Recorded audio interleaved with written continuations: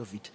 Also, just to indicate that there are a number of dormant uh, organizations that are will come into fruition as and when the group uh, grows and achieve, achieves its mandate. That's just in the form of a recap. That's the, the in its entirety that comprised uh, this whole audit.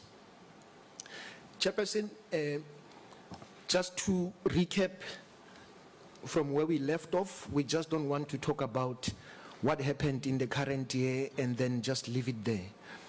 The way we approach our audits, really, we, we start from where we left off in terms of what we recommended in the past and compare with what we found in the current environment. And really, that's the beginning of a conversation as to how come the previous recommendations to which all uh, both all of us have signed on how come they're still recurring what is it that we can that can be done differently in the prior year we had agreed uh, together with management that uh, there'll be a commitment to, to monitor progress on the implementation of the audit action plans that were uh, uh, that came from the last year's uh, review. Uh, secondly, we agreed that we'll follow up with the entities that incurred the irregular, fruitless, and wasteful expenditure that I'm sure all of us would like to see done away with, and whether, if they persist, where there uh, eh, eh, will there be eh, effective consequence management that's implemented through the structures within the group to effectively deal with the, these undesirable expenditures. And lastly, we commit, there was a, we recommended that there should be follow-up on processes that are put in place to address the material irregularities that we had lifted in the environment and those that led, that required consequence management. We take stock of what happened to consequence management. If it didn't, if it didn't occur, what were the stumbling blocks? Having put the uh, the context of recommendations on the right, we both reflect on what was achieved because our focus is not only what went wrong, we also give we also give and acknowledge efforts uh, that are implemented because we also understand not, not, not everything is that easy. So- some of the issues are quite challenging and we understand and look in the context of the issues, but really, really from our side, we want to see action. If, if things take long, however, there's, there's efforts and action and things are in progress, we do give management uh, credit and an acknowledgement of the efforts, but really, really want to see traction in terms of what has been agreed and, and what is it that you can jointly do to unblock the blockages. In the current year, Chairperson, we are seeing action plans are not adequately monitored, implemented as agreed, and we would like to see effort and resources being put in in this part because we spoke about it last year. Uh, it's still manifesting in the year under review, we would like to see really more being done in that environment. We are saying uh, uh, we are still recommending financial and performance reports. We are saying we're, we're adequately supported and evidence as evidenced by reliable and accurate information. That is a very encouraging uh, observation. We are very pleased that management didn't not management did not do nothing about it, and uh, we are very uh, uh, uh, uh, uh, supportive about that achievement. Then, unfortunately, we are saying there was limited evidence of consequence management, uh, uh, limited to the mine, and you'll see as the presentation progresses, there's there's an acknowledgement that there were gaps largely in the mine that led to the overall group being presented the way it is. But I also want to uh, pause here to say it, it may sound like the it may sound like there's too many things at the mine, but I'm also encouraged by the engagements that we had with the mine jointly to develop uh, refreshed joint action plans uh, that we co-developed to see to it that next year we are not going to be having the same conversations uh, around what we saw at the mine. And I'm very, very, very encouraged uh, that there was there was a, a, commitment jointly, and the, the initiatives were developed the initiatives were signed off and they are going to be appropriately resourced at the mine so that it lifts the whole group to get back to uh, the, the, uh, to get back to avoid the regression that is underpinning the whole presentation uh, uh, uh, for the group. We are acknowledging that there was progress made in resolving the material irregularities. Challenging as it was, it is a significant step forward that we have noticed, particularly at Petro SA we want to commend management on that. And although some, there are still some struggles with the achievement of uh, some of the indicators related to the core mandate, but there, there's a reason why we use the word some there, because we acknowledge that efforts and uh, work was achieved in other areas related to the key uh, achievement of key performance indicators. As I said, the regret in the audit outcomes at the group and the mine, we believe that it's something that can be reversed uh, if we can direct most of our efforts at the mine so that the group does not get affected by the, you know, by the negative out, uh, overall audit outcomes. Chairperson, we share with the, the committee a high-level overview of the what, what the subsets of what make up the regression. I've already indicated. The mine unfortunately went into a disclaimer, which is uh, the probably the worst audit outcome, and hence the depth and the breadth of the issues at the mine resulted in the reversal of the group as a whole. I would like to maybe uh, focus on the reasons for the regression, which is the block at the bottom in the middle on the left. The heading there says regressions, reasons for the regressions. Just to dig a little bit deeper in that area to say there was an inadequate system for identifying and disclosing irregular expenditure in the financial statements, uh, which had a significant impact at group level. Uh, there were inadequate reviews of the financial statements against the underlying schedules that were provided to us. Uh, inadequate record keeping, which needed to be provided to support the information that's recorded in the systems. That is something that I do believe it's a, it's a low hanging fruit to reverse and address. Uh, and lastly, the inadequate processes over monitoring and review of the, as I indicated, of the, of the action plans that were pre, that were pre-agreed. The rest of the items I've already touched on. I just wanted to put the spotlight on the reasons for the regression, uh, especially because of the man. You can go to the next slide. This is a also a it's a sort of a, a different view of the components of the contributors to the regression. It's, it talks to the same slide that we uh, spoke to before, but maybe it's, it's, slightly it's a slightly different version on the disclaimed the mine from the bottom up. Qualified is the group itself, and then what makes up the category of unqualified is those uh, uh, five entities. We would like to see an unqualified with no findings next year when we convene uh, chairperson. Now we go. Do you want to talk? I'll hand over to my colleague to talk a little bit more in depth on the subsets of our audit uh, uh, components to give members a, a, a more nuanced view of the, the components that contributed to the regression. Dimsan is going to talk, Chairperson.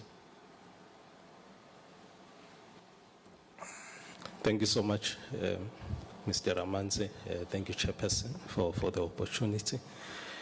I, I just want to also start in this particular slide and, and to, to really emphasize a couple of points. The, the first point I want to emphasize, uh, Chairperson, is to draw the attention uh, of the committee and yourself on the audit outcome for CEF as a separate holding company. So CEF as a separate holding company did obtain an unqualified, but the consequential impact of African exploration mining would then led to the overall regression uh, for the group, which then landed in the qualified audit space. Chairperson, just to proceed with the presentation, we look at the three areas, um, namely the first one being the financial statements, the second one being the performance report, as well as the third one being the compliance with the key legislation. What you see uh, in the graphics there on the left uh, is a reflection on the quality of performance reports uh, across the group. So we've seen that um, 33% of the entities within the group submitted annual performance reports that were credible uh, without material misstatements, and 67% had material misstatements. Um, all four of the entities were allowed to make corrections to their annual performance report, and you then see the picture that we are seeing on the right. No reliability findings were reported in the audit report. However, this is mainly due to the entities having to also work with the auditors during the audit process. And I must emphasize, Chairperson, uh, this is allowed in the auditing process itself. And I think the key message here uh, is that we are placing a lot of value and emphasis in the responsiveness of the entities to attend to the issues that would have been raised by the AGSA so that there is no repeat of these matters going forward. And the responsiveness that we've seen uh, is a positive responsiveness, uh, response coming through from the different subsidiary entities as well as the CEF group. Performance against the target, uh, Chairperson. So this picture really reflects uh, on the key targets within the CEF group. So towards the left, on the far left, uh, at the CEFSOC level, we've seen that the entity uh, would have um, achieved 85% of its key target, uh, with only 15% that was not achieved. PetroSA, uh, 48% versus 52%. SFF, 41% versus 59%; PASA, 84% versus 16%. African exploration 19% versus 81% and iGas 58% uh, versus 42. And the overall message is that despite the inconsistent achievement of targets, the group has improved in relation to the execution of their mandate when looking at the increasing level of closed investments over the past two years. Uh, that is the acquisition, like the aqua projects, the REMCO. However, we we're saying more attention is still required to ensure that the indicators at the group and at the holding company level are also useful. So this is a message that we're sharing. We've seen that uh, from a CEF point of view, uh, there's been achievements, uh, there's been an improvement in terms of the, the mandate, the execution of the mandate uh, within the group itself. Financial Management and Compliance Chair. Um, here we reflect on the status of financial management controls. We look at the proper record keeping disciplines, daily and monthly rec uh, recording controls, in year and end year reporting processes, as well as a review uh, of and monitoring of compliance with applicable laws and, and legislation. Across the group, uh, Chair, we've seen that um, if I focus your attention to the box at the bottom, um, we saw that uh, in, within the group itself, there was no auditee or no subsidiary submitted financial statements that did not have corrections being made by the auditors. 71% uh, being five of auditees submitted financial statements that contained material misstatements that were subsequently adjusted.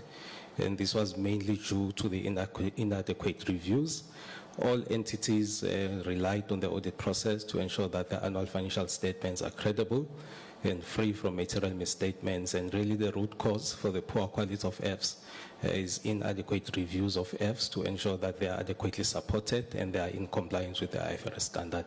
But I must also indicate that the positive responsiveness that we have seen again from the leadership of the entities is the one that says they are going to attend to this particular issue from an internal control point of view so that going forward, um, the, the overall status within the group itself uh, is actually improved. My colleague spoke to the African exploration, and I will focus a little bit on it. Um, the second bullet point on the on the orange block box that I'm talking to. So at African Exploration Mining, uh, audit of annual financial statements regressed to a disclaimer. Um, and this disclaimer was due to a significant number of material limitations um, uh, compared to disagreements as sufficient and appropriate audit evidence was not provided. The root cause for the regression is mostly inadequate um, uh, capacitation at critical functions within the entity and adequate implementation and monitoring of action plans to address prior findings and related weaknesses in internal control. Uh, Chairperson, we have been in conversations with the management at the entity, uh, and we are encouraged by the responsiveness. Um, um, we've been taken into confidence in terms of the action plans that they've put into place. Uh, we have also set um, uh, with management ourselves so that we can co-create an action plan that will address the issues that we've identified as the audit office insofar as African exploration is concerned. So the overall message is although we saw a regression, but the responsiveness uh, is quite encouraging. The, the main qualification areas as it relates to African exploration uh, is the irregular expenditure. And Chair, if I may just also spend a little bit of time on this one. So the consequential impact at the group level was as a result of the irregular expenditure, uh, in a sense that at the African exploration level, the audit team um, had challenges insofar as verifying the completeness of irregular expenditure, as well as limitations that were experienced, and as a result, um, the group opinion was subsequently affected. There are other elements which um, are listed underneath, although material at a subsidiary level did not um, affect the overall opinion at the group level. Just to quickly go through some of those, trade and other payables, there was a limitation. Investment in, associate, in associates, a disagreement with management. Cash flow statement, a disagreement. Um, contingent liabilities, limitations, and hence our view as the audit office is with management having taken on board these matters that we've raised and management having committed to address these matters, um, we see the situation improving and we also want to acknowledge that from an oversight point of view, uh, there has been strong commitment to also deal with these particular issues. Key recommendations, effective implementation and monitoring of audit action plans to address prior findings where material misstatements were identified. In-depth review of financial statements to ensure uh, that the reporting uh, complies with the relevant standards, implementation of daily and monthly and accounting accounting and financial disciplines, including the preventative controls. So the emphasis is really uh, on the preventative nature of these controls, adequate capacitation of critical functions within the entities, such as the filling of vacancies uh, and the continuous training. And I'm aware that some of these matters have already been attended to. Chair, uh, at a high level, just to also reflect on the financial health uh, within the group, um, we see that within the group, insofar as the revenue part is, is, is concerned, um, only one entity being ASA, being PASA, where we saw that the average debt collection period is 66 days, and we are reflecting on the root causes uh, on the expenditure side. Across the group, the fruitless and wasteful expenditure is 6.84 million. Creditor payment, which exceeds 30 days, uh, PetroSA, African Exploration, PASA, SFF, and CEF, and creditors that uh, greater than available cash, and that was only at PetroSA uh, as well as PASA. And the average creditor period uh, is then 64 days. On the right, we reflect on the impact uh, of the financial health um, um, uh, uh, observations that we've made on the left. And really from our side, we continue to emphasize that when one sits back and look at the group uh, holistically, um, there's no doubt that these audits can continue as a going concern. Uh, we are just elevating these risks that we believe management should pay attention to going forward. Uh, I won't talk to this particular slide, Chairperson. Uh, this is the slide that supports the previous overall messages uh, from our side. Really here, we look at the current asset positions of the different entities, the cash that is available, as well as the creditors. Suffice to say, if you look at the CEF, um, uh, CEFSOC level, um, there is a positive current asset uh, of about 29 million, uh, cash about um, cash of about 3.2 billion, um, creditors, uh, apologies, Chair, cash of about 4.5 and creditors of about 3.2 billion. So overall, um, the state of the CEFSOC uh, is quite good and is underpinned by the previous message which I shared with you, with yourselves in the previous slide. Compliance with laws and regulations, Chair. Um, this then talks to the different compliance areas that we look at starting from a strategic planning, quality of financial statements, prevention of irregular and fruitless and wasteful expenditure, oversight and governance, procurement and contract management, as well as consequence management.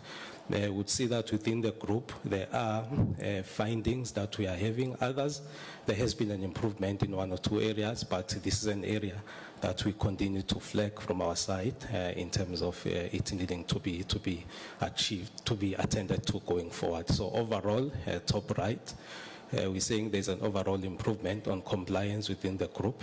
Um, and this was evidenced by the reduced number of non-compliance instances. So really the detail at the bottom then talks to the status um, at a particular point in time, but there is an acknowledgement that there has been an improvement uh, within the group. Bottom left, we're reflecting on the root causes. Uh, I think some of these root causes I would have spoken to. Then on the right, um, I think I've also covered some of the recommendations uh, talking to this particular area procurement and payment um, uh, uh, with the procurement and payments within the group in compliance with the necessary legislation.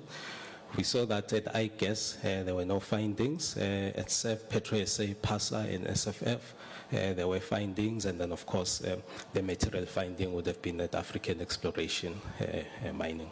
and at the bottom, at the, in the middle there, we're reflecting on um, the different findings um, as they relate to the different entities. So uncompetitive and unfair procurement processes would have seen it so, itself. African Exploration, PetroSA, PASA, and SFF uh, prohibited awards. We saw at African Exploration, prohibited awards to other state officials at African Exploration, and limitations on the audit work at African Exploration. So some of the subsidiaries, um, including the CEFSOC, would not have had those particular findings. Irregular expenditure chair. Um, we've seen that within the group, um, compared to last year, there has been an increase and that increase really is as a result of the SFF uh, irregular expenditure that we've included uh, in, the, in the current year. And really from a root cause point of view, lack of proper discipline and compliance in monitoring uh, by management within the SCM units, improper delegation of powers uh, when entering into contracts, uh, compliance not monitored to identify and prevent instances of procurement processes not being followed, and on the right, to reflecting on the recommendations from our side, which really talks to the implementation of daily and monthly procurement and contract management disciplines and adequate reviews within the procurement processes to ensure that contracts uh, are entered into um, by the appropriately delegated officials. But as I said, the Chair, this issue is then mainly isolated uh, to, to a particular subsidiary. Just to reflect on consequence management as it relates to prior year irregular expenditure chairperson, uh, we've seen that uh, insofar as the opening irregular expenditure, um, there, there has been progress towards attending to the opening balance of regular expenditure, but would really call upon for a more heightened level in terms of dealing with the prior irregular expenditure. The figure at the bottom really talks to the fact that insofar as, of course, after having gone through the normal processes as per the Act, um, uh, we've not seen any regular expenditure being condoned or removed, um, written off. Uh, but of course, will, these steps will be informed uh, after the necessary processes would have been undertaken by management. Material irregularities. The positive message here, Chair, um, which is a factual one, is that within the group we only have one, one material irregularity. Uh, as my colleague indicated, this is a space that we really would want to avoid at all cost, and, and, and we've also acknowledged that even with that particular uh, material irregularity, we are seeing that there is a positive um, uh, progress that has been made in dealing with that particular material irregularity. So the overall message is we're not seeing a lot of material irregularities, we're only having one, and in that regard, there is a positive uh, progress that has been made. So in conclusion, Chair, to summarize the, the presentation, at the key root causes level, inadequate reviews of financial statements, compliance with key legislation, inadequate uh, implementation and monitoring of audit action plans, slow progress in implementing consequence management, and I think I've spent a lot of time in terms of the key recommendations. And really the overall message, I think throughout the presentation, Chairperson and members, uh, I would have spoken to some of these different elements. Chairperson, that concludes the presentation from our side uh, with the message that says although there is a regression at the group level, uh, we have seen um, um, the overall improvement in certain key aspects uh, within the CEF group itself, and we remain encouraged by the positive nature and manner in which the leadership at, the different entities have really responded to the audit findings. Thank you so much, Chair.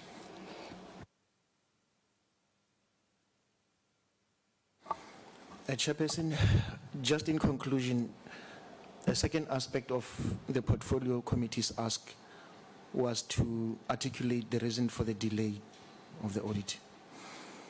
Uh, in our view, there was nothing untoward. Um, management has got a prerogative to raise queries which are embedded in part of our audit. We uh, have to afford management an opportunity to provide information that which they believe is sufficient. Uh, and if it's if they believe that the audit outcome is not a true reflection of the activities of the group, we have a process within the our audit methodology that deals with the audit dispute process. And as I indicated, uh, management has to ventilate, provide additional information that we may have inadvertently not considered to address the matters that have concern to management. I would like to give the portfolio committee comfort that there was nothing really uh, wrong or untoward with what is seen as a delay. Both parties needed to satisfy themselves fully that the audit outcome reflects the true state of affairs of the organization. And I'm glad to, to be uh, uh, sharing with the portfolio that please rest assured that the audit was handled fairly, objectively, and both parties are fully satisfied with the outcome of the audit. I wish to thank you, Chairperson. Okay. Baya danke. Eh Adumqat any take from just on the audit side of the report from the AG before I go to members.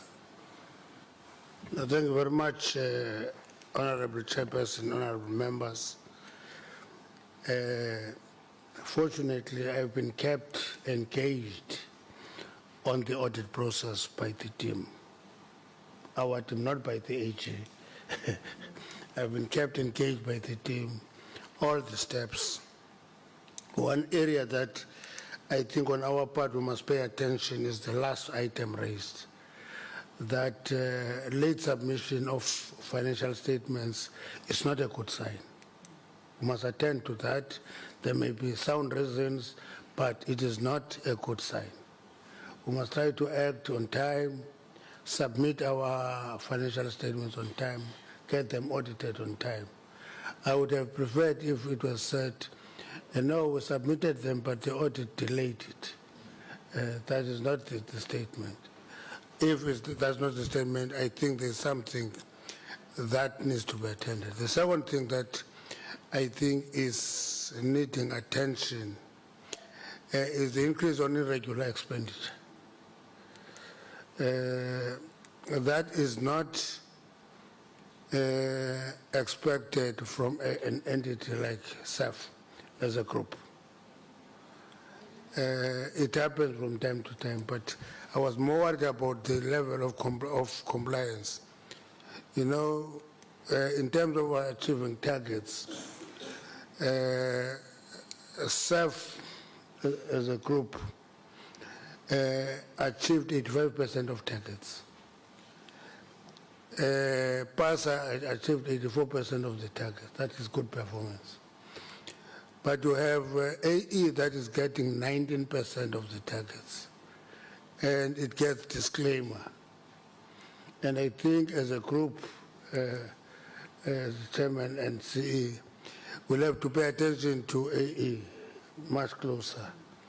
Because uh, if you only achieve 19% of your targets and you end up with a, a disclaimer, uh, there is something that needs attention. But we must also acknowledge the fact that there was no CFO there. Uh, CFO was employed quite late uh, in the term, and there's direct impact on the performance of the entity itself. Um, of the unchanged uh, uh, audit results of unqualified with findings, uh, we can have uh, a number of them moving to clean audit. That is the intention of our department. But in brief, Chairperson, I must make the point that um, this is an area where we're actually doing a lot of building work. We're building the entities. Uh, it is not just operational. Uh, let me take just two as examples. AE, for example, for a long time was not run as a mining entity. Only now that we're trying to make it a mining entity, we're trying to look into mining skills into it. Uh, in a long time that it was not. Uh, we are serious about it. It must be a mining company, state-owned mining company. It must perform uh, to the requirements of a mining company. We are quite comfortable with the work being done there, but we think it can be accelerated. PetroSA, were rebuilding it. Uh, it was collapsed totally to nothing. Uh, we're rebuilding it. It has done well on the trading side. We must revive the refining capacity of PetroSA. If we succeed in that, everything will look much better.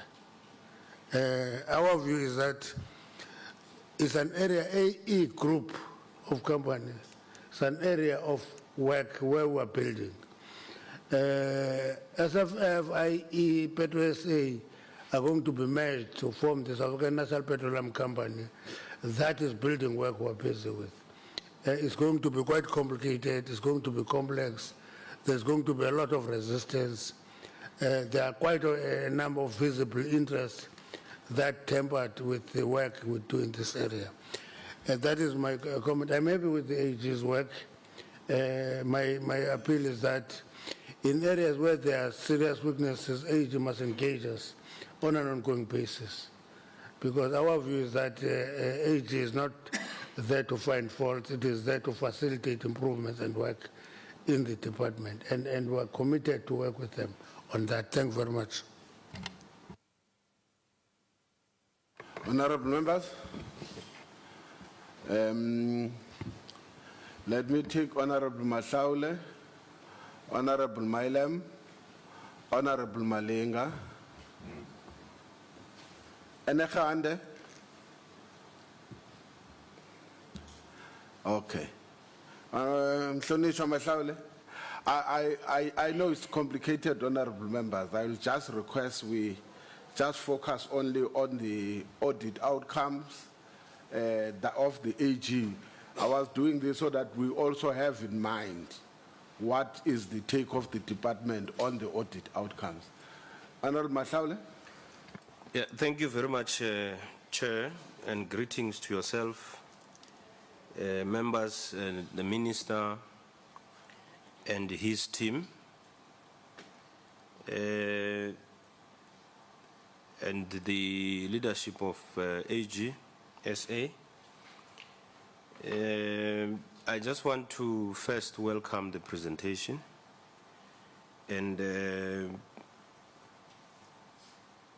acknowledge your acknowledgement that uh, indeed from 2019 to now we are seeing a different uh, Central Energy Fund with its subsidiaries and um, we are registering some progress which is a good uh, positive. I just have one issue, Chair, which I'm not going to hold back the punches on. You see, here is AG and uh, CEF going back and forth since 2021 on audit reports because they want to satisfy each other. Um, on financial statements, AG wants to comply, uh, CEF wants to meet their compliance. But I think they are selfish in their, their work because they forget that there's a third party, which is Parliament, which has a responsibility to do oversight as well in terms of the BRRRs. For two years, we have not uh, uh, dealt with BRRRs that are involving CEF. And to the public that we represent, it looks like Parliament is failing to discharge its duties. And that's why I call it selfish from your behavior, the two entities, AGSA and CEF. And I want to, to plead that uh, moving forward, have timelines on what, uh, uh, on how long you do back and forth and reviews and reviews of uh, the financial statements that uh, consider it that we, we, we too have got the responsibility to, to di- discharge our, our duties as parliament. So your back and forth can't be for a year and uh, limit us in discharging our, our responsibilities. Thank you very much. Thank you, Chairperson. Good morning to everybody. Um, I firstly want to concur 100% with what my colleague has just said about the lateness of the reports and the impact it has on Parliament conducting its duties uh, with regard to BRRRs and annual performance plans and holding the Minister and the Department and the entities to account. So I firstly want to concur completely with what he said. Uh, I want to focus um, well, let me start by, by drawing attention to slide 15 and 16, if I may. On slide 15, um, it's about halfway down the slide, you'll see that there are no reference made under procurement and contract management to CEFSOC, IGAS, PetroSA, SFF, PASA um, and as, as these being areas of non-compliance. But if you go over the page to slide 16, the very first line of that, and the heading is procurement and payments, we see uncompetitive and unfair procurement processes. And there they are, CEF, African Exploration, PetroSA, PASA, SFF. So I'd, I'd really like the AG, if you wouldn't mind explaining how we can, on one slide, say that there are problems, and on the other slide, on slide 15, say, no, no, these aren't really material problems. Um, and I think that, that that needs to be clarified. Um, then if we could go to slide 19. On this slide, we're looking at dealing with irregular expenditure. And if you have a look, the irregular expenditure goes back to 2019, 2020. In fact, it goes back further than that, but that's, that's far enough for the purposes of what we're looking at here. 574 million in 2019-20, 855 in 2021, 1.17 in 21-22, and 4.2 billion in 22-23. And then we look at what has been done about it And the answer is nothing.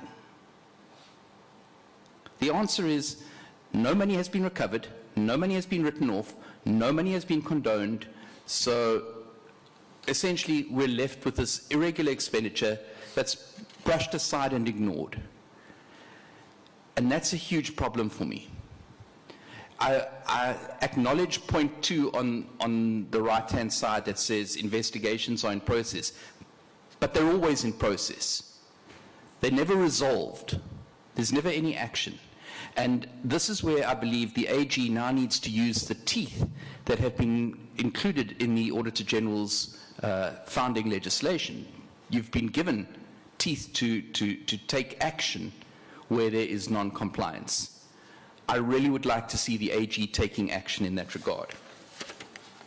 If we could then go to slide 21.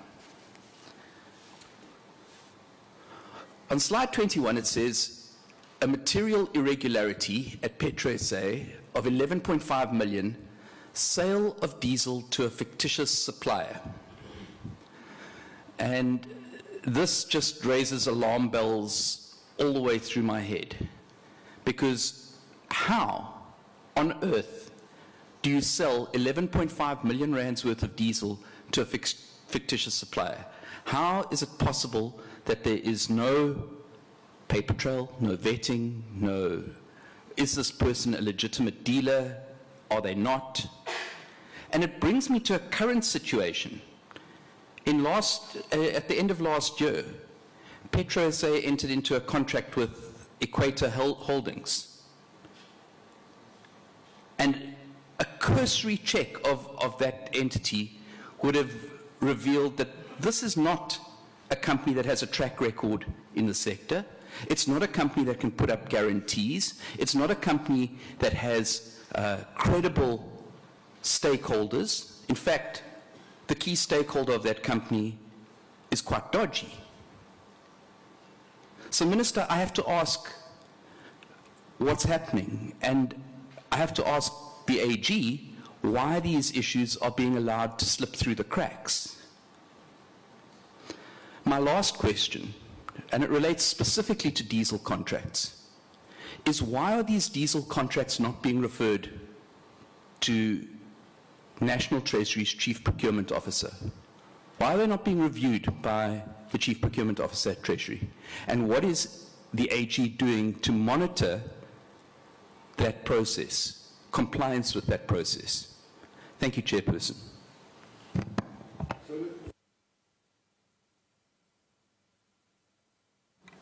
Thank you very much, Chairperson. Greetings to yourself, members of the Portfolio Committee, the Minister, um, the department, and all uh, captains of industries and our staff.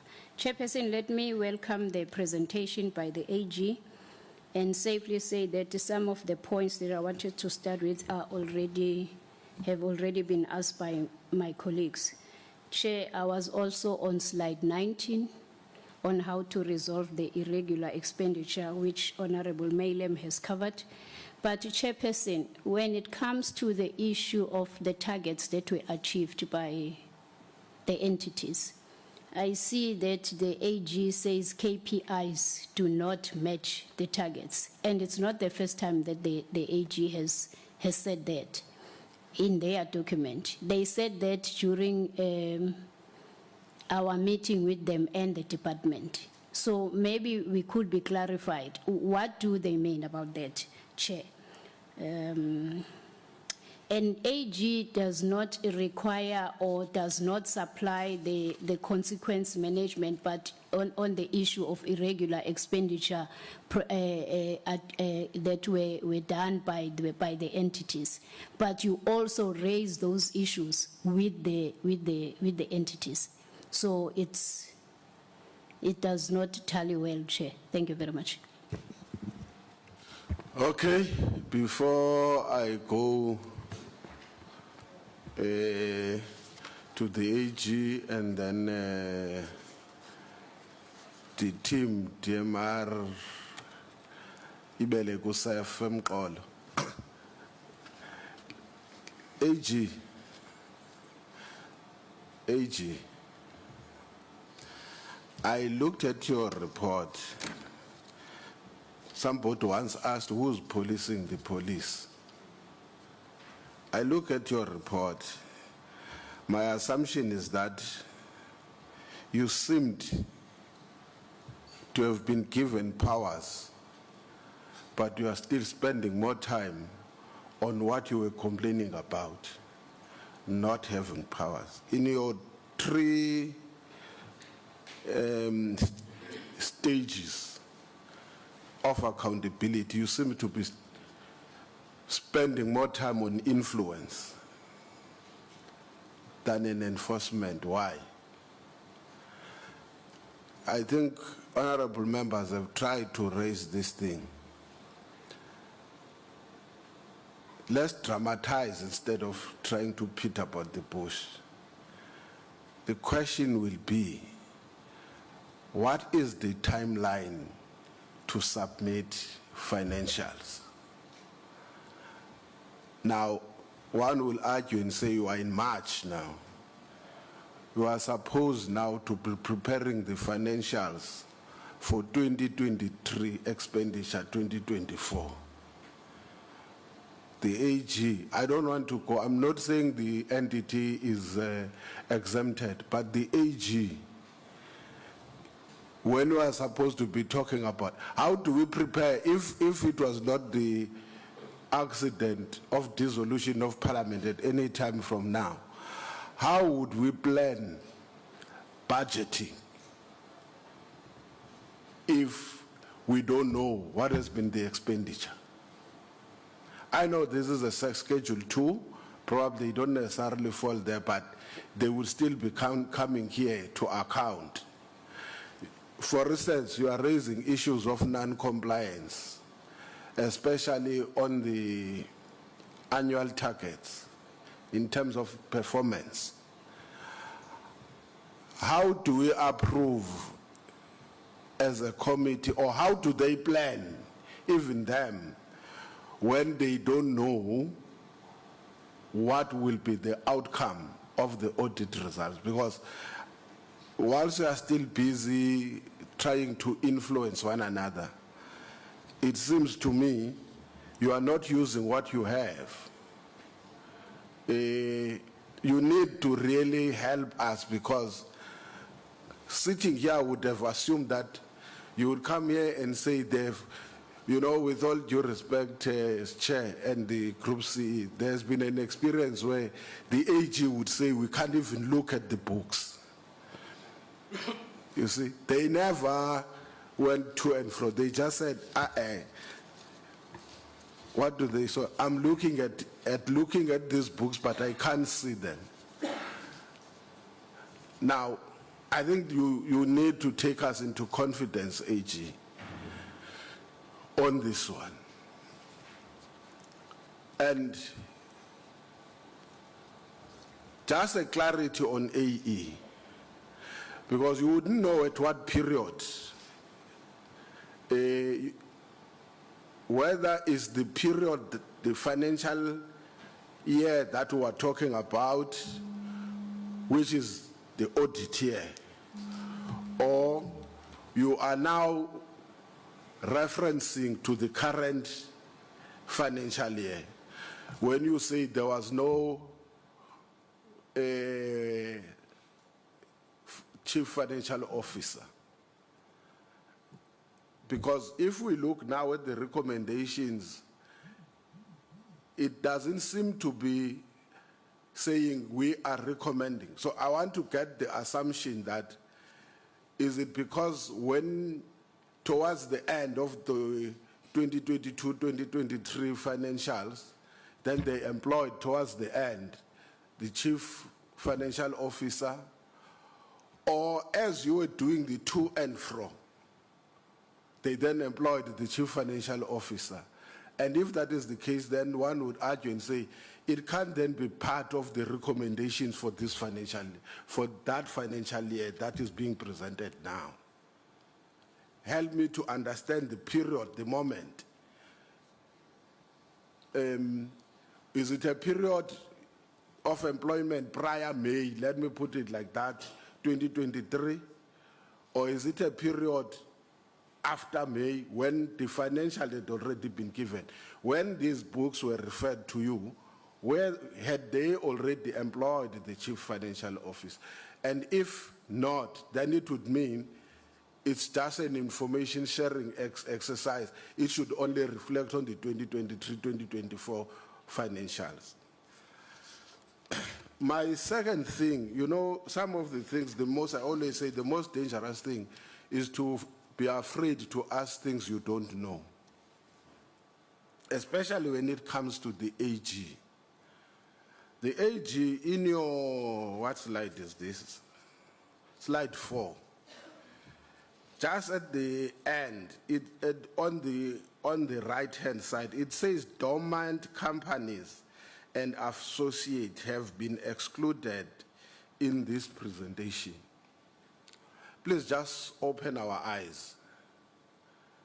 Eh, because they can be dormant, but they may have an impact.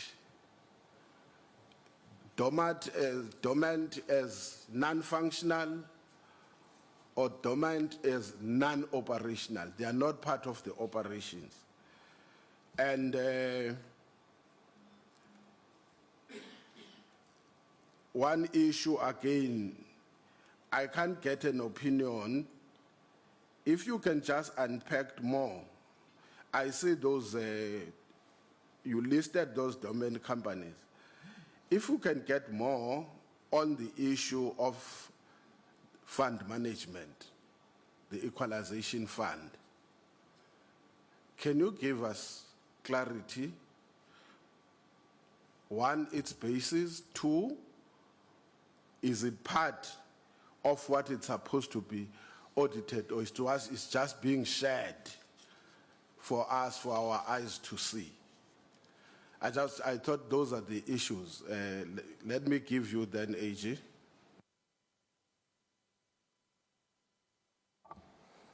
Uh, Chairperson, thank you very much, as well as the members of the committee with the points for clarification and question. I'll deal with the first one and allow um, my colleagues also to weigh in on some of the specifics. I think I would like to acknowledge the, the concern that was raised by the, the members around commitment to timely completion of the audit. It's something that I do believe it can be done better. I think on our side, really,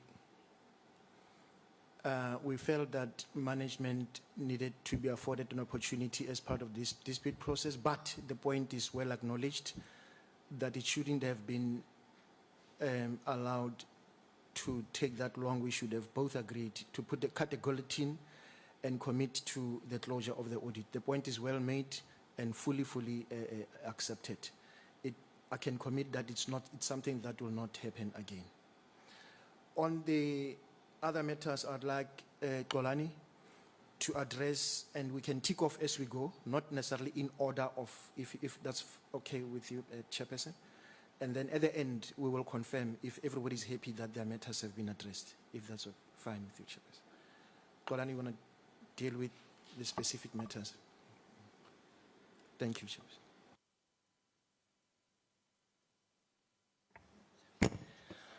Um, Good morning, honorable members.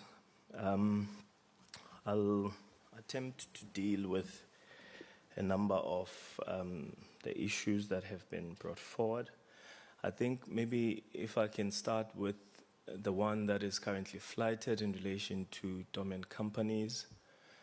Um, as you rightfully um, state, Chair, um, um, Honorable Chair, uh, the dormant companies um, pretty much in relation or from a significance point of view, there's no much activity that is happening in those. However, still, as much as we have excluded them in the presentation, we do still audit them as part of our audit processes. And um, there were no significant issues that um, needed to be elevated from, from those uh, particular dormants. Um, I think maybe also talking to, I mean, if you look at the quantum or the weight of those dormants, uh, because the numbers are quite small, and in some of the dormants, um, there's really nothing in there. If you look at the weight of those domains and also even the associates, they're quite small in comparison to the subsidiaries, and, and hence why the more focus was on the subsidiaries. I believe if there were significant issues that needed to be highlighted on the domains, um, we would have elevated, but majority of them um, are unqualified chair and currently are sitting um, clean. Um, and then in relation to the equalization fund um, chair, um, the equalization fund, as much as it is administered by CEF, it does not fall as part of the CEF group in terms of the relationship of a holding company and subsidiaries. We have audited the equalization fund. I think um, maybe, Chair, going forward, what we might need to do is to include the equalization fund as a separate um, uh, presentation in terms of its outcome. But, but as things stand, um, the equalization fund was also audited and it's currently sitting as clean. so there's no material issues that we identified there. But, but, but we do note, Chair, your comment in relation to the fund and, and we shall then maybe going forward report on it. and then, Chair, in relation to um, the procurement issues, um, that were highlighted in relation to slide, um, the compliance slide and the procurement slide. So if you go to the procurement slide, so, or, or maybe let's start with the compliance slide. So the compliance slide, pretty much what it summarizes is material non-compliance findings that were issued in the audit. So when you look at this slide, in a nutshell, these would be non-compliance instances that resulted in material findings. However, when you go to the next slide, and then you'll see, I think on the procurement, it's only AE that features um, in terms of having been issued with material findings on compliance.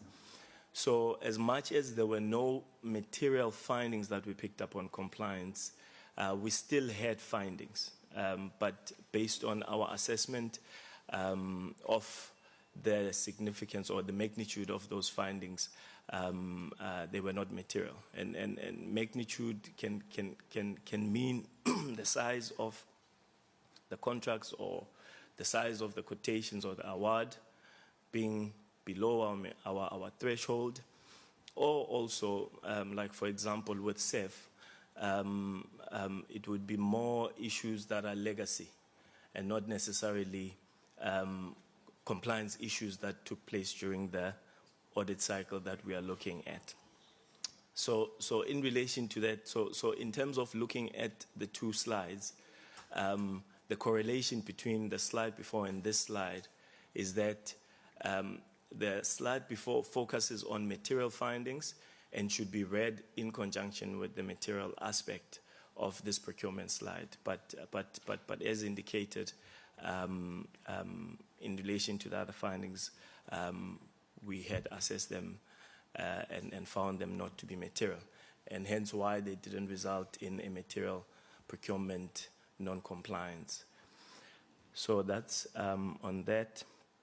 And then in relation to KPIs, uh, Chair, the inconsistency um, versus the aspect of their achievement, um, and also the issues that we have highlighted.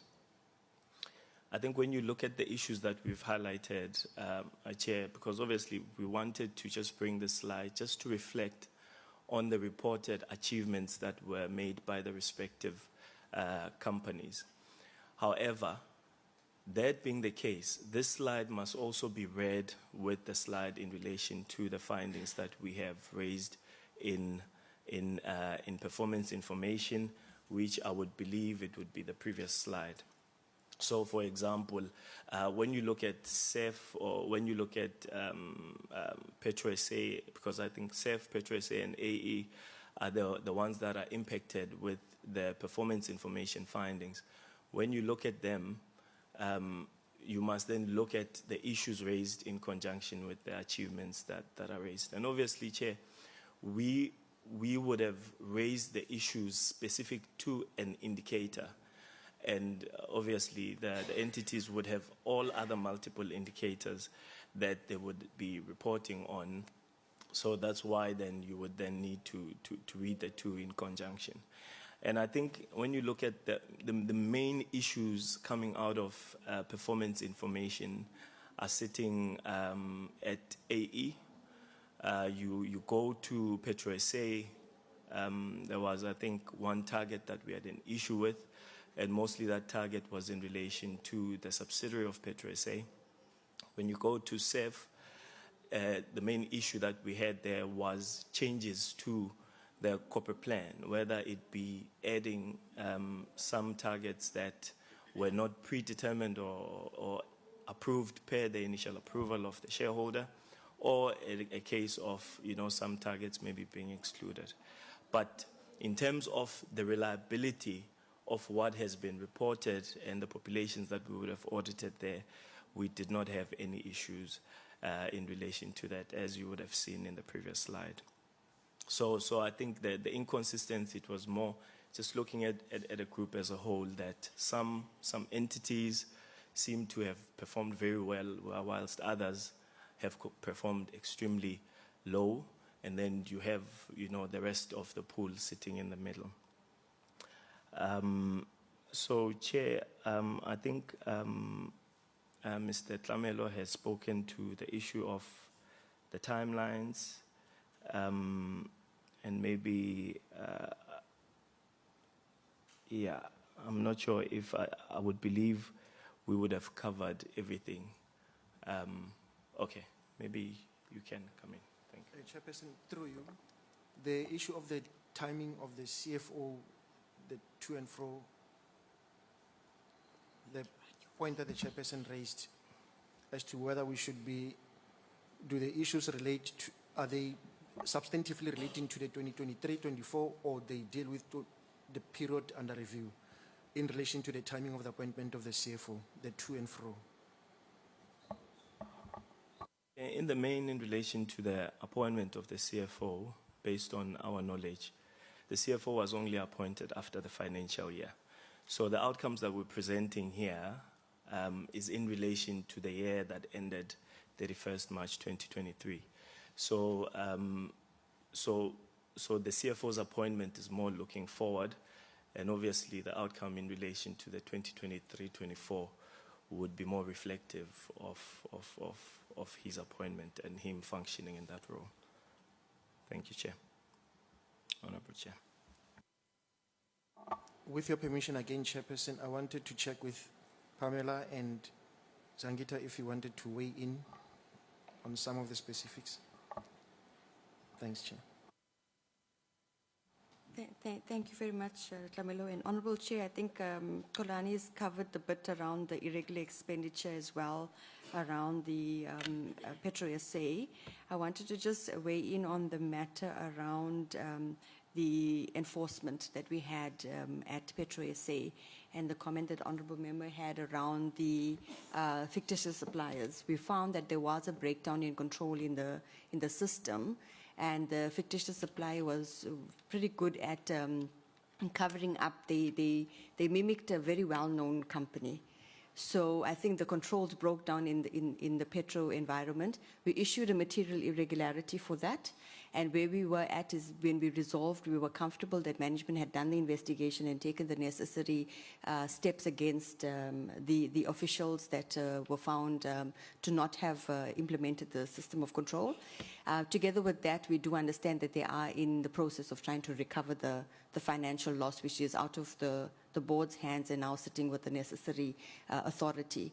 I think um, it's uh, definitely an area where um, Petro can, uh, has learned from, from the systems and, and the processes. And if there is any other space in terms of um, vetting of suppliers, um, we understand that the systems have been enhanced. So you do make a reference point to a, another contract that has been entered into. We have commenced the audit of petrol for the new financial year, and that will fall into the scope of the new financial year. Thank you very much.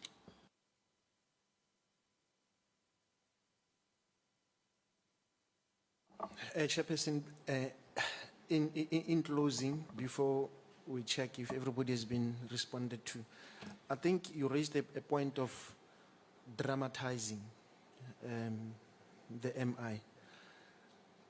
I think one needs to be very circumspect in that because it's not a mechanical exercise. We, we weigh the qualitative factors. You look at, we look at management's commitment to addressing the issues, the limitations that they face, and we apply our judgment to it as well. Uh, it, it- it may look, the outside looking inside may be very impatient, but for us, it's also part of a stakeholder management uh, process, weighing all the difficult issues. But all of that really rests on what we can see as management's commitment to addressing the issues. And, and it may uh, take a little while for, for the outsides to see an MI, but that doesn't mean um, it's, a, it's an endless process where you can put timelines and say by the 30th of this date there must be an MI. No, uh, th- th- there are what do you call this extenuating circumstances that impact on, on, on the timing on when an MI is really being activated. I thought I should just respond to that. Thank you, Chairperson.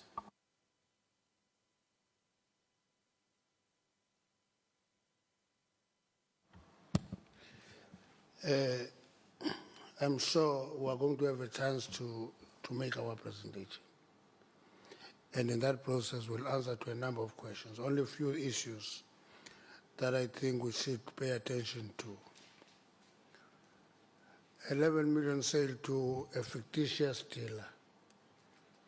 Uh, I think that question has been asked, but what I think is not appropriate is to attach a company that has nothing to do with that fictitious dealing to the dealing. It's unfortunate. It's a question of rumor mongering. That the talks of this company, Queteza, uh, that has done this and that and that. It is. It has been.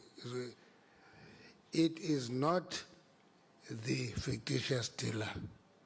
What is in the in the uh, edited financial statement is the fictitious dealer who got a, a 11 point something million uh, sale. So to, to, to drag a company that is not part of it to, to the issue is unfortunate. Now let me, let me, let me explain this. And the, the, the motivation by Mr. Mileham is that they have no track record and so forth. Companies that are emerging and developing will have no track record. They will be given exposure, they will develop, they will grow, others will collapse. And it is the responsibility of the state to manage capital formations post independence. And if the state neglects that responsibility, there will be no development of capital post independence. So, my own view is that it is unfortunate that you drag that company into this question of uh, a, fictitious dealer. The second one is uh, there's an issue that says diesel conduct must be referred to National Treasury Procurement Team. Uh, you can do that if you want to, but the reality of the matter is that this is an entity, it is running, it is registered, it reports, it is here today to report. Otherwise, you say the National Treasury must come and report here. Because you take their responsibility, give it to National Treasury, because you don't trust them. It can't work that way. Oversight is about enforcing trust on entities that are under your jurisdiction. So, I think those two issues are, are something else. The last point, my observation is that uh, the, the, the portfolio committee really doesn't acknowledge progress made. That's my view. Uh, instead, I think they regret progress. Let me give you two examples of that observation on my part. They say, why don't you use your teeth?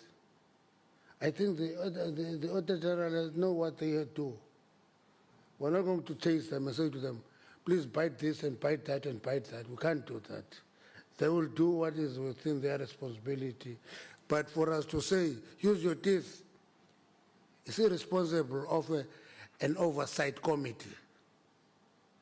Lastly, uh, you should have written, we can't express a view on the books.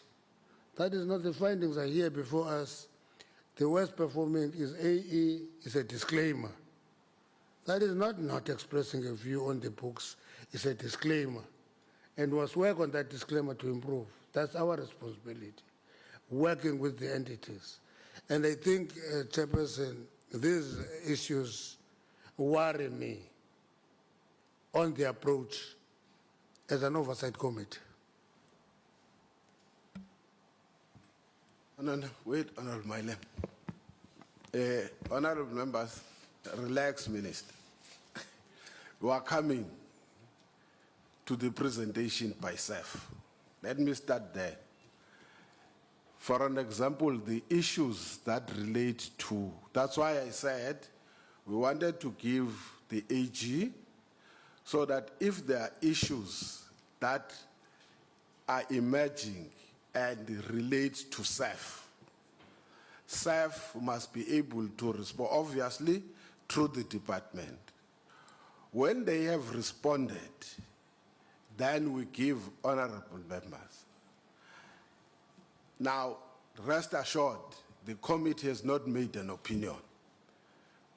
We will deal with whether there is progress or not when we have received the presentation from CEF. So we express no opinion. The point though we're raising, that's why we're not referring to CEF, we're referring to AG. That is subject to how do we understand each other. The point we're raising is that you've got an entity, independent entity of the state that is supposed to, for instance, one example that AG says, they said in the to and fro between themselves, and they realized that they could not reverse that decision.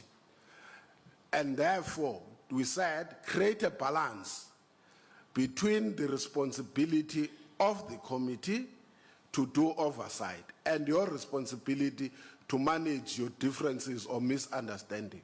So we have not made, I want to request honorable members that the issues that relate to CEF, including the one honorable members, please, honorable Mileham, let's allow then CEF to present, respond, because for me, the issue with regards to the fictitious company vis-à-vis, yes, I agree they're not in- interrelated.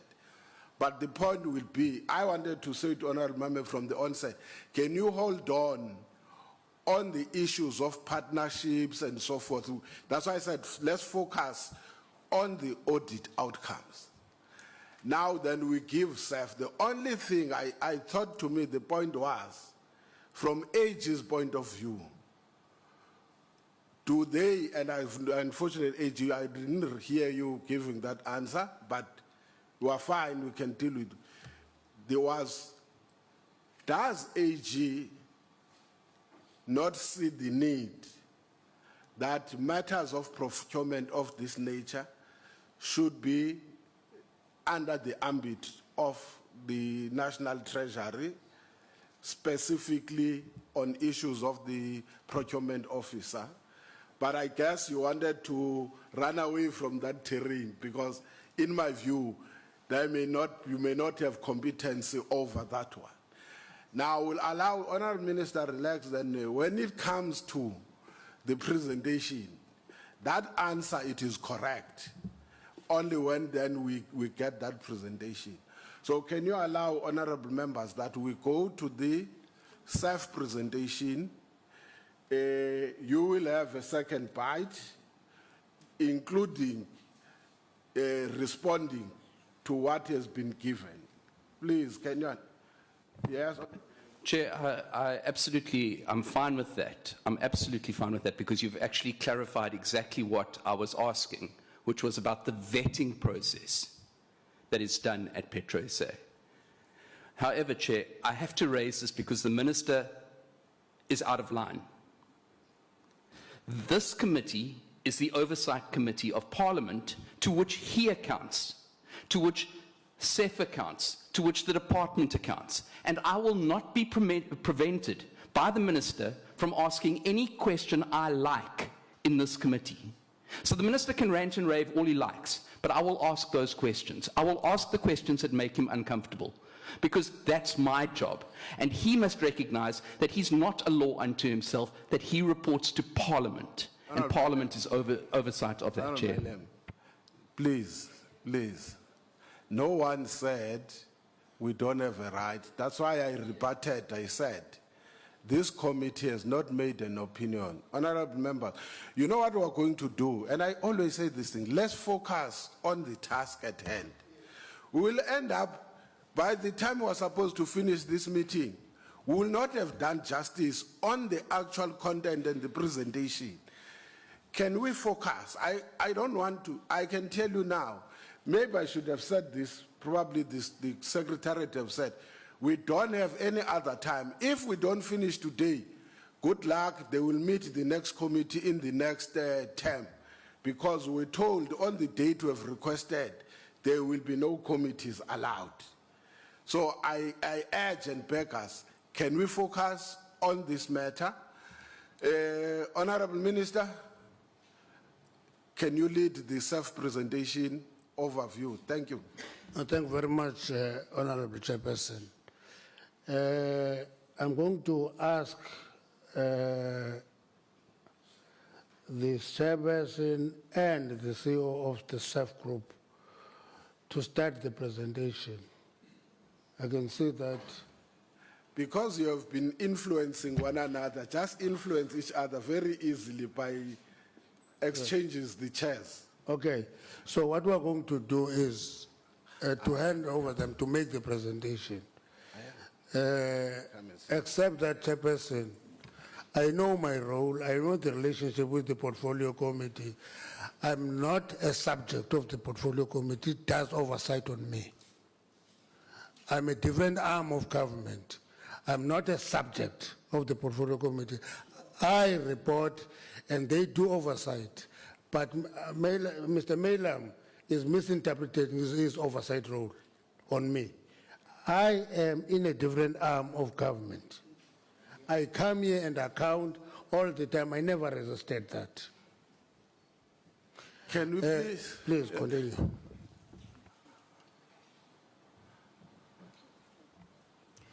Uh, Honorable Chair and honorable members of the committee, good morning, uh, greetings. Uh, greetings again to my principal, the minister, the DG, and the officials uh, from the DMRE, and also the colleagues that I have brought along uh, to the committee. Um, just to focus us, um, Chair, as I understood you, you asked that we just focus on the audit outcomes. Uh, just for a No, no, no, not you. No, no, no. It was the last session, we have dealt with this now. Deal with the presentation. If I want to summarize it, the current state of CEF. Siqale ekuqaleni mphathi- eh, eh, Yes. Okay. Begin. Hayi ndikuve kakubi ke so let me uh, Okay, thank you. I Okay, ndikuve kakubi bengicimba uthi ufu- ufuna AG ahambe. Um so let me do this properly. Benzawucela ukhulula ibhatyi kodwa kandizikhulula. Um Again, if I, I can then uh, follow proper protocol and greet you again, Chair, and the honorable members. Uh, also, come back to my principal, the minister, the DG, the officials also from the DMRE that I acknowledge, uh, the DDG's senior officials, chairs of the subsidiaries that are here today, uh, which I will also just introduce quickly for the committee.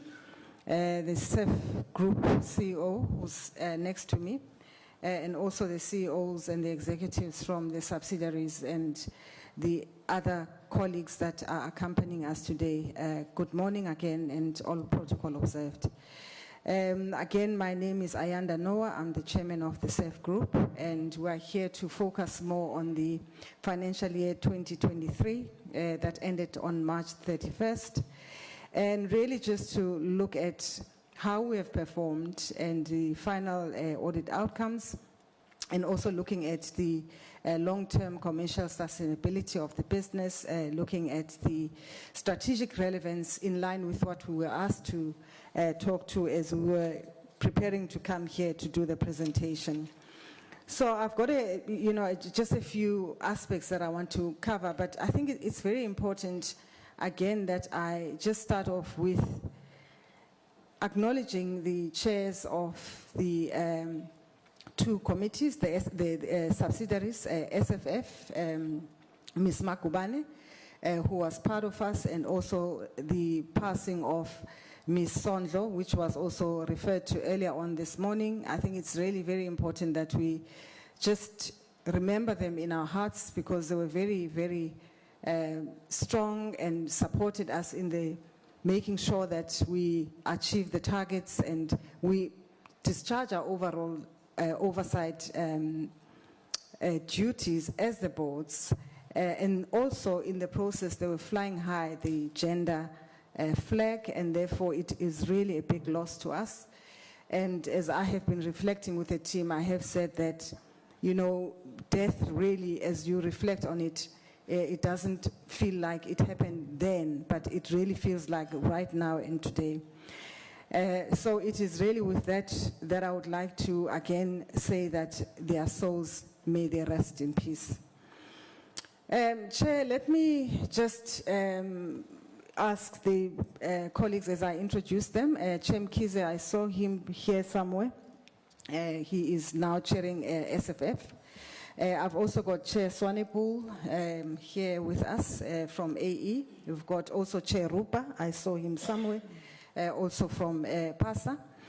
Um, we also have the group CEO next to me, as I've already said. We've got the acting PASA CEO, Dr. Mukoka, uh, next to his chair. We've also got uh, the acting CEO of PetroSA, Ms. Makadla, who is sitting uh, behind me. Uh, and also, of course, the incoming um, permanent CEO, Mr. Sizani, uh, whom I'll talk about later, Mr. Mwahi next to his chair, and also Mr. Pitswe next to his chair. Um, CFO Ms. Murabe uh, next to me, who's going to be doing.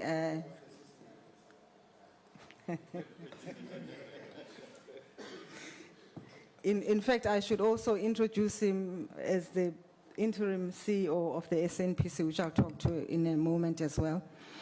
Um, we also have the Mr. Mtetwa, the new CFO from uh, AE, uh, is here. Uh, Ms. Ali, Ms. Uh, Mr. Mahlambi also uh, is here.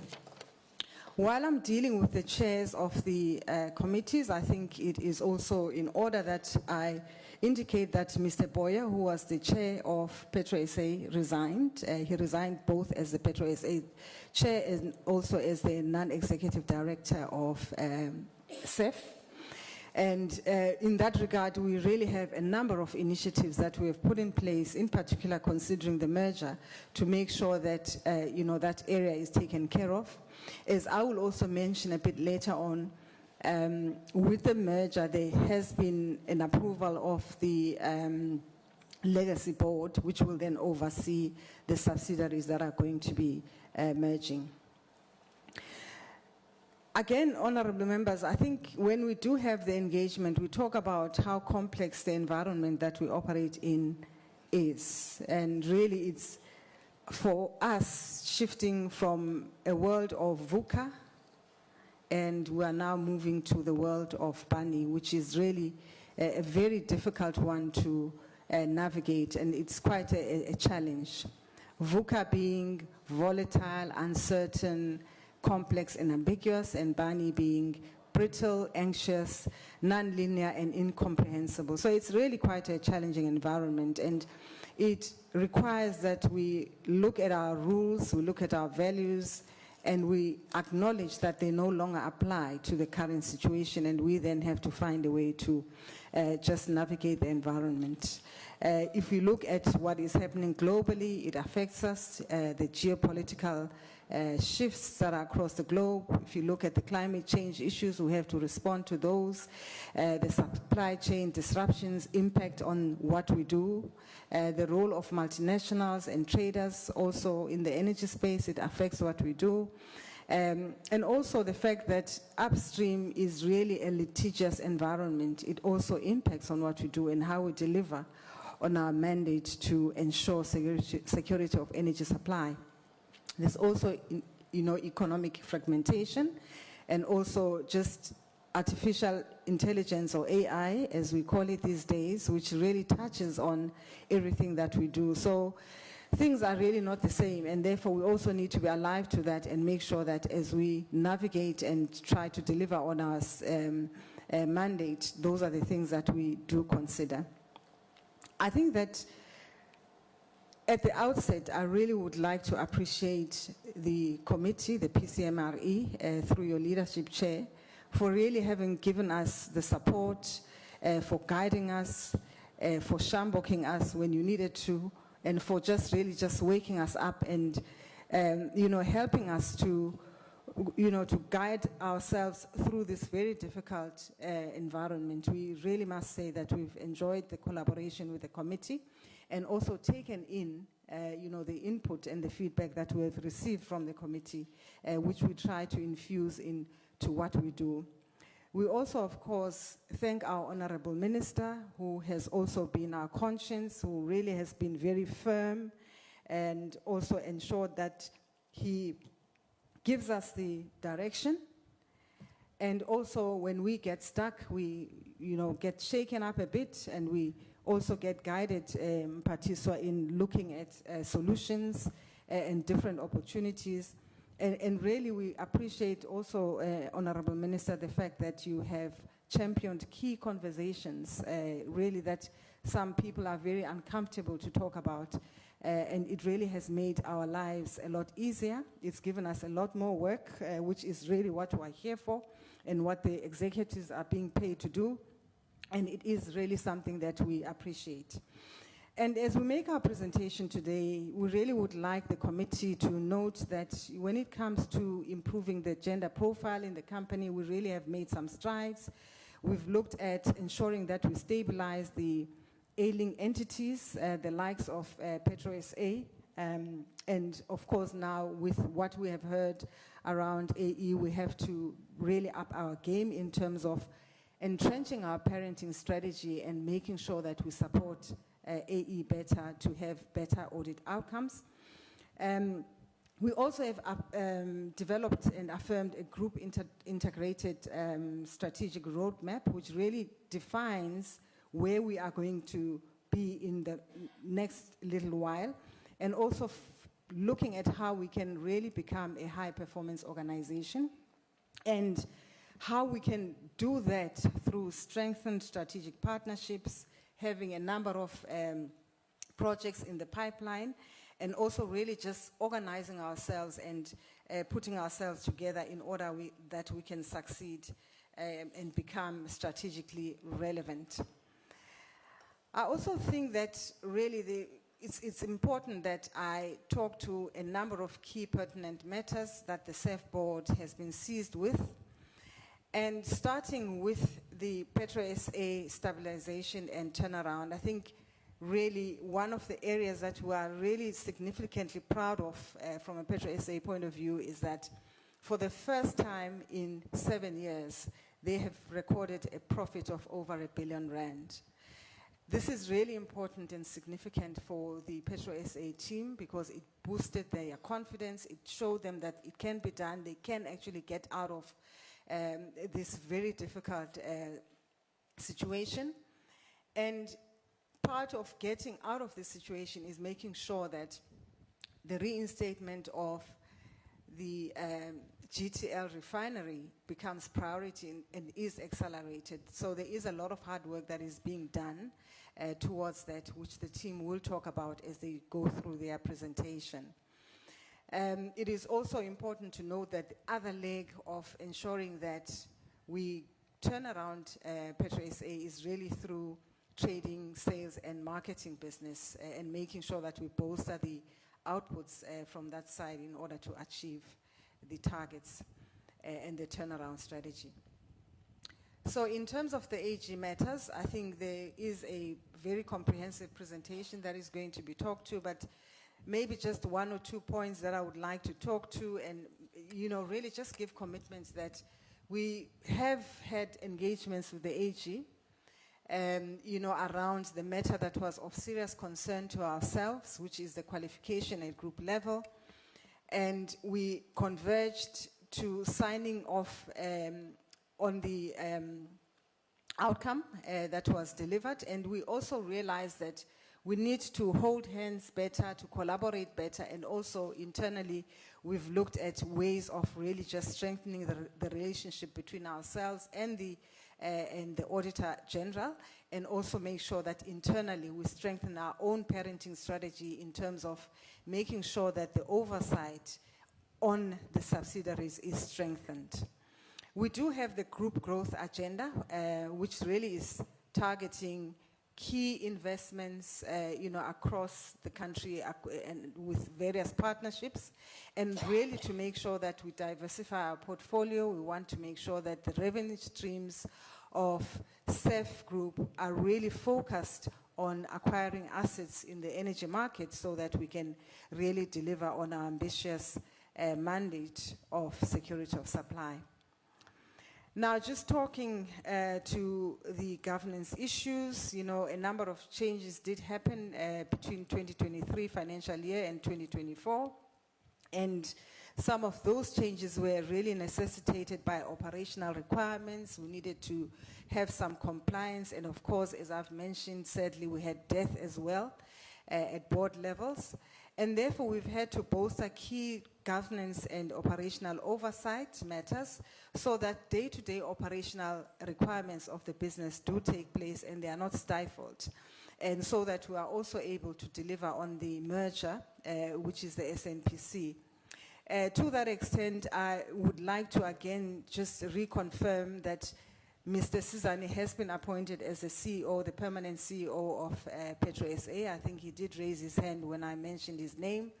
And Mr. Mteto, I've already spoken to him, and uh, Dr. Mukoka is currently acting um, as the PASA CEO due to the resignation of Dr. Masangani. So those are some of the changes that have taken place.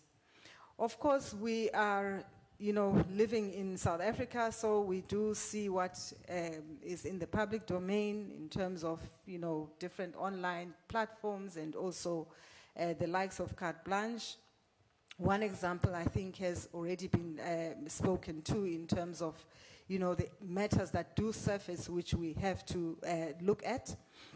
And we also make sure that from a board perspective, we look at those matters. In terms of the merger, uh, a lot of work has been done there, and we've really made a lot of progress since the last time that we were here. Uh, the first of the very key and critical um, advancements is the fact that the SNPC board and the legacy board were announced uh, just about a week ago. We now have those boards in place. We also have appointed uh, on an um, secondment basis the SNPC CEO, Mr. Mwachi, as I mentioned earlier. Uh, but I do want to assure uh, the committee that we have structured ourselves in such a way that we do have a seamless transition from the uh, current boards that are going to be dissolving to uh, the legacy board and also the SNPC board. I think let me perhaps at this point, uh, Honorable Chair and Honorable Members, uh, hand over to the um, CEO so that he can take us through with the team uh, the presentation that we have. We have really tried to ensure that it talks to the three matters that have been asked of us to address. And I believe that we have adequately addressed those matters, and we then shall do so as I hand over to uh, Dr. Pullo. Thank you very much. Thank, thank you, uh, Chairperson, uh, Honorable Minister, Chairperson of the Portfolio Committee, Honorable members of the Portfolio Committee. Uh, the structure, of course, of our presentation, Chair, is that we are a number of subsidiaries as the CEOs will then come in on their respective uh, entities as we summate at the group level. Chairperson, the audit outcomes for the year 2022-2023, we would like us to draw our attention on the left-hand side of the presentation as the issues of AE have been really uh, talked to quite uh, elaborate and AE will still come. But what I want to highlight is the fact that you could see across the group a consistent performance in terms of the, uh, uh, the outcomes where we received unqualified audit findings with findings, except, of course, for AE, like we said, uh, which then affected the group. But there have been consistent performance in as far as the outcomes are concerned. Next slide. Now, as the CEF group, we've closed a total of eight audit findings cumulatively over the past two financial years, reducing the number of material findings from five to three between 2021, 2022, and 2022-2023 financial years. The CEF Group will continue to foster good relations with the AG team to ensure that the benefits of value additions are realized uh, in the process, as the positive audit outcomes for us are critical in the uh, capital uh, fundraising. Chair, on this uh, particular slide, all we are trying to highlight is basically significant work that has been realized uh, over a period and the significant progress we've made uh, with the audit findings at the group level. You would notice on the first three that I want to talk to is that the issue there on the first one was the issue of the material adjustments or misstatements on the financial statement. So accordingly, with assistance, of course, and guidance of the AG, we will then start to prepare quarterly interim financial statement so that we strengthen the quality assurance thereof. We believe this approach will uh, see us improving quite significantly, uh, both at the group and subsidiary level. And secondly, uh, Chair, the issue on the AE 771 uh, million irregular expenditure, like I said, it has been talked to, but AE will still come in. But mainly there, it was because of that gap where we had no CFO at AE at the time. And therefore, the issue of training and the fact that the CFO is now appointed, we believe that we will see major and significant uh, progress in that regard. Uh, the third one being the disclaimer, basically on the KPI on the performance side, on the CEFSOC level, is that the lesson learned there is that we need to comply with the guidance of uh, uh, the Treasury uh, guidelines as far as this is concerned and ensure that every time we get the feedback basically in writing from the shareholder and not basically continue on the tacit one. continue on the issue of the group overview. This slide is very familiar to the members, but allow me to mandate mainly on two areas of fostering sustainable development of the energy sector through research and strategic acquisition, and also the driving of economic enhancement by ensuring energy security to enhance industry and other economic activities. Chair, if we are to summarize our group performance, we're pleased to report that we've made 1.7 billion net profit this financial year that's been reported, which is higher than the previous year uh, by 1.6 billion. And Chairperson, our net assets have also improved as a result of acquisition of uh, Avedia, Rompco, BP, Terminal, and ACWA, um, ACWA Redstone investments as well. Uh, then yielding the total uh, assets of our portfolio at about 34.4 billion rand. Chairperson, you also note that we really don't have debts, and therefore, in that sense, we still have got quite a play in leveraging our balance sheet to advance our mandate. Chair, also, if you note that on other KPIs as well, we've managed to basically train uh, 182 of the GITs, uh, and we've used overall 15.6 million on skills development, as it were. There've been significant progress as well on the issue of the solar i- installation, where when we started, it was uh, below, if I'm not mistaken, 1,000, and now we are sitting at uh, 22,000 for this report. And I must say that we'll be reporting a significant move, as it were, where the actual performance as we stand to date is over 35,000 installed cases. Chairperson, we also note on this one, the group cash balance that's sitting at 13.1 billion uh, with an improved uh, uh, delivery on the coal side of AE to Eskom, which also shows the importance of uh, SOE, SOE collaboration, which has really assisted both entities in moving forward, Chairperson.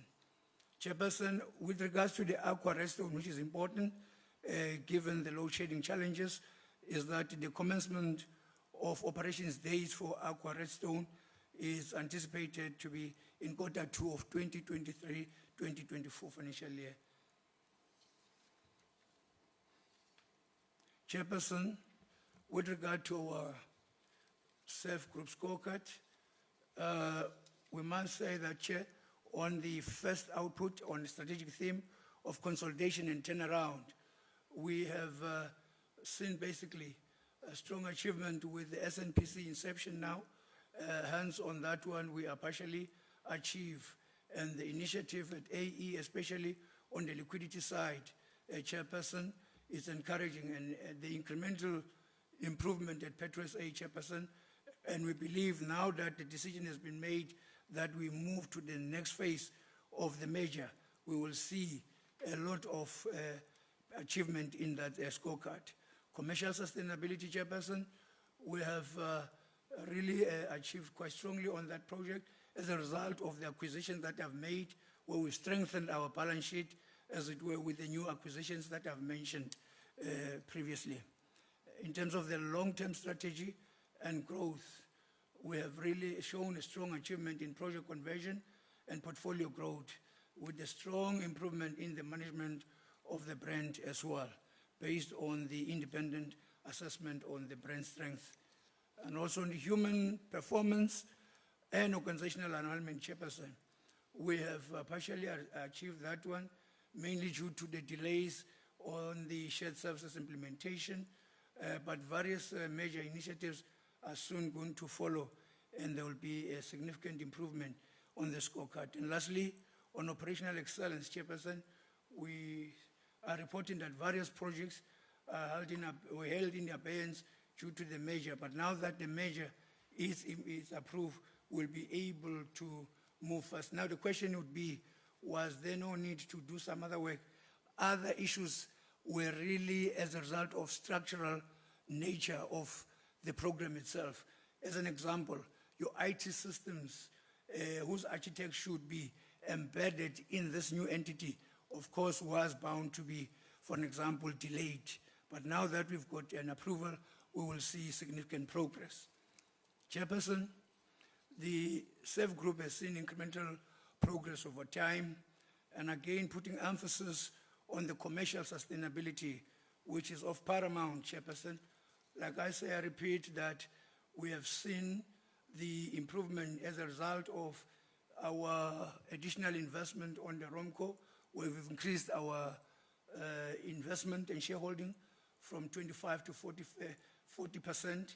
A very significant uh, uh, decision we made here and quite an achievement because when you look even of the ultra years uh, in terms of performance, we already are seeing and, and benefiting from the proceeds of that entity, almost matching what we've been historically. So that was a good decision, uh, Chairperson, and hence our strengthened balance sheet.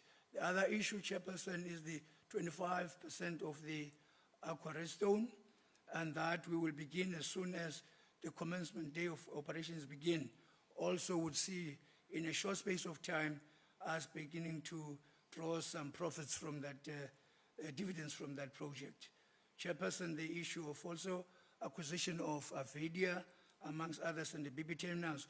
All of this have strengthened us further, Chair.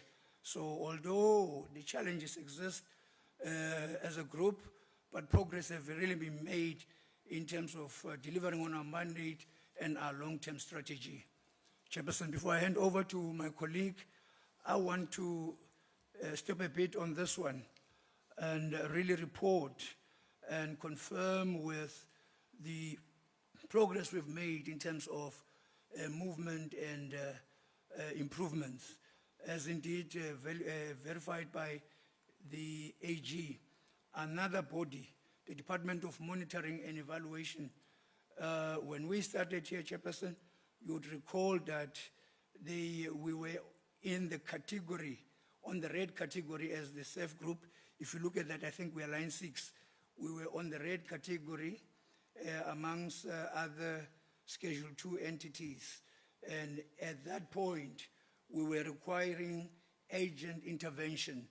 But a significant improvement has been made, and we have moved from that according to the evaluation to the entity that requires minor intervention.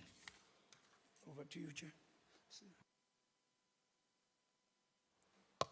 Thank you, Honorable Chair, Honorable Members, uh, Honorable Minister, DG, Chairs of the um, subsidiaries and the CEOs. So on the slide that is flighted, we're trying to show the improvement in the group in terms of profit and losses, in terms of cash flow balances, and also the net, asset value that you have recorded. Important to note is that um, the group closed uh, with a high net profit, which is the highest since 2013-2014 of 1.7 billion.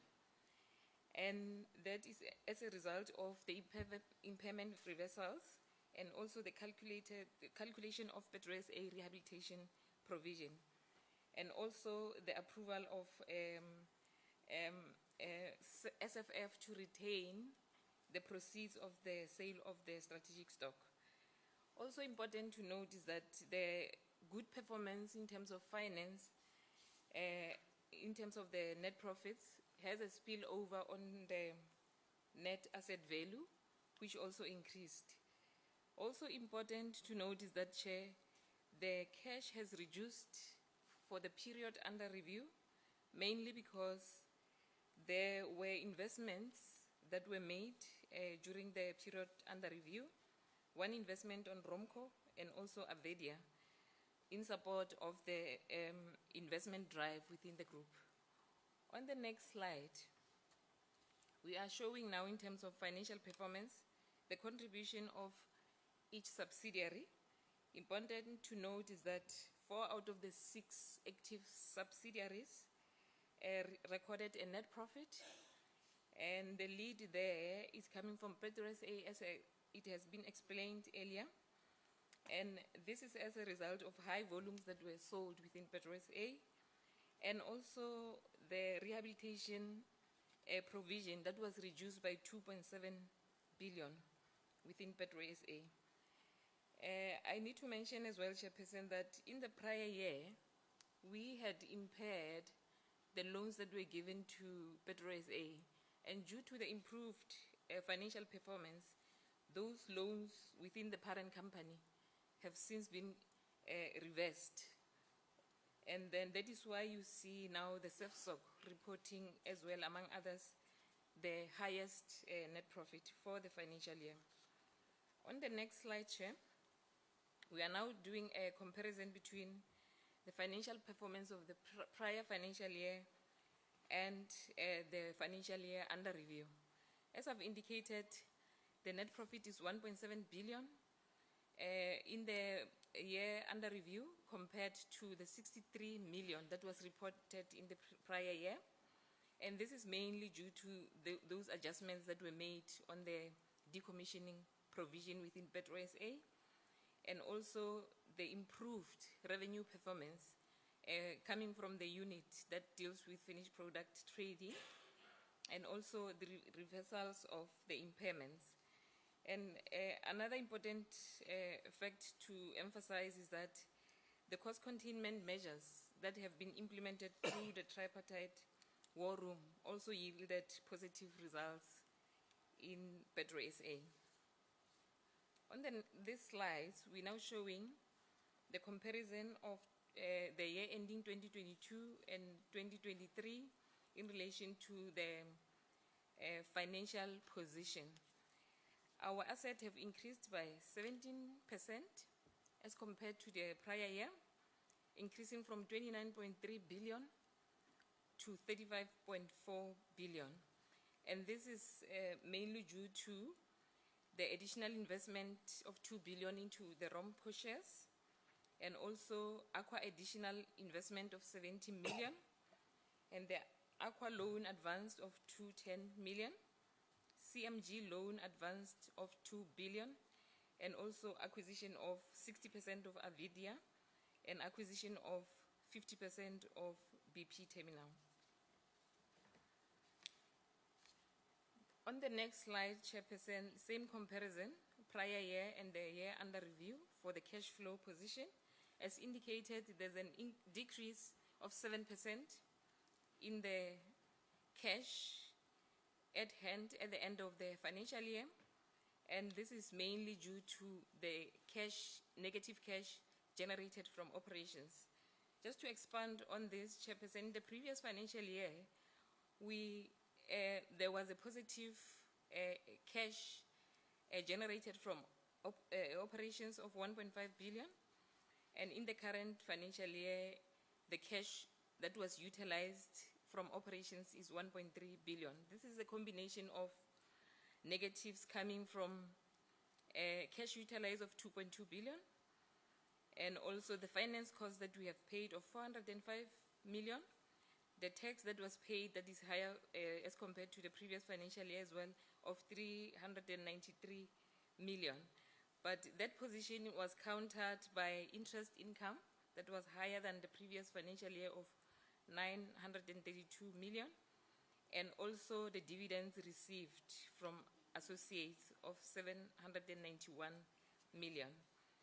And as I've indicated, Chairperson, we have um, um, made efforts in terms of uh, investing in projects to support our investment drive.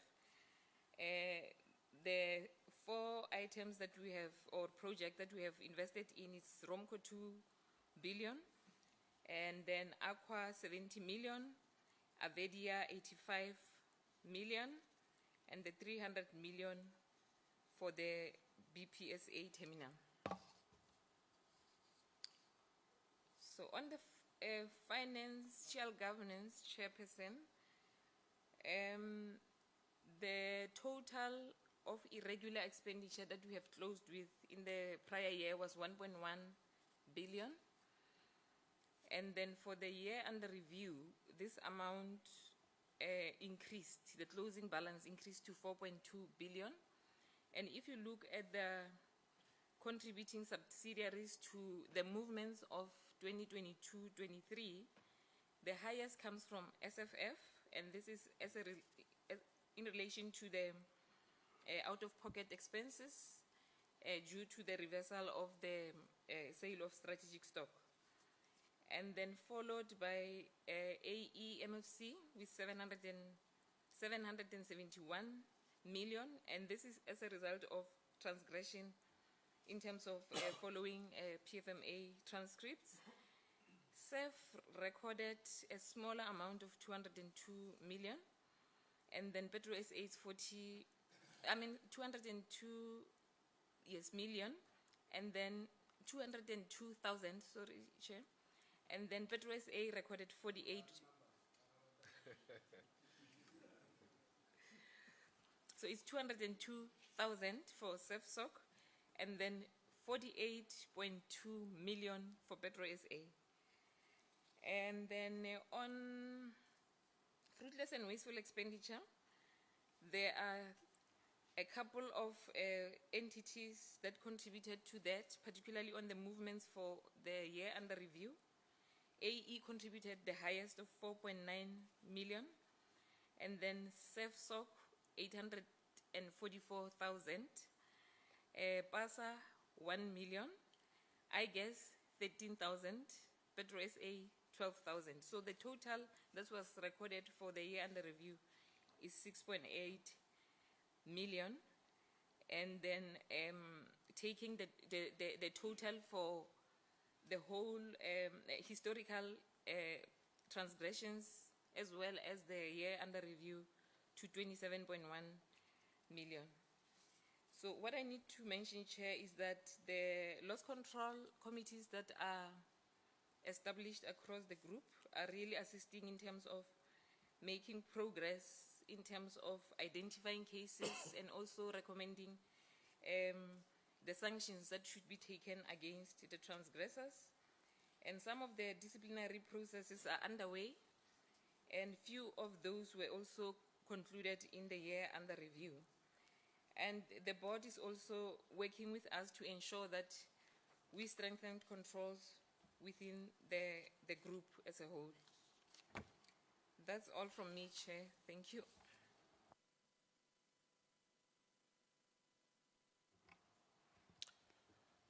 Good morning to you, Chair, um, honourable members, honourable Minister, uh, Chair of the group, subsidiary chairs and CEOs. Uh, just like to highlight the iGas performance for the financial year under review, and the first is that we uh, received a dividend of 700, uh, just over 790 million rands, and that was uh, exceeding the, KP, the KPI by over 71%. In terms of the Rompco share purchase transaction, that was concluded ahead of time, um, being concluded in the first quarter of the uh, financial year versus the fourth quarter. And then, uh, in addition, I would also like to report that PetroSA has, in the current financial year, received its gas trading license from NERSA, which has enabled uh, the ENH and PetroSA joint venture. We are reporting this year as iGas because the project started under iGas and has since been transferred to PetroSA, but uh, iGas is still very much involved in the uh, uh, development and execution of the project. Uh, in terms of the lowlights, uh, the negotiated agreements for that was not signed, for that was not for the establishment of the joint venture was not signed in that current year, but since then we can report that we have signed the gas sales agreement and the current agreements that are outstanding are the um, uh, memorandum of incorporation and the shareholders agreement for the establishment of that joint venture. But we do believe that with the granting of the NERSA license, this will give us the impetus to move forward. Thank you. Next slide. So looking at our financial performance and based on that uh, uh, dividend that we received, our net profit for the period ended 31st of March 2023 was uh, 771.4 million, and that was compared to the prior year of just over uh, 408 million.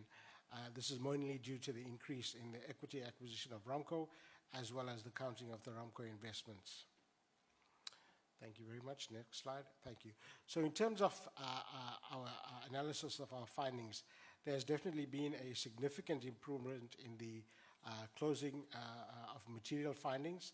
So a total of five material findings were closed in the past two financial years and only one new financial recorded for the, the year under review.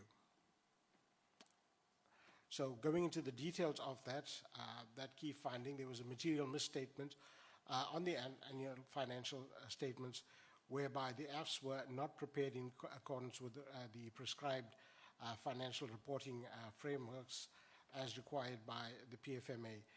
And the material uh, misstatements on the statements of cash flows where the loan advanced was classified incorrectly under financing activities instead of being classified as an investment activity.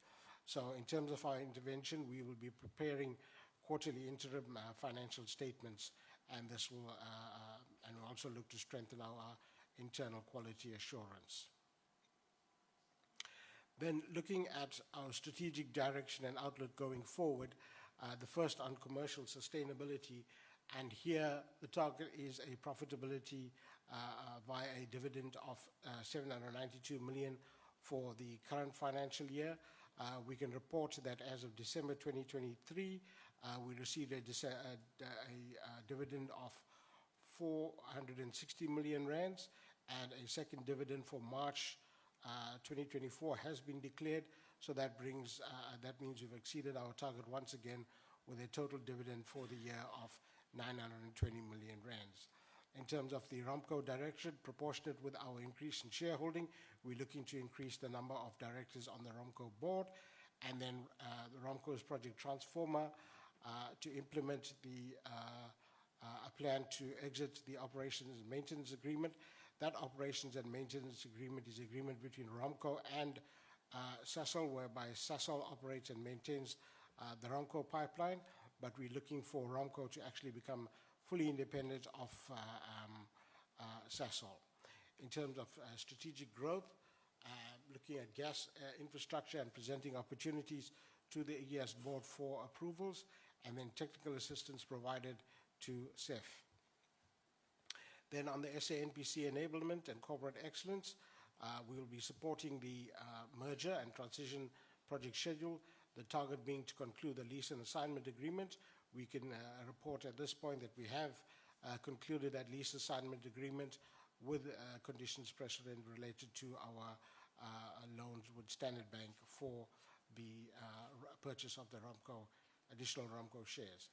Then in terms of organizational capacitation and human capital performance, the uh, target being to uh, uh, develop a resource plan and implement that in collaboration with the merger teams, and that has been done. Uh, in terms of our corporate governance and ERM, target being to uh, develop a CEF-based risk maturity plan and to achieve ERM maturity level two uh, for the year. And we can report that uh, the plan has been is in place and we've actually exceeded the target and achieved level three.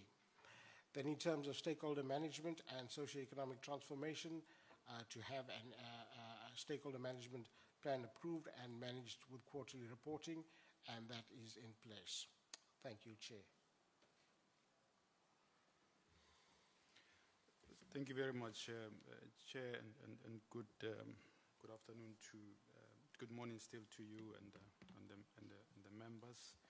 Chair, I think the, the first point on, um, from a standpoint of highlight that we start off with as PASA is the one that uh, brought uh, stability at the level of the leadership of the organization, where we saw the appointment of uh, new directors, including the, the chairperson. And I think uh, that was uh, encouraging also in the, during the reporting period because that leadership stability at that level uh, remains critical. And I think uh, the second point, Chair, from the standpoint of the highlights, relates to the approved funding that we received as PASA for phase two of the shale gas program. And I think for us, Chair, this project um, uh, holds important fortunes uh, from an economic um, benefit standpoint for, uh, for the country. And, and, we view it as a critical project uh, in the upstream uh, space onshore. And, and, I think the third point, Chair, on, from a um, highlight standpoint is the, uh, the work that has been going on from an upstream uh, development resources bill perspective and the work that went on during the reporting period led um, Chair to um, the bill being passed by uh, this very same committee uh, with uh, PASA providing uh, technical support and, and, and, services to the, to the DMRE and uh, progress is still being made in this regard, um, uh, Chair, where the bill passed the, the National Assembly, but it's also currently now under the NCOP for um, consideration. And I think uh, that's one of the highlights that uh, uh, investors in the space are looking at uh, quite eagerly to bring more certainty from the standpoint of regulation, but also from the standpoint of uh, indicating and giving direction and leadership from a regulation standpoint uh, in the upstream sector. And I think, Chair, uh, importantly also was the heads of term signature in relation to, um, uh, to seismic that uh, will be at the core of the reprocessing of the data that we um, have from the standpoint of PASA and from a low light standpoint, Chair. I think um, the first point indicates the high stakes nature of the upstream sector where there was a drilling of a well, and unfortunately, we um, industry came up uh, empty in that regard. But it also shows commitment uh, from an investment standpoint. And I think what was also positive was that uh, the reception was uh, good from a stakeholder standpoint. Uh, some delays were experienced, Chair, in moving into uh, our office during the, the reporting period simply because of delays in availing backup generators uh, um, from the standpoint of the um, landlord. Chair, the third point I think is, is one that um, is quite um, uh, significant in relation to the capacitation of the, of the agency. And I think uh, we've moved in relation to uh, jumping the hoops together with uh, consulting industry on the new fee structure, it going through our board, the DMRE, and now it's currently with the National Treasury for consideration and hopefully um, this um, uh, will be closed uh, soon. And next slide, Chair, gives an overview of the income statement that is linked to the point that uh, just made. Um, what you are seeing there, Chair, is that under the reporting period, uh, even though a loss was reported, uh, the efforts of management and the board actually halved the budgeted loss um, uh, during that uh, reporting period. And I think two interventions to change that picture, given the allocations that are uh, presented on the right column. Uh, one is um, uh, closure of that uh, fees application, but secondly is to increase self-revenue generation through data sales. At the core of that being the reprocessing of the wealth of data that sits uh, with PASA that PASA is a custodian of. And I think it is important to indicate that the upside of uh, increasing uh, data sales uh, is linked also to um, the prospectivity uh, of our uh, um, upstream, onshore, and offshore um, improving over time. And 11B, 12B is such a case where the initial work of PASA led to that uh, uh, big discovery. Next slide, please. Uh, Chair, what the slides indicate, uh, the slide indicates, um, is that uh, if we had not had uh, the one finding that um, we had on cutoff uh, in relation to creditors, we would, as PASA, have gotten a clean audit. Um, um, since our one long-standing finding um, had been closed during this, uh, uh, this period. Next slide, please. This slide just uh, indicates some of the issues that we engaged uh, the AG on that were closed. Next slide, please. Chair, I think uh, maybe let me spend a bit of time on this, um, on this slide in relation to the strategic direction and, and outlook. On this first point, uh, Chair, it is our view that uh, increased activity upstream in terms of the drilling of wells uh, is important for our development in this uh, country. And we are looking at the target of drilling 14 exploration uh, wells um, uh, and uh, development wells by 2025 with um, five being um, offshore and 20 wells being onshore.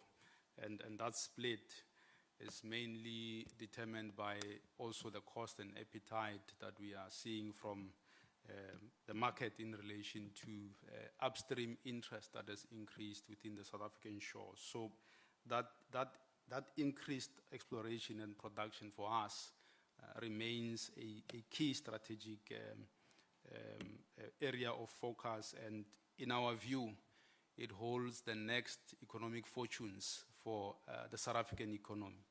Uh, both onshore and um, uh, offshore. And the second uh, strategic pillar, Chair, relates to stakeholder engagement and advocacy.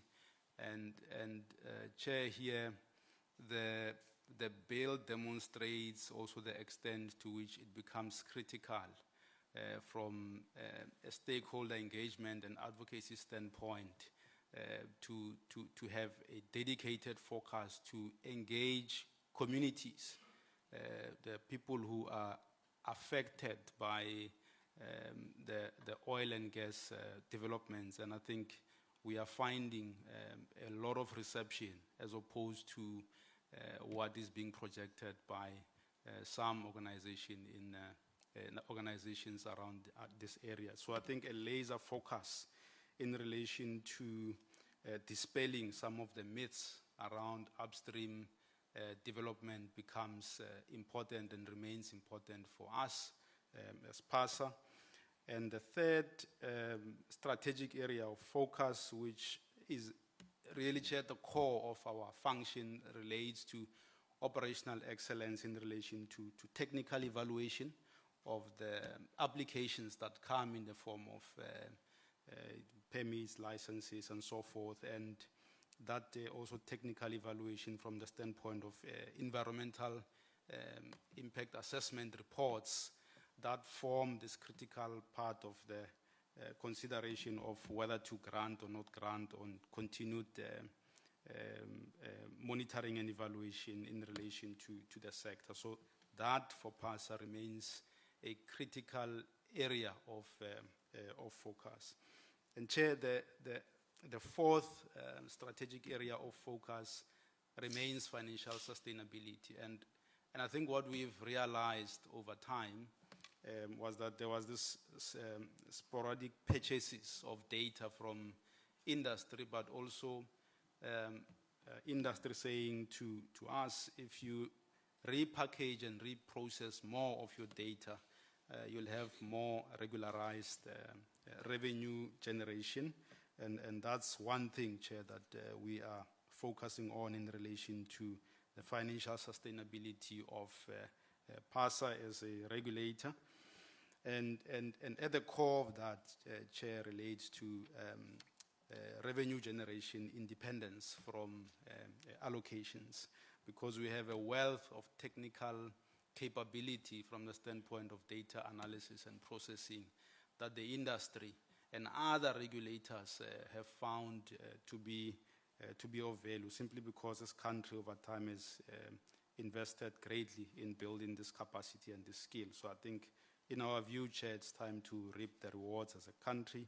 And lastly, Chair, our strategic focus remains digital transformation because the sale and the presentation of this data um, is going to be uh, based on um, the digital uh, platforms with us taking it from the physical and interfacing it with the, uh, with the di digital. So those are the, the key five strategic um, areas of um, uh, direction, Chair, that we think uh, are critical for PASA going forward to, to improve from the um, uh, performance that we are um, presenting to the committee today. Thank you very much, Chair. I'm going to now hand over to uh, Ms. Magadla from PetroSA. Thank you, Chair. Uh, Through you, Chair, all protocols observed. I will try and summarize. I will not read each and every line item. I think the key uh, takeaways from this slide is the fact that as the group CFO has highlighted in terms of the performance, uh, that PetroSA has made a net profit and one of the main major contributing factors being the increase in sales as well as the adjustment in uh, rehabilitation decommissioning liability, um, which was done through an independent uh, party to make sure that what we have is not gold-plated, is fit for purpose. It is a continuous process because in the oil industry, even what we see in, in the Gulf and other areas of the world, there is improvement in technology to try and find solutions that reduce that liability. Secondly, uh, in terms of the low lights, though we have improved, we know that there is a discrepancy in terms of what we have in the kitty and what we expected to have. So that remains a major challenge which uh, puts PetroSA uh, to be uh, to have its liabilities higher than its, its assets. And then secondly, we have clear matching orders from the shareholder as well as the ministry to make sure that we, uh, we come up with sustainable commercial solutions uh, that will enable us to continue to deliver both on our commercial mandate as well as our developmental mandate, which is, uh, is clear that the operations in Mossel Bay must continue to operate, but we must make sure that we're operating, we have commercial sustainable uh, solutions for Mossel Bay. I will talk to that in terms of our journey, uh, which underpins our turnaround strategies, which is some of the partnerships that have been highlighted.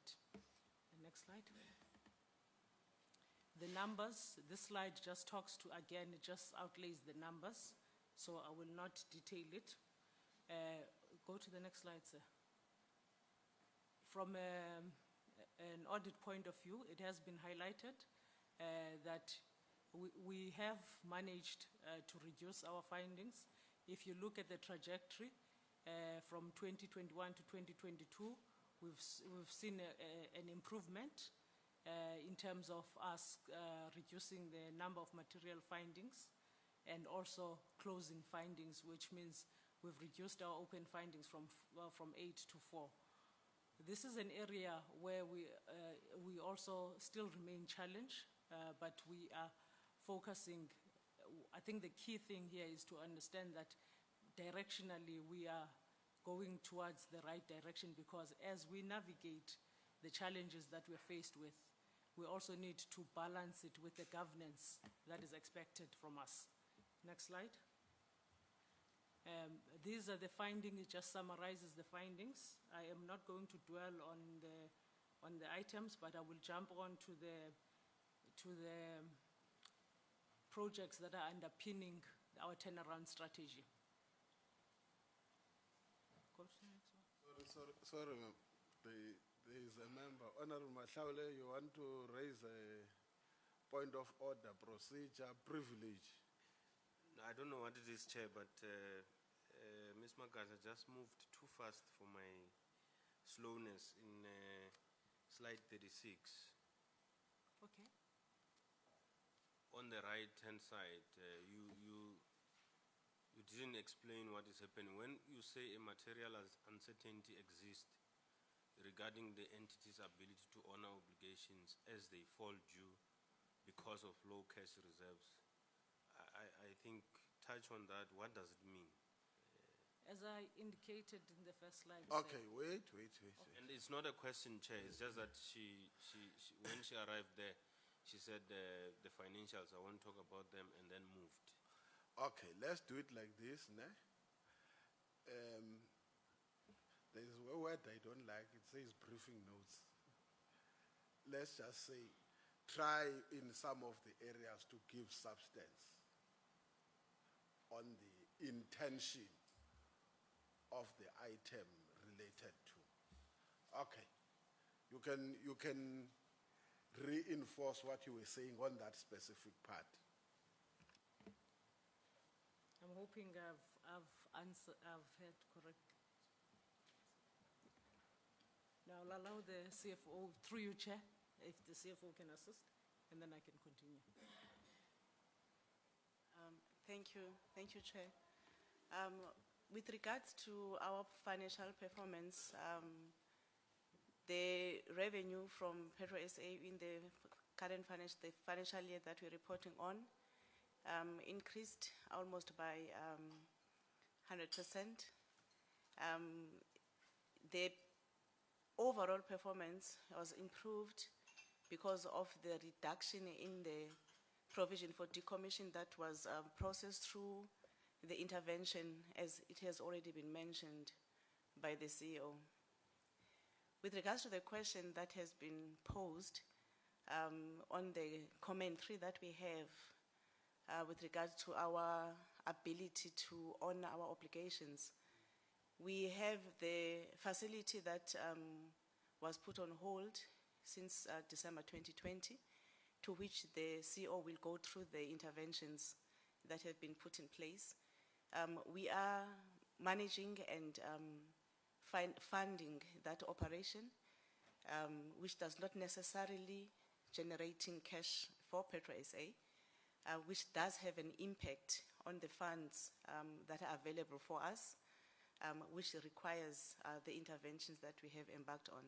So that is the challenge that we are facing, which we believe um, it is uh, prudent for us to be open and transparent about um, in terms of our cash position and the financial um, health of Petro SA. Um, also, I must mention, as it is included there, the support that we're getting, which was also included or mentioned by the group CFO, the tripartite war room that is looking at our cost containment initiatives um, to make sure that the costs that we're incurring are those that are critical, safety related, and also the maintenance of the facility that we are uh, managing. Okay, continue. You see now, eh, I will allow members to do this before they ask questions to seek clarity. And then they will ask questions. Continue until all of you, you finish. Uh, uh, Thank you, uh, Chair. I think just to recap and also to just summarize in terms of what we have said, uh, while we have got uh, a good performance financially, we remain as an organization challenged for as long as the production in Mossel Bay is suspended. So, because we are carrying high fixed cost. So, and it is of paramount importance that we get that production reinstated, but it must be commercial so that it can sustain itself. So that is what that low cash, because the, the, the, the revenue that we get from sales is inadequate to carry the heavy fixed cost for uh, the fixed infrastructure, which i- i- when you, the reason for us that we must reinstate uh, our infrastructure and also produce commercially, it will enable us to play our role and contribute towards making sure that we are producing our own fuel and we are also reducing our vulnerability to what we are seeing with the exposure of imports coming into the country. Uh, Next slide, sir. Can we go to the initiatives? Because the initiatives are trying to balance that challenge. The first initiative being the PetroSA uh, turnaround, um, which is the reinstatement of the refinery. That is the first initiative. The second initiative that we're also driving is the FA platform reinstatement, as well as Block 9 well workovers, where PetroSA has uh, production rights in Block 9. It also includes the uh, advancement of the gas to power.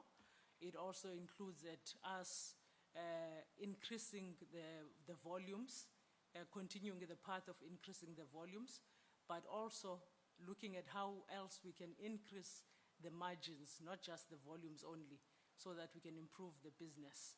And lastly, as we embark on this change, we also need to make sure that we are supporting the SAN SANPC measure, so we are working hand in hand with that.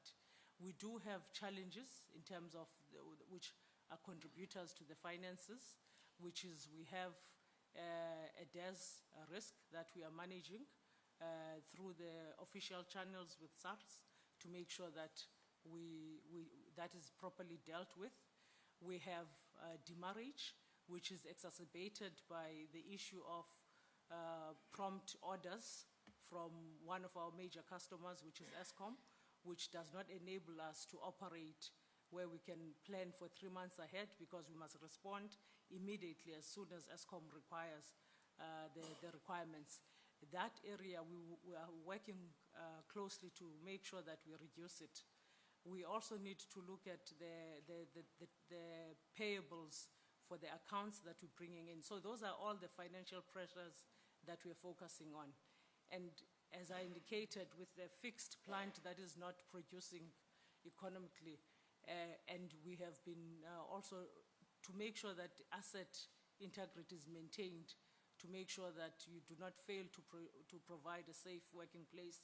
You are seeing that you, there are items that you need to now do now. You can't uh, defer them further, and that puts additional pressure on operational costs. The, the priority projects, which, um, which anchor our turnaround strategy, it's three things really that are driving those, uh, is to make sure that we can leverage on, on the assets that we have to generate revenue. And it is to also make sure that we also leverage on the partnerships to bring in, uh, to reduce also the, the cost of capital. We're also clear from the mandate that we have uh, that the asset of, assets of PetroSA remain the assets of the state.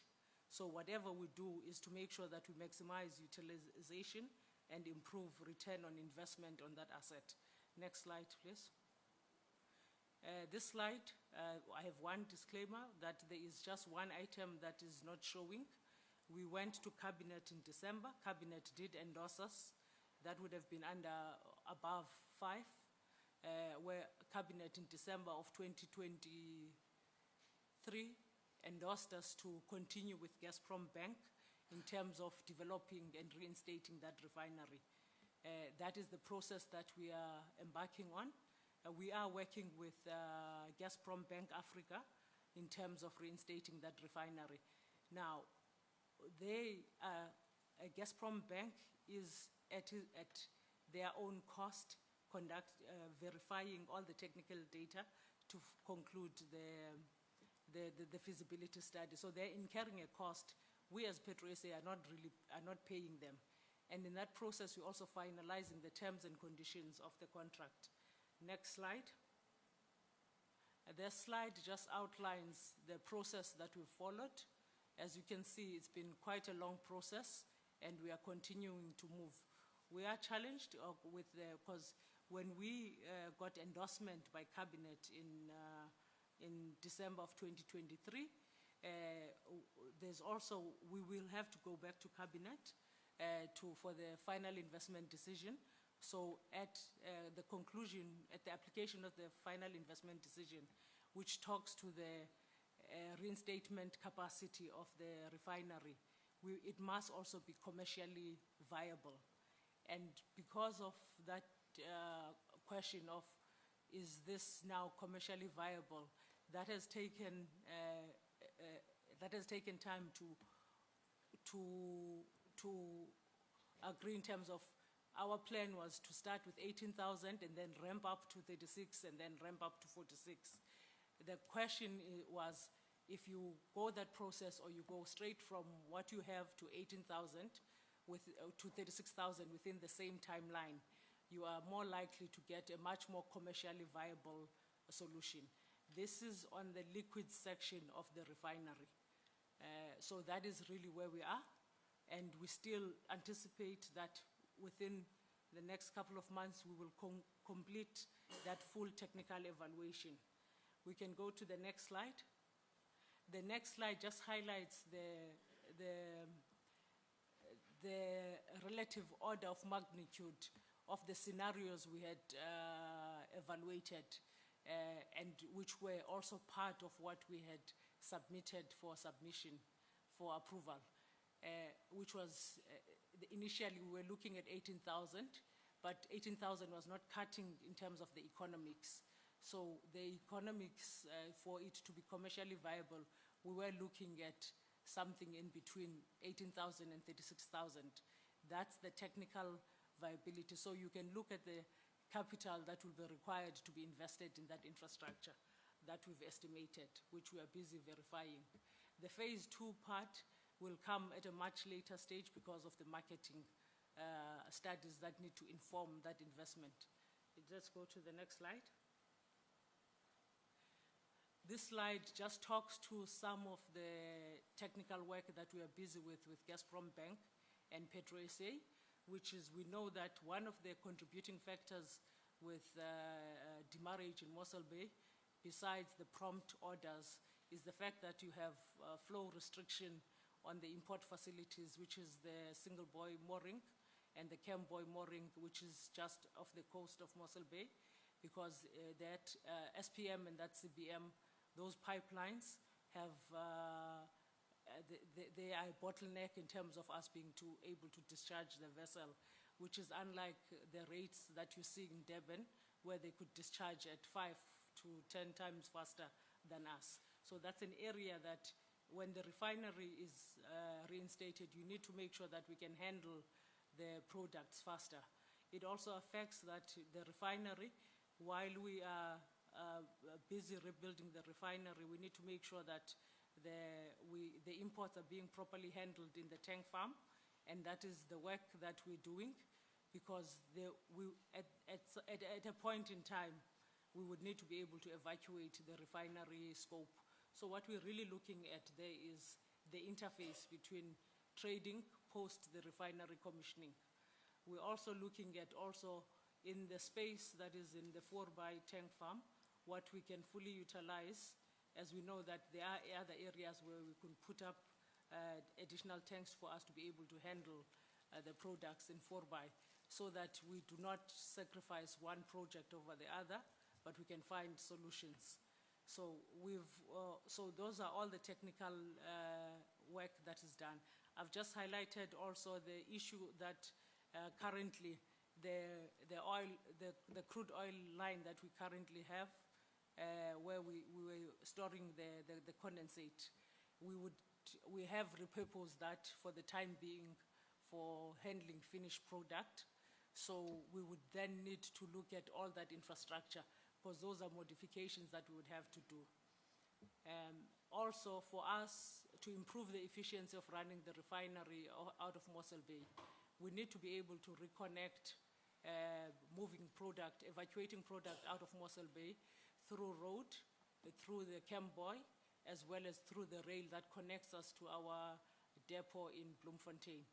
So those are the areas that the technical team, the joint technical team between Gazprom Bank, Africa, as well as PetroSA is finalizing, which we must take into account the capex, the terms of the, of the capex that's required, the repayment period, uh, and so that we can finalize the uh, final investment decision, so that we can make sure that we have protected our interest while we are also advancing a solution.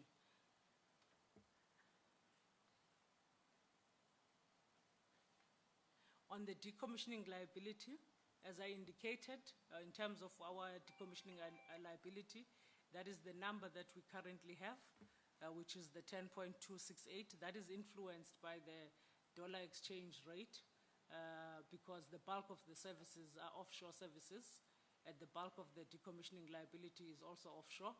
So we are influenced with the two main drivers that influence also that number is the exchange rate as well as the crude oil price as the services are influenced by those two. We are also in the process continuously to look at, uh, with the developments that are happening uh, globally, how do we review uh, that? And also how do we uh, prepare in terms of making sure that we close the gap that we currently know we have. So that is the work that we are currently busy with. Um, we also understand that there has been, from a NEMA compliance, there has been some uh, uh, extension in terms of the cutoff date. We've also, part of the work that we're doing in, for continuous review of our data is uh, with uh, DNV, whom we've uh, appointed, and with, uh, we've got that work underway, and that is what we are busy with. Next slide. On the upstream, uh, concurrent to RFP 001, which I've spoken to extensively, uh, we had also RFP 003 as well as RFP 004. RFP 003 talks to Block 9 production. We know that in Block 9 we have remaining tail gas. We also have remaining uh, gas reserves that uh, for that uh, gas to be exploited as well as condensate from that block to be exploited, we need to sink extensive capital, which we do not have given our current cash position. So the strategy that was uh, supported with, by our board was for us to go out on competitive uh, process, and we did go out to the competitive process for Block 9, uh, which is RFP 003, and that entails seven well workovers for us uh, to increase the, uh, the recovery of the remaining gas over and above the tail gas. And then also for us to reinstate the FA platform, uh, which was the funding from RFP 004, which is the Equator Holdings. The RFP 003 is Equiteza. Now, the importance of us embarking on this project with the asset that has offshore, that is uh, switched off in a highly corrosive environment, it is slowly, uh, the asset integrity is slowly decaying. So the sooner you get production online, the sooner you then have the capital to be able to reinstate the asset itself and for the asset to be able to pay for itself. Uh, because that asset is not only important for PetroSA today, it's also important if we want to unlock the Block 11, Block, block 11B, Block uh, 12B uh, fields, which are to be developed by, uh, by Total led consortium, Total Energies led consortium. So this, this infrastructure is critical that it must be intact uh, for that to be unlocked. And we anticipate that to come in, in the, by 2030 or so. So we cannot allow the asset to rot when the asset is currently sitting on mineral resources that if the mineral resources that are there are extracted, they could be used to reinstate the asset maintain the asset, and then uh, make the modifications. So for RFP 003, through the process that we had embarked on, we, that was awarded to Equiteza, and RFP 004, that is awarded to uh, Equator Holdings. Those agreements are similar to RFP 001, where the respective partners are still also finalizing the business case for final investment decision. So it is uh, an ongoing work program between the two before we can reach FID. So I think that is important, and we are, as the AG highlighted earlier on, when they presented saying that these areas would be under the, the audit program for the year, we would definitely welcome that. Would open all our books uh, in terms of showing what process we had followed to be where we are today. Uh, next slide. I think the next slide just summarizes uh, some of the timelines in terms of where we are, some of the challenges that we've embarked on. Nothing is very uh, uh, simple. You will have challenges, and those are the challenges that we're battling with as we, we are embarking on this process. Um, so uh, let's go to the next slide. Similarly to RFP 004, this is where we are, and uh, that, that is the process where we are. Let's go to the next slide. On the gas trading, we've embarked on a gas trading as PetroSA. We are looking at anchoring uh, the, the gas trading at two levels, which is our role within the CEF group, which we are a smaller puzzle in terms of what uh, DMRE and CEF are doing to make sure that there is a stable gas economy our role and our agreement between Rompco and uh, Rompco, uh, non ENH, and PetroSA gas trading is for us to be able to first lend the first two petajoules uh, per annum into South Africa, so which is a joint ENH is an equivalent of Central Energy Fund in Mozambique. When we lend that, it also unlocks uh, access to additional gas from Mozambique which ENH already has that's available. And it also talks to closing the gap where we've seen that in the country and, and Sasol had issued customers notification that they cannot secure them supply. And we've seen uh, gas users knocking at our doors for that. So our first lending of the first 2 million gigajoules through our JV with uh, uh, ENH is to initially we lend the 2 million gigajoules, but it also advances to close the panic that is being anticipated by, by, the, by the industrial gas users. But that only really is on the northern part. And it is important to differentiate between PetroSA gas trading, the uh, agreement between ENH, which is at, the, at the back of a bilateral agreement between uh, uh, the government of Mozambique and, and government of South Africa, which is what has uh, been the backbone of making sure that we have a vibrant gas economy in the north. We have also, in that process, received the, the gas trading license by, uh, by a notification that we have been granted the gas trading uh, license, which enables the group now to play its position in, in, in, in closing that gap for supply, which also helps us uh, for re-engaging with uh, re-engaging with the consortium that's led by Total Energies in terms of unlocking uh, Block 11, because we still need to make sure that we, uh, we, we, we the asset is, is, in, is intact, but we also need to unlock the, the gas sales uh, from uh, Brulpadda, because there's two things. It's the infrastructure that must be there. It is also the gas sales that will need to be backed up. So those, those advances in the gas trade, we are doing that in, in, in line with all the other activities around gas that are being led by CEF Group, uh, uh, led by SANPC. So there are other moving parts under gas, but from a gas trading point of view, this is where we are, and we anticipate that this gives us new revenue stream to try and close the gap that we have on the revenue shortfall. And we really need that uh, revenue stream from the gas trading as PetroSA. That is the last uh, comment.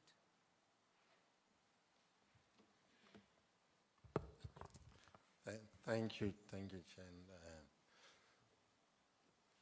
Greetings to everyone. From AE, I just thought I'll well, stick on the highlights, obviously, and then I'll mention some of the lowlights or our challenges.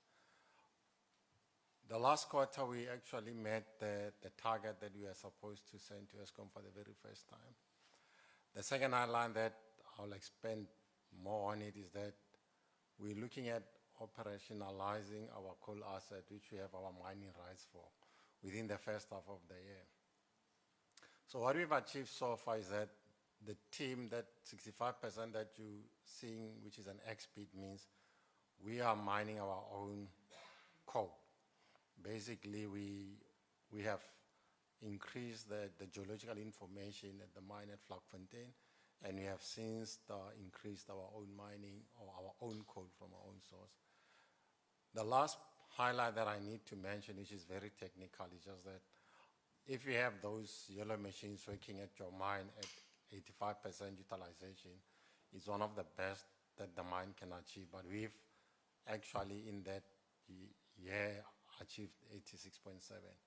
One of the challenges that I really want to highlight is that the coal qualities have been identified, obviously by increasing drilling and expanding the geological model. The Kusile limitation, I think that currently Kusile has improved. They, when this was compiled last year, Kusile was running on three units. They are now on five, looking at six. So hopefully that limitation will also be sorted. But credit to Eskom, when Kusile was bottlenecked, they allowed us to go to other power stations, which is Kendal, Majuba, and so on and so on. Next slide, please. So, Chair, here I want to concentrate on the block, and I hope it's substance. Now, the 40, you, you see the revenue has improved, the gross profit has improved, the net profit by 11%, cash 330, which is obviously 264. So I thought this is the slide that I must talk from the heart.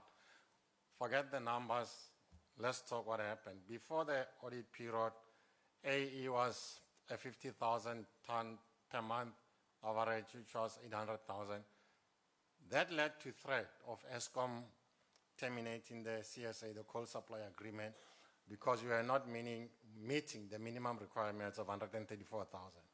Now, what you see there is we moved from 50,000 tons per month to 200,000 tons per month, which is during the year that the audit happened. And I'm emphasizing this because that happened because we had a lot of private sector qualified people coming into AE. And some of the decisions that were made were partly, slightly, call it, because of the lack of understanding of PFMA. But in all fairness, was in the best interest of stabilizing the, the company. You have, we, we, we have mentioned the war room in this discussion earlier. AE was in the war room, A is no longer in the war room. And that is obviously because of the contribution that you've seen in the revenue. So with the next slide, please, sorry. So, and go to the next one, the audit findings. Yeah. So I think a lot have been said about AE, but I just want to give, obviously, the, the perception that it might not be fully explained. We've said with the AE, and we agreed on that there's a matter in dispute, which was obviously the audit, but we have since moved on. Tate Tlamela said it, we are now co-developed the audit plan. We've got joint workshops, and uh, I think when the SCM manager wasn't there, the CFO wasn't there, we all know what was going to happen. But subsequent to that, we now have a CFO, we now have a SCM manager, and we're hoping most of the findings are going to be sorted out in the next uh, financial year. Next slide, please.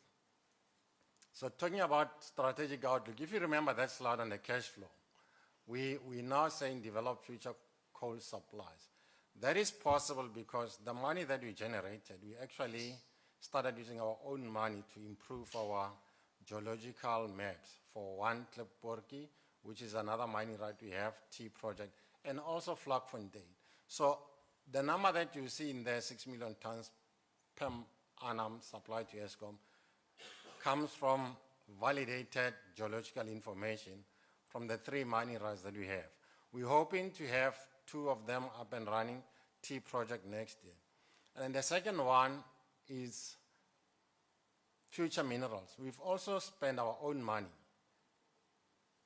Bela Bela, we've now drilled and did geoscience and seismic for rare earth and tin. We've done the same thing in Northern Cape for manganese and iron ore. So basically what we're trying to be is to be the government mining champion and using our own funds. We don't want to go back to treasury or to fiscal and start using the money. Where it's necessary, you see we've mentioning the, the partnership, and obviously that's because of the technology in some cases won't be able to fulfill. Or where the, the new hype with the battery minerals, we know that technology is not available in the country, so we're looking at opening up and having people we can do. We've also mentioned the operational excellence. One example is the one that I mentioned of 86% availability. Unfortunately, we do have one mine, and that's the only differentiator we can use. But having said that, when we were pushing 50 tons per month, the cost to mine per ton before we sent stuff to Eskom was around 1,002. Now our rent per ton cost is down to 350, which is something that we think contributes to our operational excellence. And we want to copy paste that practice to Klepborki, to T projects and other mines. The last one that we also want to mention is we want to become the responsible corporate citizens, citizen. Basically, we acknowledge that we needed to get out of the war room. We needed to stabilize the company. And we've done that. The second is working with the age, working with the DMRE, and, or, and uh, any other stakeholders, by the way, to fulfill the other elements or parameters that obviously affect AE. I think this is where I'd like to finish it, sir. Thanks.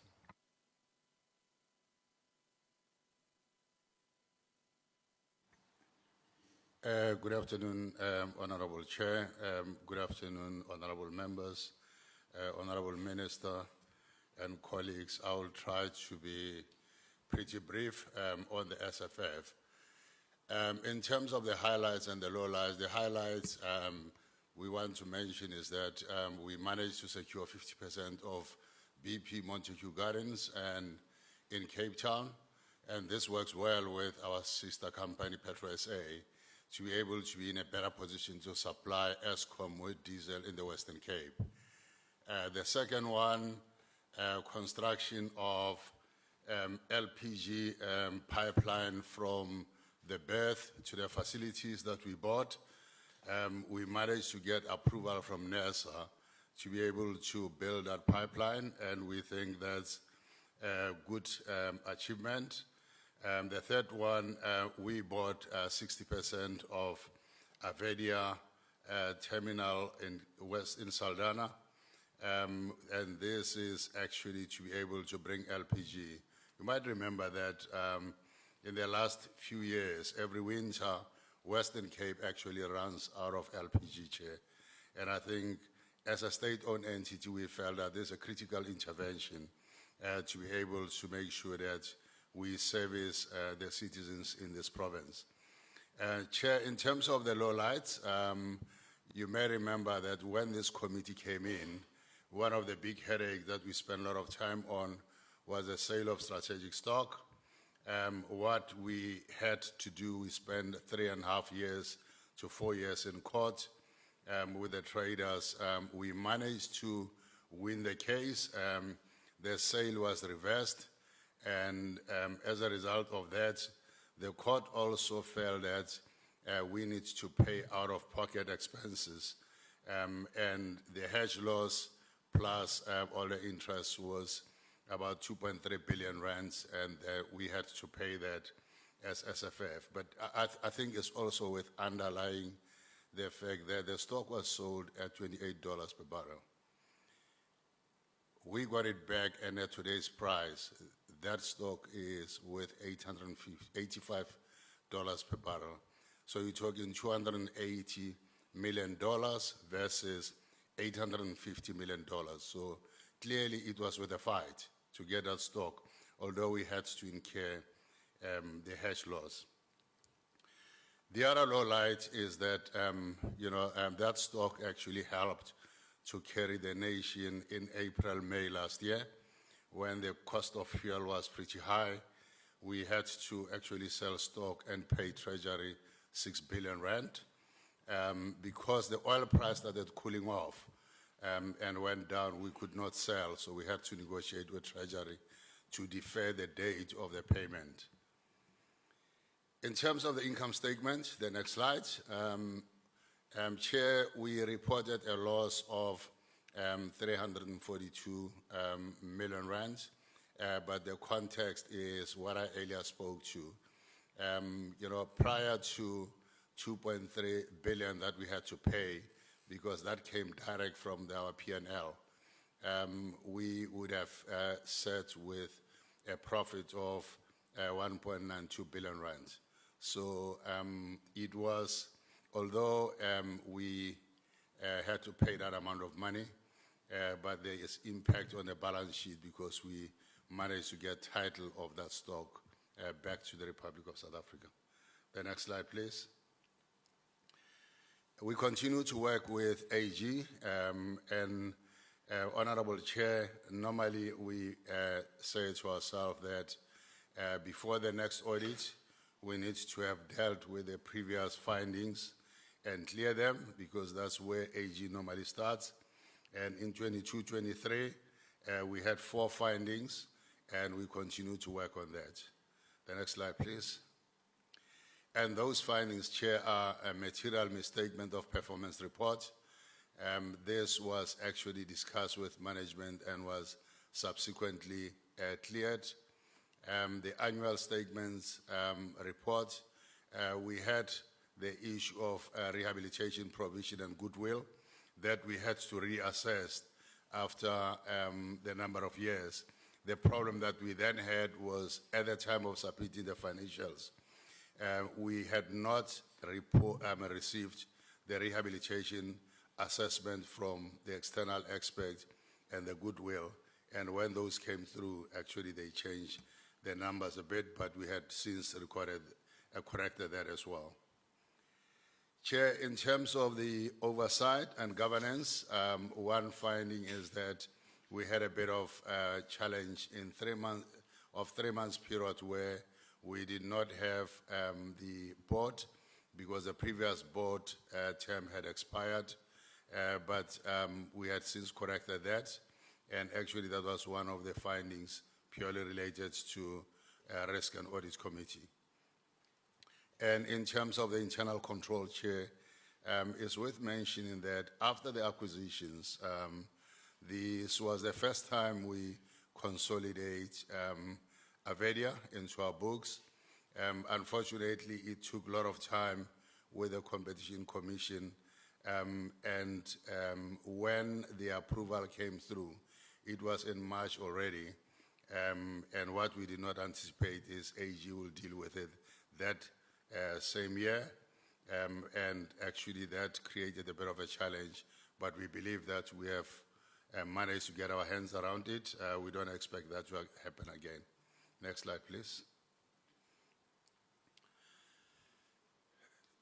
Chair, in terms of our strategic outlook, um, there are four buckets that we tend to focus on. One is, um, you know, to be prepared for supply disruption. Um, we had inci- incidents where we ran out of crude um, in this country. We had to supply um, refinery in the inland um, with crude to make sure that the country continues um, to have a supply of hydrocarbon. Um, so we believe that we are the supplier of last resort, um, and we continue to focus on that. Uh, the second one, we believe that we should be striving to be independent of financial support from the state. Um, you know, um, so far, so good, and we continue to focus on that. Uh, the third one, Chair, is um, transformation imperative needs to be focused on. Um, as a state-owned entity, of course, um, it's our role um, to support the government's direction. And the last one, of course, um, we always think of our stakeholders, and our aspiration is actually to um, exceed uh, stakeholders' expectation. Um, and Chair, that will be a short story around SFF, um, and we will then um, change gear and move to the conversation um, around the measure. Chair, we, we, we've come a long way. Um, you know, it has been um, three years since we started talking about the measure. Um, obviously, some delays around some approvals, and you know, we're actually working on uh, 51, 54 approvals um, to make sure that um, we are good to go. Uh, but some of the elements of the measure um, have progressed uh, very well. Um, steady progress, uh, but we are focusing on uh, transition implementation milestones.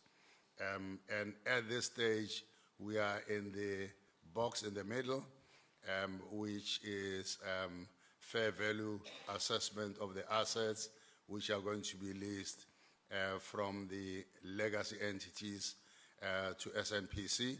Um, and we're also focusing on uh, employee transition uh, planning. Um, in terms of just going forward, Chair, um, the next thing that we need to do is make sure that we finalize um, the transfer of assets, uh, we finalize the capacitation of SNPC, um, we bring the employees across uh, to the new entity, and um, our deadline on that chair is um, August um, of this year. And I think it's just worth mentioning that chair, not only is this uh, part of our uh, performance contract, uh, but is um, you know, in the scorecard of our honorable minister. So we collectively own it um, to make sure that it's delivered, Chair. And I think when we come back, we'll talk more about this measure, and I think there will be a lot of news around that. Chair, I thank you on that, and I'll hand over to um, CEFSOC. Thank you, Chair. So thank you very much, Chair and honorable members. Uh, last part of the presentation, and I'll move quite quickly as well. Chair, I think in terms of the CEFSOC, I think highlights, um, I think the main one was really around the cabinet approval for uh, enabling us to move to phase two uh, of the merge implementation, finalization of the, the, the ROMPCO deal, and uh, key initiatives around the operating model and structure changes to support uh, the CEFSOC's new role of being a strategic investor, as well as other, I think, key initiatives in terms of, from an oversight perspective, which have been alluded to, uh, one that being uh, um, the war room uh, to support the turnaround and key decision-making initiatives um, for, for the turnaround of PetroSA. There were, however, uh, I think a, a few lowlights. Um, ones related to the delays with execution uh, and the closure of key, I think, priority investments, um, as well as what we are seeing in the, uh, I think, in the in the industry in terms of the role of multinationals, um, trying to to limit the role of state participation uh, across the entire value chain, which has significant impact in terms of our uh, what we call the group growth agenda uh, from an investment perspective. Chair, I won't go into a lot of detail because I thi- on this one because I think Group CFO had touched on it uh, in terms of our role as CEFSOC as a holding um, company, but also executing on our parenting strategy, uh, which is really uh, focused around uh, key initiatives for the period under review, with SNPC enablement and as well as you know business development. But suffice to say that for the period under review, generated a net profit of 169 million rand. And what underpins that is one is you know underspending, which also signals uh, the delay in terms of our project execution, uh, and then of course uh, you know the high um, you know interest income, which is to be noted in a high interest rate regime period. Um, That's our analysis, Chair, in terms of, you know, the key audit findings, I think, for the period. And we have closed a total of eight audit findings cumulatively uh, for the past two financial years. And we continue to work uh, very closely with the AG to implement a number of the key recommendations uh, that have been given to, CEFSOC as a holding company. Uh, two major, I think, uh, in a, critical audit findings. One is the financial statements uh, relating to material uh, mis- uh, statements, and of course, uh, the supporting action plan relates to the IFRS uh, training offered uh, to the finance team uh, in relation to the preparation of interim and financial statements, and then the annual performance uh, report. Um, the process was implement, implemented to lock the performance information you know, at year end and to prevent improper retrospective changes. What we'd also have done, Chair, is we have subsequently acquired an automated business performance management system that will enable much uh, more tighter controls in terms of the overall group performance management initiatives.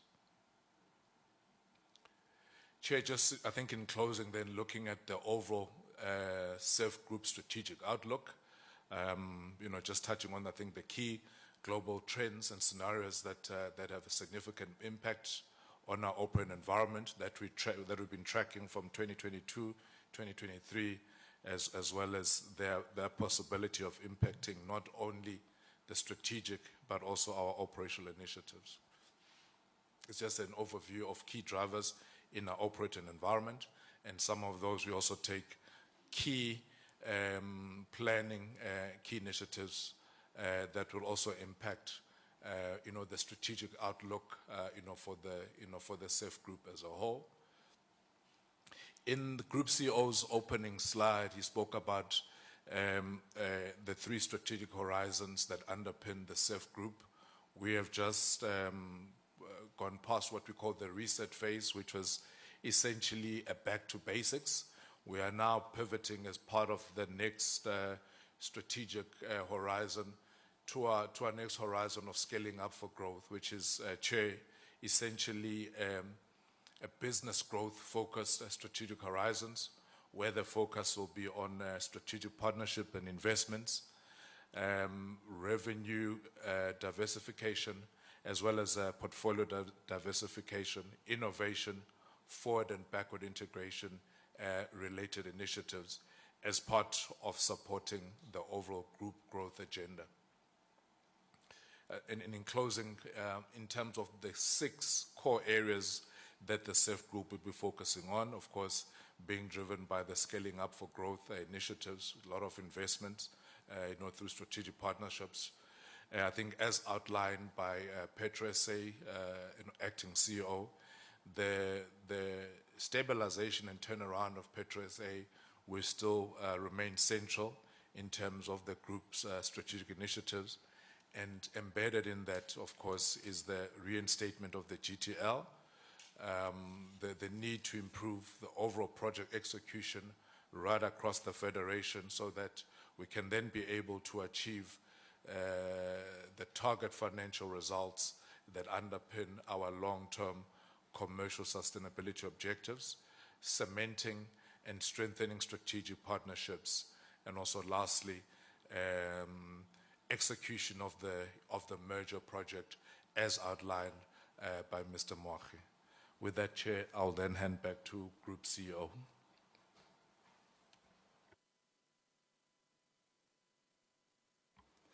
Thank you very much. We'll hand over to the minister. Uh, Honorable Chairperson, that is our presentation. Thank you very much. Thank you. Uh, With the powers vested in me, please, can you take a five-minute stretch play break? Come back exactly at 28 minutes uh, past 12. Thank you.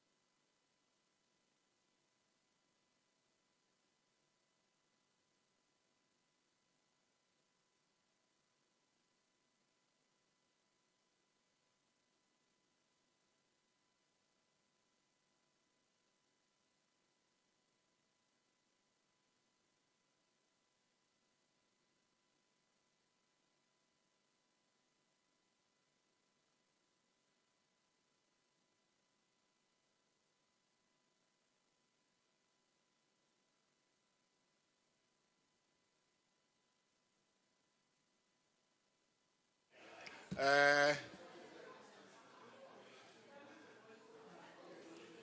Kwathi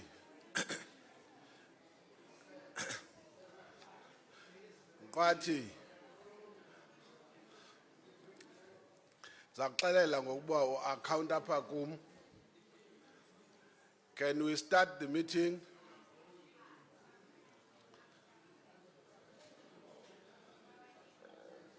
Kamichael enza umsebenzi enza umsebenzi. Makamichael Makamichael enza umsebenzi wakho njengondunankulu ka- kaNgqongqoshe. Yezwa mqathi? Yezwa mqathi? Ndithi uKamichael makenze umsebenzi wakhe njengondunankulu kaNgqongqoshe. Okay. Honorable members, I allowed this presentation to go as thorough um, as possible. This, in my view, will help one, those members who might be fortunate uh, to be coming back for the seventh parliament, but also be in the same committee. At least they will have what I would call a specialized institutional memory, but also at the same time, it will assist uh, for those who may not be coming back to have a, a legacy knowledge and understanding of what is the current state of affairs. Uh, Honorable Minister, ake ndiyichaze ngale ndlela ngasekhaya ne yabona phaa ekhaya inkwenkwe xa isiye engcibini biye ekuseni yabona yabona ke le nto ufuna ukuyenza bekukhona into oyitoliko yazi bekukhona into yobana umntu avele afike acima isibane nje. Atsho kwasanto engaphakathi endlini. Angalindi kusasa inkwenkwe xa isiye engcibini zidibane phaa ngaphandle. Susicimela isibane. Silinde kufika ixesha lokutshayelela. Eh usilinde futhi siqulu ungasinqupheli eh ndiyakubona uba usingxamele ngathi akusa- ngathi akusasi. Okay on that note honorable members eh let me now give opportunities to honorable members to ask questions of clarity. But also, you must know now you've been here for the past five years. And uh, the knowledge that you have amassed, I think we have reached that stage where you can even throw some words of wisdom. Uh, there, uh, Omqati, they know when a, a boy is coming from the mountains, there is a time where the old men are allowed to throw some words of wisdom to welcome him to manhood. So, with your experience, uh, that's why I was joking and saying, uh, Mr. Moache, who say is an ancestor here because he's one of the only familiar faces I remember when we came in in 2019 with his friend. Just say I said when I'm leaving, hi. Uh, very good, eloquent English. Uh, I hope you're still in the establishment, uh, Mr. Zono. Uh, on that note, honorable members, I see the hand of Honorable Mileham, Honorable Malinga, Honorable Mahlaule, Honorable Volmarans, in that order. Thank you, Chairperson. Chairperson, um, I have a number of questions because it's a lengthy presentation, so I hope you'll just be patient with me. Um, I will try and be as brief as possible. But before I do that, I'd like to just make one comment. And that is, I'd like to draw the Minister's attention to section 92.2 of the Constitution, which says that members of the Cabinet are collectively and individually accountable to Parliament. I didn't say they were accountable to me, I said to Parliament. And they are accountable for the exercise of their performance and their, their functions. So I'm just drawing that to your attention. Parliament does hold you accountable. Uh, Chairperson, I'm going to start with uh, Ms. Noah's comments, and I, I'm not sure if I should address this to you or to the minister, and it relates to something that you spoke about. You spoke about the appointment of Mr. Kolile Sizani as the CEO of PetroSA. And my question is this What process was followed in his appointment? Specifically, did he go through the same process as all the other candidates that went through an interview process, a shortlisting process, etc., before he was appointed? And I want to stress I'm not calling into question his suitability for the job at all. I'm asking about the process that was followed. My next question is for the group CFO, Ms. Marabe, and it's on slide 18. Um, at the bottom of slide 18, it says, in 2023, the net asset value increased due to net profit generated. Where is Ms. Marabi? At the back. Um, generated for the year. But if I look at the graph, it appears as though the um, net asset value is essentially static. So I'd just like some clarity on that. Then on slide 19, now you spoke about how the 2.7 billion rand um, of decommissioning liability was, was reclaimed, for want of a better word, uh, as income um, because of recalculation. I'd like to know how that recalculation was done and what the, the impact will be going forward, given that you're not going to have that, that recalculation in future years. In this year, if you did not have that recalculation of decommissioning liability at PetroSA, CEF would have made a one point something billion rand loss. So I'd like some clarity on that. Um, then, if we can move on to PetroSA itself, I, I do have concerns about PetroSA's solvency, particularly uh, their going concern status. Um, that remains an issue for me. Uh, and, and maybe this, I don't know if this goes to the group CFO or to who, but as we go through this presentation, there's no standardization of the way that the accounts are presented. So some people present a balance sheet, some people present an income statement, and some people present a cash flow.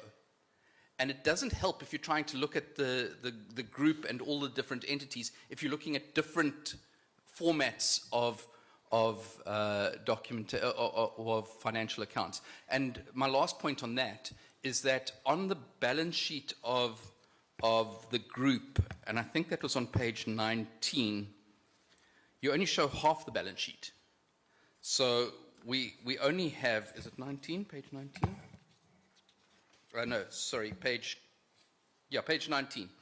You only show us uh, the asset side of the balance sheet. We don't see anything as to the liabilities side of the balance sheet. So that's problematic for me. If you show a balance sheet, you need to show the whole balance sheet. Um, okay. On PetroSA, whew, where to start?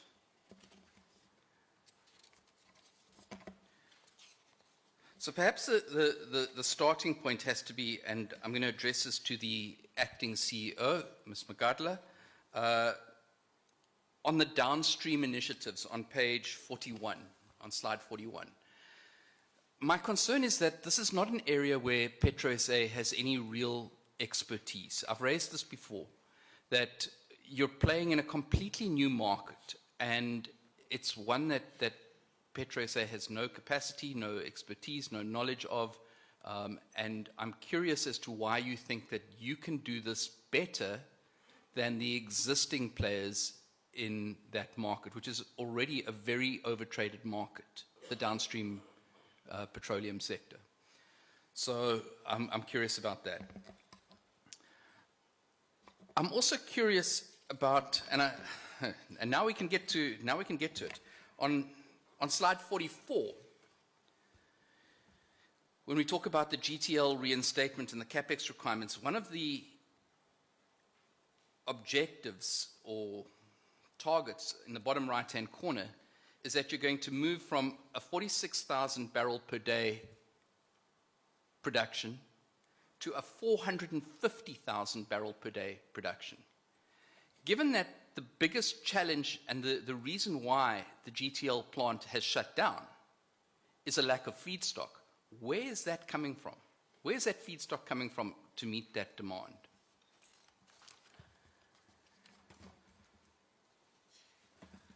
Uh, okay. And then on page 47, so here we have RFP 0004, well, RFP 0003 and 0004.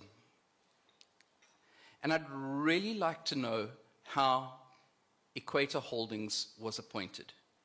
Given that your tender requirements necessitated that they have a track record in the energy or oil sector, that was a requirement, or that they be a financial institution, and that they have a term letter saying that they could put up the 21.6 billion rand that you, PetroSA, estimated would be required. So, how did they get through all of those hoops to be appointed as the preferred bidder? Also, noting that in RFP 0001, they were excluded because they, and, and I think the wording was, uh, their authenticity could not be verified. Now, how can they go in RFP 0001 from not being an authentic player to RFP 0004, where now they are, and they, they just bypass the requirements that are in the tender process? The words that you used were a competitive tender process. Well, that hardly seems competitive if, if we can throw the rules out the window and appoint who we like. And that goes to the next page, on page 48, where you say, work presented to date by Equatesa is not inspiring confidence that they can deliver. Well, Minister, here's the problem. When you have people that don't have a track record, when you have a company that doesn't have a track record, when you have a company that doesn't have finances, don't wave your hand at me, that doesn't have, a, uh, doesn't have finances, then they're not going to be able to deliver. So I question the decision making processes, the vetting processes that are being employed at, at PetroSA. And I think that there's a huge problem here that, that you're not doing your due diligence in terms of people that are bidding. That they changed the scope of work from, from gas to oil. What gives them the right to change the scope of work? These are huge issues. I have a number of other concerns with regard to PetroSA, not least of which is the demurrage costs and the, the, um, your, your international business. I mean, uh, Ghana, where you have a minority shareholding, how is it possible that you have a whole division that is devoted to Ghana when you have a minority stake in the business? It doesn't make sense. Your aviation fuel division is running at a loss. Not even at, it's not even breaking even, it's running at a loss. And part of the problem, CEO, is that I'm working off a presentation. I don't have any proof that what's in this presentation is accurate. So I really need to see the audited financial statements so I can drill down into these things. But just working off this, I've picked up a number of irregularities and financial concerns. And honestly, I think PetroSA needs to take a good look at itself and decide, and Minister, it's your responsibility, your department's responsibility as a shareholder to take a good look at, at PetroSA and decide whether or not it is viable. Because what I'm seeing is that the decision making, the processes that, that are unfolding, the, the financials that are being presented are not credible. And this is a huge problem for me. Thank you, Chairperson. Thank you, Chair. Um, I'll, I'll leave uh, some of the issues to Honorable Mashaule to, to deal with. I know he's quite capable. Uh, Chair, let me start with the remarks also of the CEF group. Uh, Manoa, I think the shamboking worked. Because if you remember, when we started in 2019, Minister, we were just uh, surprised at the parenting of CEF as a group. Uh, I remember our first meeting chair, I think it was in 5, 514 or 515, whereby the, the GCO at the time, the man with the chain, the cross chain, hey, that man lied to us in Gongoshe, hey. But uh, I'll leave that. Also, Chair, I want to assure the minister that we do see progress from the CEF group. It's not that we, we are anti-progress. We appreciate the progress that we have seen from all the entities under the CEF group from 2019 up to date. GCO, um, I know that you are not a man of many words, but we see your actions. Uh, please rein on AEMFC, like the minister is advising. I think they need help, but I am also happy, Chair, that they have now appointed a CFO who needs to strengthen their own internal audit uh, component within the, the AEMFC. Chair, I also want the GCO to further explain because I know that this was just the AG uh, responding to your question on the terminology dormant. Why are those entities or companies listed there dormant? Uh, and why keep them dormant? Are they profitable? Because I think uh, the gentleman at the back from the AG said they, they are finances are in order, but why are they dormant? Chair, uh, um, also to Petro SA, if we could be briefed on the issue of Petro SA and Equator Holdings, uh, so that we understand what is happening there. Chairperson also serve to appraise the committee on the Gobodo investigations because I see here the, the former CEO and those executives, they went to CCMA. How far is the process? And uh, do you see any positive results from, from, from there? Minister, on the issue, lastly, Chairperson, my, my last point will be on the issue of the measure. How, how, how are we doing? Uh, how far are we? And when can we realize the results on the measure of, iGas, Petro SA and SFF? Thank you very much, Chair. Uh, Thank you very much, Chair, and greetings again. Uh, Let me start by disagreeing with the Minister um, that this committee does not appreciate progress. It's wrong. It's not, it's not the case. Uh, When we were dealing with the AG, I did comment that uh, from 2019 up until today, we have moved uh, on a positive trajectory and we, are- we have achieved a lot. And in these presentations, there are things that we think are progress, including the one that yourself and Honorable Malem were talking about around the fictitious company. You know, the fact that the issue of the fictitious company was actually detected by an internal audit and you did not sweep it under the carpet.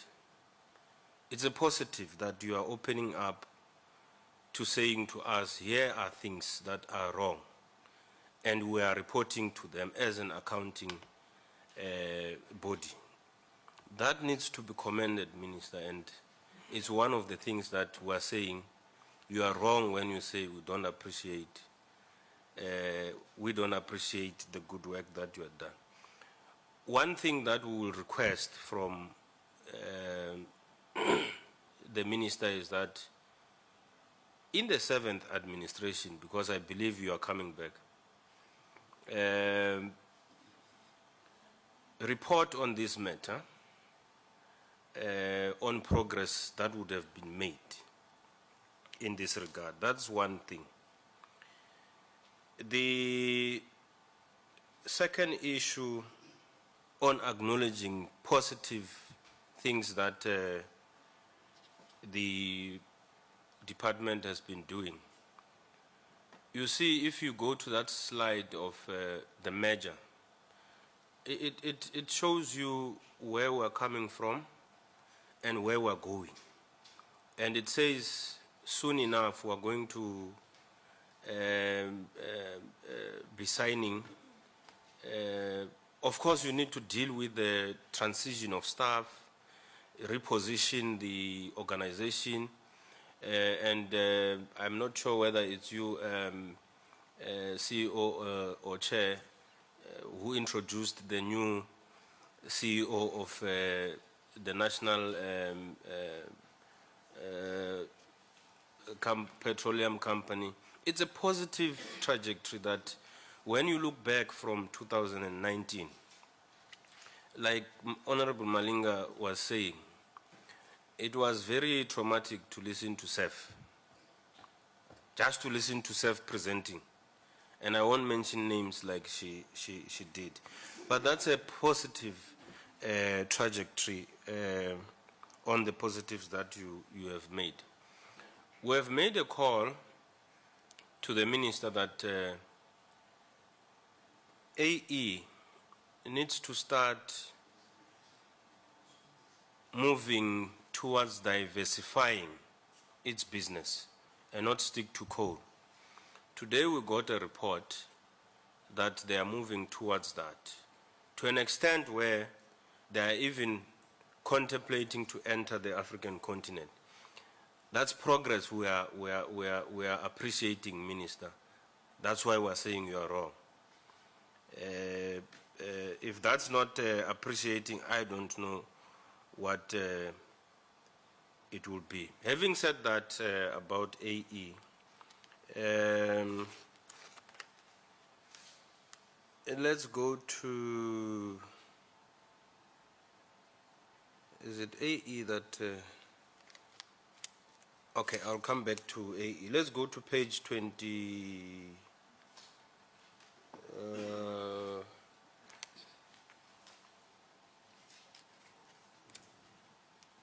Twenty, okay, nineteen, if I'm not mistaken.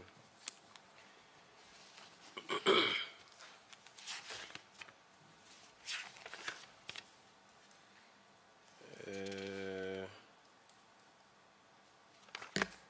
Yeah. Ca- Is that nineteen? That's eighteen. Can we go to nineteen where on the right side, it speaks about the the group reported total assets, blah, blah, blah, blah. the increase is mainly due to, I'm interested in ACWA additional investment of 70 million and ACWA loan advance of 210 uh, million, CMG loan advanced of 2 billion. Can, can we be taken through what does, what, what, what does it mean? Um, from a layman's point of view, who do not understand investments, can we get an expansion of what that means uh, from uh, the person who was uh, presenting? Now, page 27.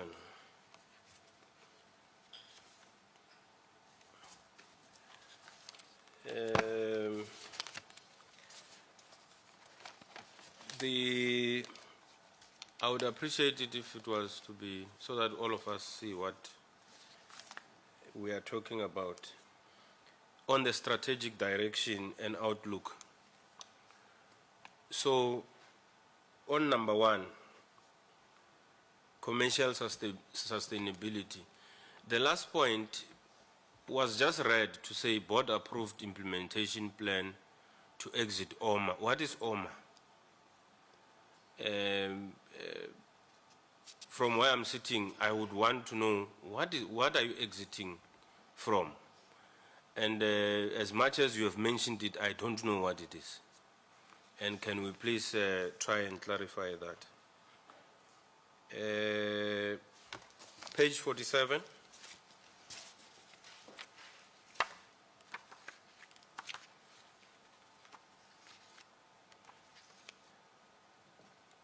Uh, just minute. Oh, I think uh, Honorable Malinga asked about the the project on uh, Equator, on how far it is. But I think the presenter took some time uh, giving us uh, information on that. I will pass on that one, uh, Chair. I had just noted it. PetroSA, uh, page 50. Now, Minister, the, the Minister of uh, Electricity mentioned in a press conference that uh, they want to move from expensive diesel generated electricity to gas. And here, as PetroSA, you are recording or reporting that part of the um, uh, profits come from the sale of diesel to Eskom. How is that going to affect uh, Petro SA's profit? It does say uh, PetroSA and ENH to have a face-to-face meeting, amongst other things, to address the market demand. More off-takers need gas. Is Petro SA, is Eskom uh, uh, part of the, those off-takers? If that is the case, then it means we have covered the, the part where uh, uh, Eskom goes low on uh, diesel and then you are part of the people who are considered to still sell uh, and do business with uh, uh, Eskom. Page 58. Chair, I'm, I'm rounding up. Uh, uh, the the the red the red point two uh, on the low light says due to the declining oil price, SFF was not able to settle the six billion to National Treasury by 31 March 2023. Discussion have, have been held with National Treasury to shift the time frame to a period where the oil prices increase.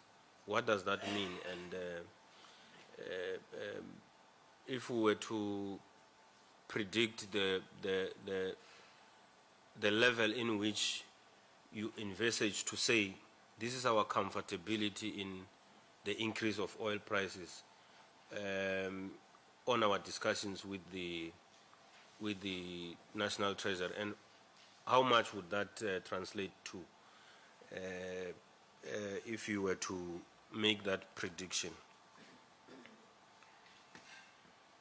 lastly on uh, page 64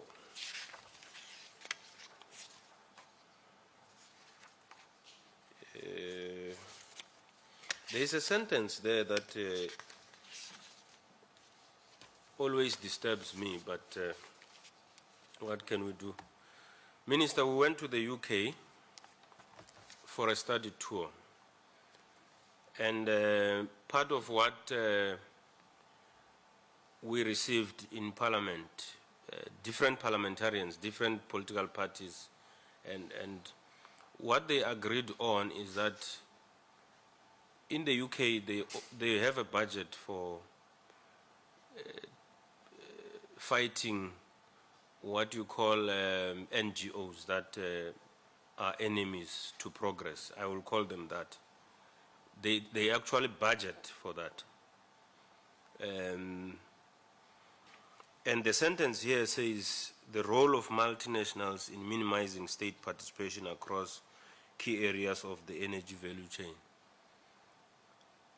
Is it our considered view that, uh, or is there a relationship with the, uh, on the, these NGOs that I'm mentioning with the multinationals and their role in this regard? Um, and if there is, why are we not taking the model of uh, the UK to set aside uh, a considerable budget to deal with uh, institutions that uh, their, their job is just to minimize the state participation in uh, key areas of the energy value chain. Um, we have seen um, uh, investments done in terms of exploration, and then um uh, some people come to parliament outside with billboards, toy toy, that it will harm the the the the, the environment, fracking will harm the environment, and so forth. When we went to the UK, a professor, and we are still going to debate that report, told us that we must never shy away from fracking.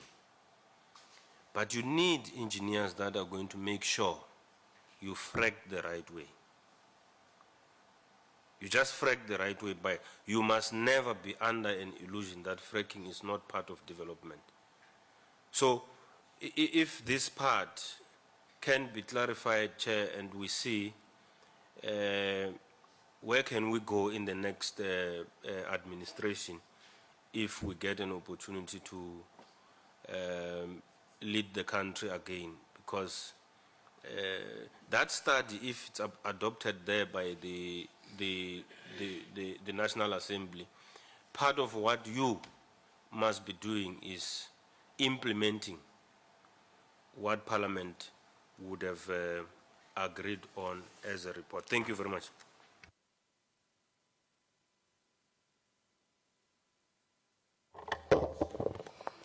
No, thanks, um, Chair, and uh, thank you, um, uh, Honorable Minister and uh, the team from DMRE, including the CEF Group and its leadership, Chair. After um, uh, Honorable Mahlaule has uh, made his input and questions, I'm, I'm left with almost nothing, Chair. But I would like, with almost, but for purposes of uh, um, the presentations, I welcome the presentation from, from CEF. In fact, I welcome both uh, presentations from the CEF group and uh, from the AG because in, in both the presentations, uh, I could find and see some commonality, but I, will, al- uh, I could also see a complementary role that uh, this played. Now, uh, before it escapes my mind, uh, on this um, page 64, uh, or is it slide 54, the mention of I would, I would have wanted the, the, the group to, to elaborate on the question of the multinationals. Um, um, and my question was not going to be around whether the NGOs and so on. It was going to be around the big businesses which, which might hamper us and it, which, in which way do they hamper us in as far as um, minimizing or obstructing our participation across all the areas as mentioned in that, um, uh, in that value chain. So it might not necessarily be the NGOs as stipulated, but uh, if it's big businesses and or other governments or multinationals, I would just like um, um, a take on that from, from, from, from the group. Chair, a couple of years ago, we, we, we, we were at pains to get clarity or to get a clear picture um, out of the affairs of the group uh, vis-à-vis a lot of issues with respect to uh, vacancies, the, the boards, um, the, the global uh, or outside factors, um, and possible turnarounds within the, um, the group itself. So my take is notwithstanding the findings um, uh, as reported, uh, especially in some, uh, uh, some subsidiaries uh, from the group. The group acquitted itself well, in my opinion. There's a lot, a lot of improvement, and the scenario uh, looks um, um, uh, uh, positive. Uh, AE has been mentioned, um, and uh, I think they have, uh, to some extent, explained um, what is happening around there and how they got into where they are. But on a positive, um, we, we were bemoaning uh, in 2020 whether AE is it prepared to stand as a bystander there, uh, looking at what is happening in the mining environment where they should be participating fully. And from their presentation, it shows that they have taken that into account and they are dirtying their hands in the field. I was still saying they were, they were supposed to be uh, set aside for them uh, to that extent, and other, other entities, which I still believe we must have set aside uh, for, for entities that belong to government. So I can, I can see a positive shoot in as far as that environment where they are getting in, they are saying they are dealing with Eskom, they are saying they are dealing with the coal matter and going beyond. So we see that um, uh, they are in there. So finally, Chair, without belaboring a lot of points, on page 23 of the AG's uh, submission, uh, there are about four points there. And those points, uh, if you take all the presentations and take them away, get rid of them, and look at those points, they give you confidence in the trajectory that uh, the, the group is having with the support from the department. So it gives me also solace and a positive way forward in as far as uh, how the group has performed, what it is doing uh, uh, to, to remedy the identified uh, deficiencies, and uh, they've got a well round up um, uh, opinion on how they are going to do their turnaround and where we are at the moment. So I want to agree with the part where the AG in particular um, says it looks positive. Um, uh, it, it, we, need to take, we need to take care of issues that relate to AE in particular going forward, but generally um, it is a, a, a, positive, a positive picture that um, I got from, from, the, from the submissions and the presentations. Thanks, Chair. Okay, Honorable Member, very quick, just that one issue, and then we'll give to the Minister himself. Thank you, Chair. I don't want you to be angry with me. No, no, no, it's just one quick question. Parliament. One Okay. quick question. On slide 53, uh, AMFC, uh, I'm concerned about the employee costs line.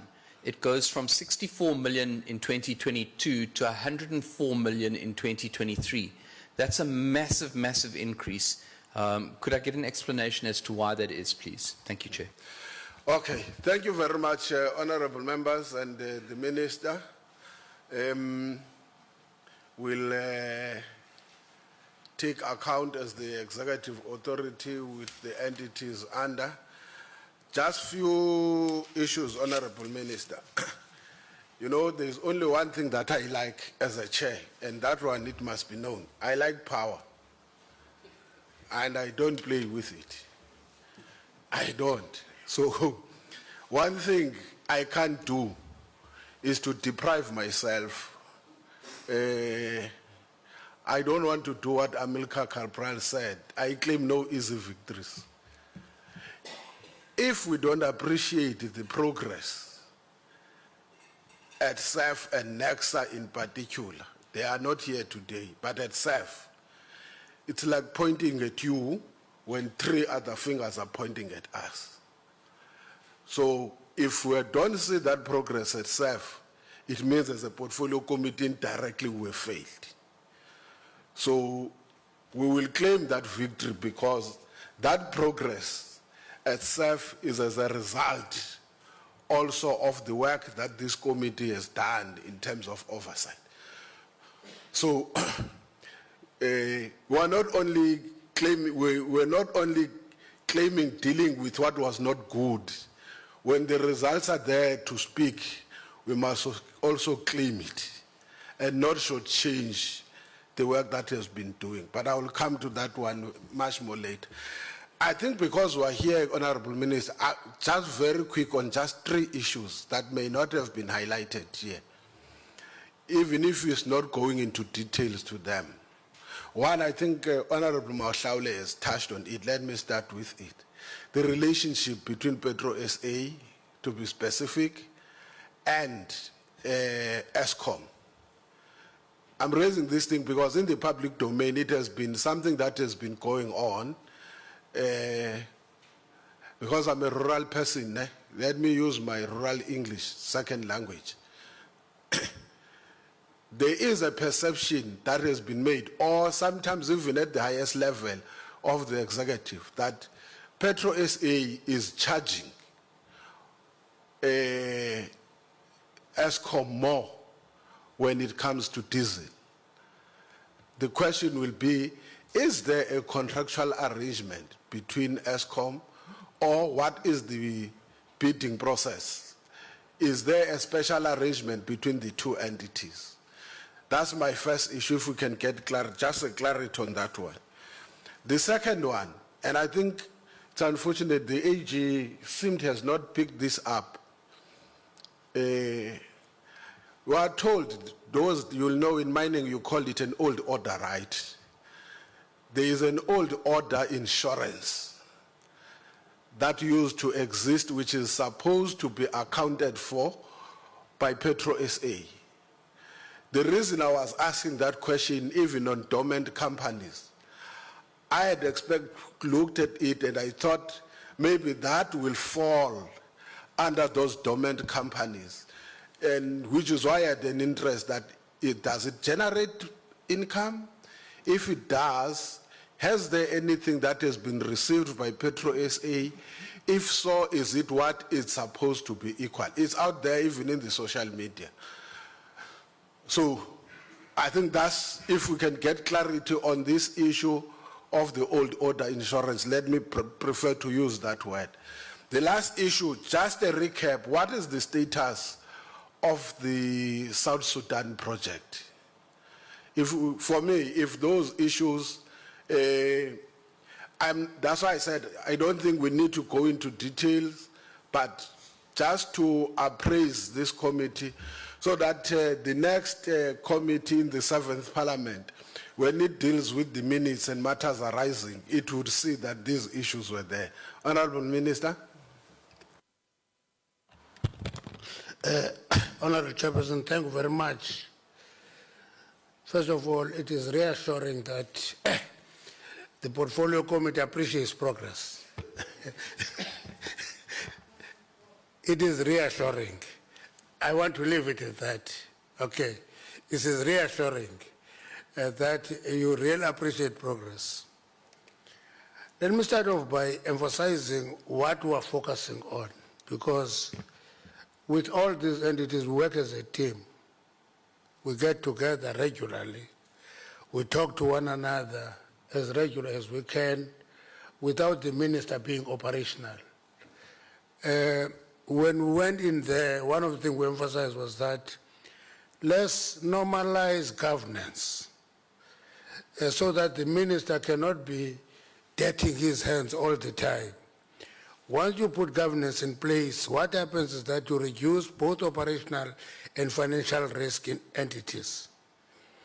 And I can tell you, Chairperson, that that is factual now. I always theorized it, it's factual now. That you normalize governance, you allow those boys to do trial and error, commit mistakes. Uh, when you have an opportunity to stand on top of the mountain, you shout at them, but they do the work. And they do the actual oversight of entities.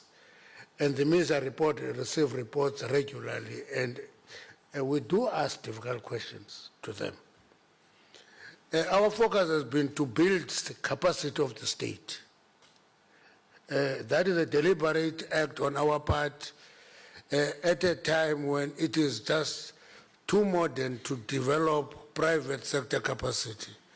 In our, in our department, we are conscious about building capacity of the state because we have a belief, we've convinced each other that building a capable state make the private sector operate better. A weak state collapses the private sector. Uh, we believe in that. That's why, for example, uh, Chairperson will find that we, acquired, we increased our shareholding in Rompco, we acquired Avedia, uh, we are shareholder of ACWA, the Redstone project in the Northern Cape. We are building the LPG pipeline. We are active in Ghana. It's a minority stake that we have in Ghana in another country, which pays us dividends regularly. It is giving us the dividends regularly. We're active in South Sudan. We're drilling a block that was given to us because we think that the state must have capacity. And that is what we're doing together as a team. It's not a minister's call, it is what we do as a team. Uh, in that process, we commit mistake, we burn our fingers, but we're convinced that we'll make it work. Uh, I want to talk to uh, the, the thing you make, uh, Honorable Chairperson, is that uh, you have been here for five years, last five years. You left one thing there to say with the same minister. there have been no high turnover of ministers over the last five years. And that is an advantage that we cannot acclaim, but it's an advantage. Uh, Honorable Mileham know when I'm mad, he, he can anticipate that. I know him when he's mischievous. I, I can pick it up as he speaks that he is now mischievous because we've been together for five years. So that is the beauty of having five years continuous uh, with the same minister. Uh, there was a question about, I will leave the financial questions to accountants. There are quite a number of CFOs here. I won't venture into that space. I will leave them to deal with that. There was a question about the appointment of Kolile Sizani. What happened? Now I'll give you the process that we follow. Whether it is boards, whether it is technocrats in the department, since I came to that department, we follow the same process for everybody. We advertise the post, we allow applications to come, and a team is set, not including the minister, uh, to actually screen and interview and select that, the, the people. That happened in this case. That team do all sorts of things, interviews, psychometric tests, and all those things. And at the end, we take those recommendations to the cabinet that we are recommending this uh, to the cabinet. We don't uh, recommend one person. We say, these are the three people who are appointable. All three of them, you can appoint anyone in the order of preference, and we give them scorecards. In this case, we appointed uh, Mr. Poya to get there, and there was a big noise around him. Big noise. We refused to succumb to that noise. You will have noticed that. We said process must select him. He was subject to vetting, uh, to polygraphy test, and all that. And the report ultimately said it is negative, he can't be appointed. And we said, therefore, number two is appropriate. And that number two is called the Susan. And if you look into the scores, they are very close to one another. There is a third one, if this one was rejected, who could be appointed, because we put three of them before cabinet, all of them at the same time. We didn't go away and bring Susan. We said, these are the three.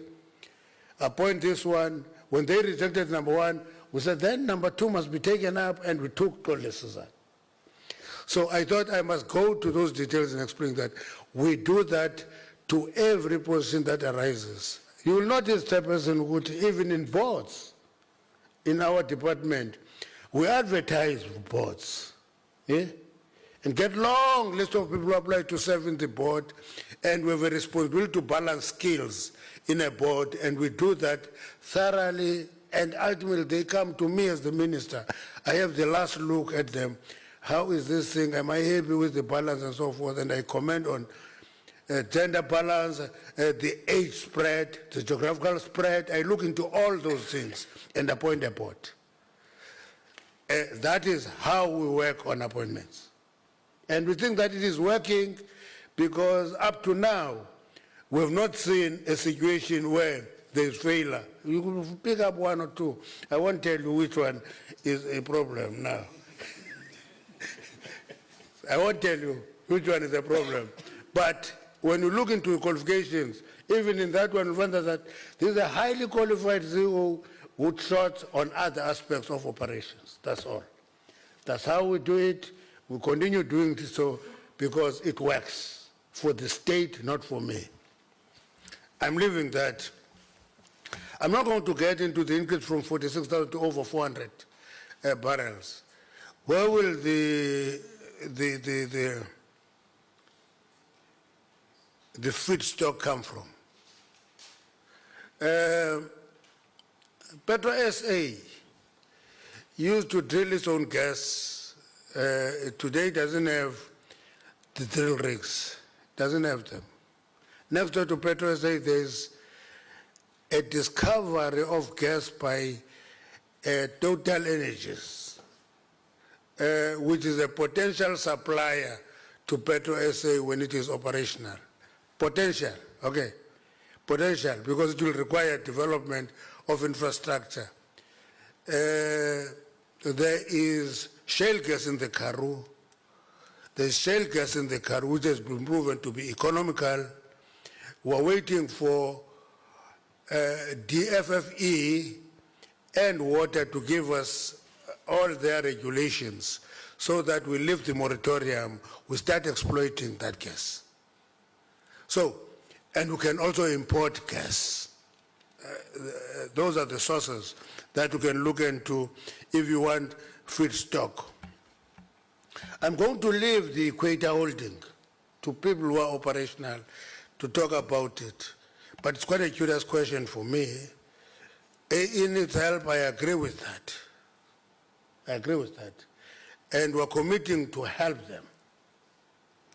We're committing ourselves to help them. We'll work with them, we'll improve them. It must be a proper company. It is working in the continent. We have actually permits in Central African Republic, and we're moving to other areas. It must diversify. It must be a genuine mining company with capacity. Uh, measure. How are we doing when we, when will we see results? You see, the problem with uh, uh, predictions uh, is that you do predictions, when they don't materialize, people write long articles about you. That you tell, you told lies, uh, you said this thing will work on, in, in, in, in June, it is not working, you are a big liar. But all I can say is that the measure we're working on, uh, Ndane started working on that project as a CEO on 1st March. He's hardly a month in there. So if we say, as he walks in, we say, one result in June, we're going to actually create problems for him. He must get in there, draft an operational plan, brings to us, we discuss execution of that plan, then we can start projecting results. That's how we're going to do. We appointed him, uh, last week we appointed the board that will work with him. He will not work with the minister, he will work with a board. And together they must come up with a plan. They must come up with an execution plan. And they must actually give us in milestones that they will actually be checking as they implement the plan. Because a plan is only as good as ability to check milestones that you go through. And we're going to do that with them. We're not going to uh, uh, lower our standards. Uh, fictitious company safuna uyazi ke le fictitious company Ndi- ndifuna uyimitha kwamna this fictitious company and find out who this person who sold product to a fictitious company. Uh, we're going to follow that through and get that report. Uh, and appreciate who benefited the- from this fictitious company. Because once you have a fictitious company, there's a beneficiary behind that fictitious company. We need to get those. I can't answer that question. I'm sure maybe people close to it can answer it. Um, Eskom wanting to move from expensive diesel to gas, that cannot be a problem for us. That can't be a problem for us. What will be a problem for us is when Eskom comes to us and say, want to get a wholesale license. Eh? When they come to us and say, "We want a wholesale license for diesel, we refuse. Simple reason, rule says we give wholesale licenses to those entities that have customers. And they supply to customers, then we give them wholesale licenses. And Eskom is not such a, uh, an entity. They can't ask for a wholesale license. They must buy a diesel. If we think that uh, PetroSA is expensive, they must buy it from somebody else. Uh, but they will discover that they are not paying more than any other diesel price anywhere in the market. The diesel they buy from STSA is related to market rates, uh, but we won't give them wholesale license. They're not a wholesaler. They're a state entity. They must not feel the pain when out of their situation, another state entity is making performance better. They must actually appreciate that. That's my own view. The same thing if we get electricity from them. We must not be looking for alternatives. We must want that electricity from Eskom because it's a state entity. Uh, if they want diesel, they must get it from us because we're trading with diesel and we're a state entity. So this thing of wanting to go going to gas, is, i- i- i- there's nothing wrong with that. Uh, uh, let's go to gas where we can. Uh, don't. Gourikwa. Gourikwa and Ankerlig. Those must go to diesel, to, to, to gas. I agree with that. They must go to gas.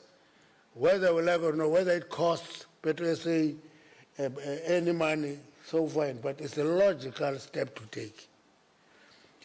Um, and that talks to the relationship between PetroSA and Eskom, uh, Honorable Chairperson. It talks to that we should have a good relationship with both state entities. It's not owned by me, it's not owned by that minister. It's two state entities. Um, I've touched on the status of South Sudan, what drilling in South Sudan. Uh, I'm sure if you want that, that you can talk to that. We've given, we've been given a block. We're drilling there. We're going to be making money uh, because we have a theoretical framework that we've developed, Honorable Chairperson, of saying most of the time we deploy even the army uh, to, to, to, to, to, instill peace in many countries. And once there's peace and there's stability, all other countries, China and everybody, go there and do business with those countries. Our argument is that if we instill peace, let's also engage in, in, in economic activities in those countries. So we've started doing that, uh, not big. We're doing it in Mozambique, we're doing it in South Sudan, we're working in Cannes, and I think we should grow in that area. We're working with uh, Cote d'Ivoire, we're working with a number of countries in the continent. Those are the developments of the last five years. Let me go to the, the last question. The, the, the, the, the- the British example. We have raised an issue which will come to you as our supervisors. This issue is going to be smashed back to your court as our supervisors. That NGOs that inhibit development were proposed that they must be registered and they must be declaring their source of income. Because if they don't do that, anybody and any country that want to sabotage progress can use them. Uh, if a, a political party can write to Blinken uh, to interfere with our elections, it can write to anybody to disrupt us in any way. NGOs must actually pay. They must actually register and declare their source of income, as we do as political parties. And if there are those rules, it will go a long way in regulating their interference.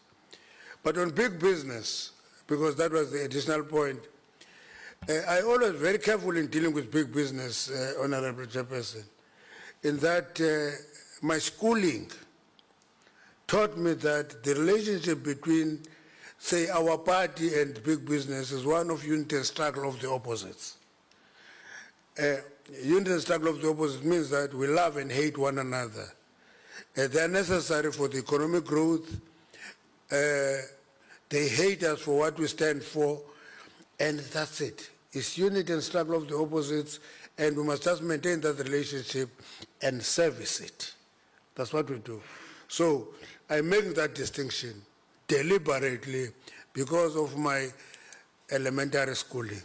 Thank you very much. Uh, can you add uh, these financial questions that are difficult for me? I, I, I can't add. Uh, I did arithmetic, I didn't do mathematics, so let's do that. Uh, Thanks very much, Honorable Chair and Honorable uh, members for the questions. Thanks, Honorable Minister, for leading us. What I'm going to do, just for us to have a little bit of order, is really just go alphabetical order in terms of the CEF uh, areas. So I'll start with the um, Group CEO from CEF, together with the CFO, to deal with the questions that were posed. And then I'll go to AE, who's got one question to respond to, uh, PetroSA, and then SFF, uh, Mr. Mwache. I think Honorable Minister has dealt with the SNPC question, so perhaps there is no need to really elaborate on that. And colleagues, um, I think questions that have been responded to, uh, let's not, yeah. No, thank you, Chair. I think there were two specific questions to my, addressed to myself. One being, one about the insurance company. Yes, we discovered a captive, that uh, on the captive insurance, we, we need to do work in terms of us uh, having more control of it, uh, Chairperson, and we are working on that. Uh, we will report on that as we make progress. Um, secondly, it is the question on the uh, Eskom and uh, the PetroSA, which PetroSA will come, but it is important for me, I'm linking it to the issue of the multinationals and big business, um, that our relationship with, for an example, Eskom uh, is a healthy one. I must say, I must commend the new CEO of PetroSA in his outlook and how we should work as state-owned entity, wherein one does not basically uh, exist at the expense of the other, uh, and how we can make it work better. And you would have noticed, if it was not because of such uh, leadership outlook, indeed we would not have achieved the results that we did both at PetroSA and at AE. So it's a healthy, healthy working relationship in that regard. And now, how does it assist us with the challenge that we are uh, seeing that these, we are being elbowed out of the space is that the multinationals, in this case, it's an open market, but we argue that there needs to be set aside, Honorable Volmarans, for the state-owned uh, entities. And we have proven that that model works. We couldn't go back to the National Treasury for uh, bailouts. We traded and we were healthy. So imagine if the same model we were to export it to Transnet, to uh, defense and other clusters of government. We actually could end up with a situation whereby we are able, instead of asking money from the treasury, we actually take money to treasury. And that's a point that we really need to uh, labor on. And we appreciate the fact that you appreciate the importance of that set aside for the state owned. Thank you. Thank you, Honorable Chair. The question on net asset value. Uh, firstly, I would like to apologize for the slip up from our side, not including the part of liabilities and um, the net asset value.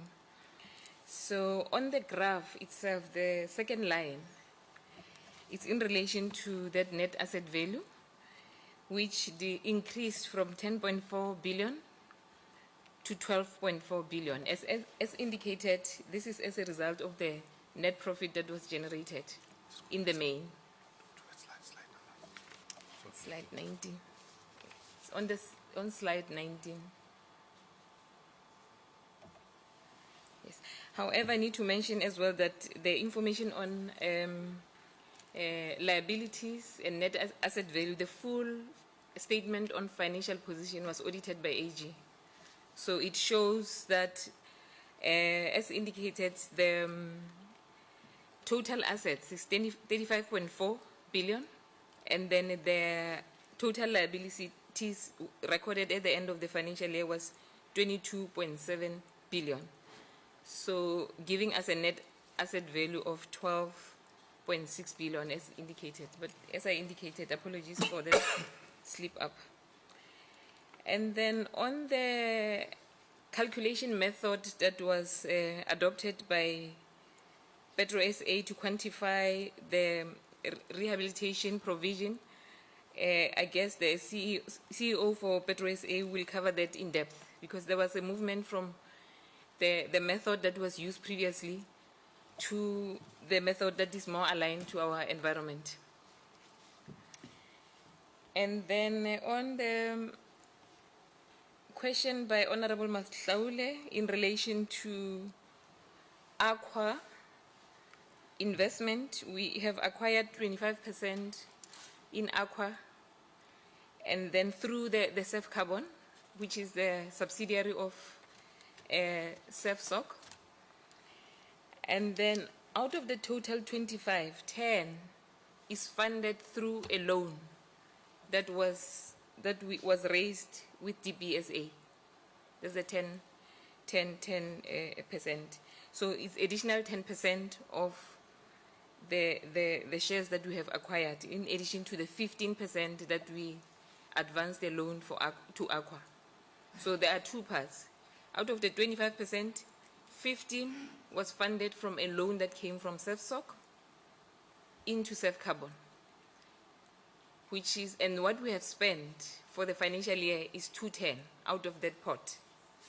And the second pot is the loan that was raised with, by, uh, from DBSA of 10%.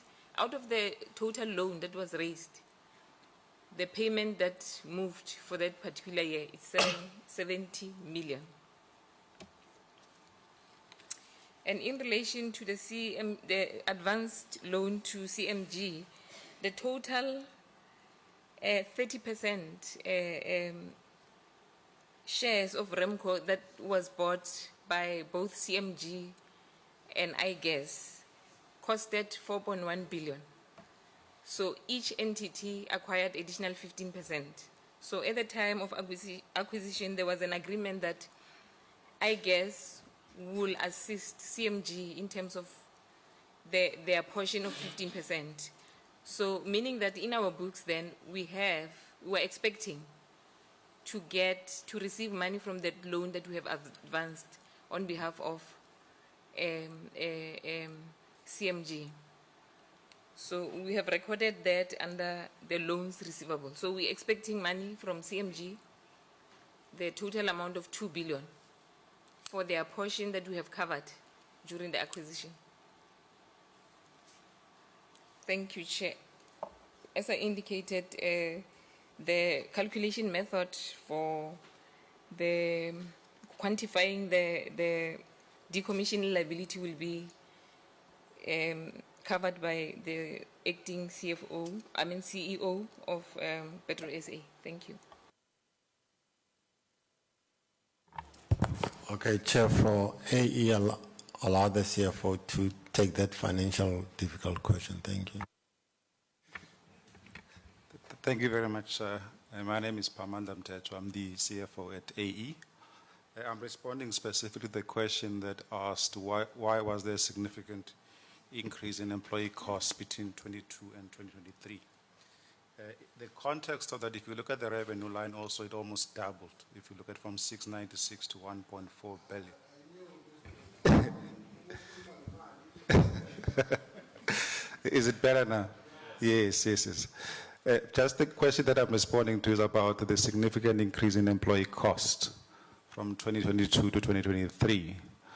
Uh, it must be understood in the context of a significant increase of a doubling of the revenue number from 696 million to 1.4 billion, which uh, necessitated the need to improve capacity within the company from an employee. So during COVID, there was a bit of slowdown, challenges in the company.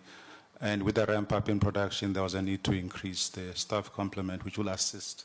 Going forward, we are working on two key projects to inc- like Claypole operationalizing another mine and also uh, expansion of the existing operations, uh, which uh, will actually improve even our overall uh, profitability. Because currently, if you look at even with that increase in i- in revenue, our our margins are not great. But however, as we move into a better coal quality in the next couple of years, you will see a much better performance uh, uh, overall. Thank you very much. Uh, Thank you, Chair. I will start with Eskom. Yes, Eskom remains a very important relationship that we are managing, contrary to what the media is spinning out. And uh, with regards to Eskom also transitioning into gas, yes, we definitely welcome that, and we see ourselves playing a complementary role, both from an infrastructure point of view, from a gas supply point of view, as it both has a potential to unlock both the west coast and the east coast, talking both to Ankerlig as well as Gourikwa, and also Port Rex, that is in East London, and any other future developments that Eskom is considering in, uh, in Gqeberha as well as we are watching what is also happening in the northern part of the country, where the, the, the fleet uh, that Eskom has, that coal fleet, in terms of the new supplements. So we are definitely working with Eskom, especially in Mossel Bay, because that's also something that supports what we're doing in Mossel Bay. Ghana, I don't think there's much for me to add, just to say that uh, whilst Ghana is an asset, it is also a company that needs to adhere to governance. So, uh, requirements. Uh, the insinuation that you just have a full uh, department or division that's just uh, handling that, that asset, the quantum of that asset, and the strategic relevance to the contribution, monetary contribution that it's making to PetroSA, and us using that asset to anchor also us as we navigate the challenges that we are facing with PetroSA going forward and supporting our going concern, it is important. So I think that would answer Ghana. Then it is a fact that on RFP 001, uh, Equiteza was uh, disqualified. I'm an engineer. If I go uh, for a test to be a chartered accountant, I'm going to fail. Equiteza was awarded RFP 00, Equator Holdings was awarded the RFP 004, which was a funding uh, program, and that's why they qualified. They didn't qualify in RFP 001, they were disqualified. RFP 004, they were qualified. As we indicated earlier, we would be more than willing to open all our books to AG when they come. Uh, Then, on the, on the insurance issue, um, yes, we do, there is a captive insurance that we are battling with. And that captive insurance uh, is a company uh, that solely services PetroSA, and it also can also service the affiliates of PetroSA in terms of its MOI. That company is under the trust that was developed by the government of South Africa. We, as PetroSA, as a beneficiary of that trust, we don't necessarily have control of the, of, of, of the trust, but uh, the government of South Africa, which funded the establishment of that trust, is an area where we are expecting that for to, to gain control is something that needs to be looked at, and not just only to gain control. Our energy sector, especially in oil and gas, is underserviced. That captive insurance was grown over the years, and our, our oil and gas industry here, you have new entrants in the market that uh, come into the space and service. You have a vehicle as a state that you can use to, to service in future into making sure that, that those instruments that are already set uh, are fully utilized to address the requirements of the oil and gas sector. Thank you. Decommissioning liability. Yes, we will continuously be doing adjustments. The adjustments are not going to be major every time. Uh, and what is driving us doing the adjustments, there are technological advancements. And those technological uh, advancements uh, are optimizing how we decommission. They reduce costs, and th- those advancements are also based on real cases. Our first uh, case and our original basis was from a conceptual point of view. And we had done adjustments just from a conceptual point of view. We needed to make sure that we benchmark in terms of in other places, in the other areas in the world where they've decommissioned, what have they done? And what can we learn from it? And what ca- what can we incorporate? So that's what we've done. We also are advancing other concepts, uh, what, which they're quite at an infancy level right now for us to share, which would help us also to deal with decommissioning. Because for that real estate and the offshore block in Block 9, uh, above those wells, there is capacity, because you already have network there, that you could um, have offshore uh, generation that then supports that real estate, that also supports contribution towards the shortfall that we currently have between what we have and what we're supposed to have. So we will continuously be reviewing that number. Uh, but when we review that number, we base it on uh, the cases. We also use accredited institutions that have done this, that have the database uh, that is recognizable, so that we do not, um, we are responsible in adjusting that number. So it is going to be a continuous process uh, from our side. Thank you.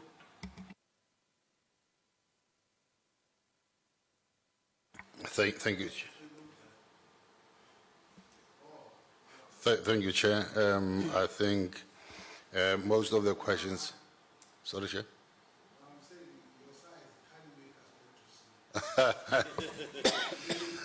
Thank you, Chair. Um, I think questions have been dealt with. Uh, there was one question around our aspirational number around the sale of strategic stock. Um, we were aspiring to look at the number around 100.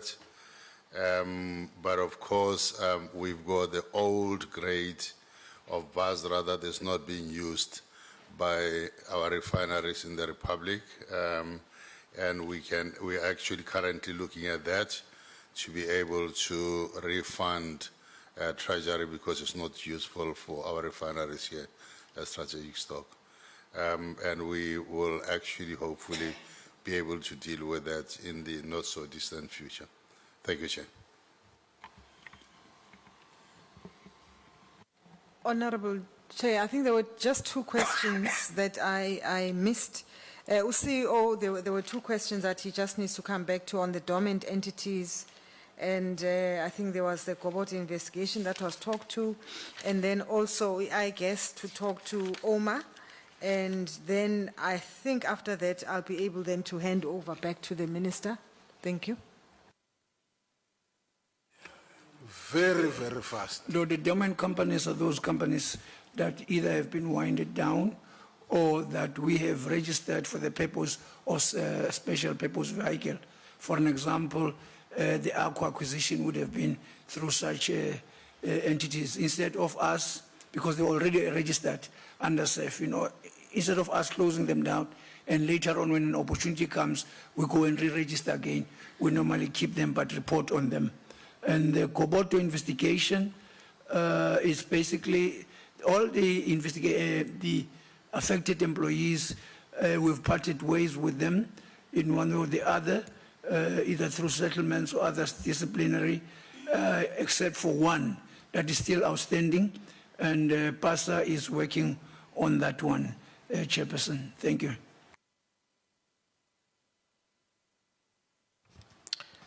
Thank you, Chair, and uh, thank you for the question on, on the OMA and the opportunity to speak a little bit about the transformation of ROMPCO. So ROMPCO was formed as a public-private partnership with uh, Sasol holding 50% shares, uh, iGas holding uh, 25% shares on behalf of the South African government, and CMG holding 25% shares on behalf of the Mozambican government.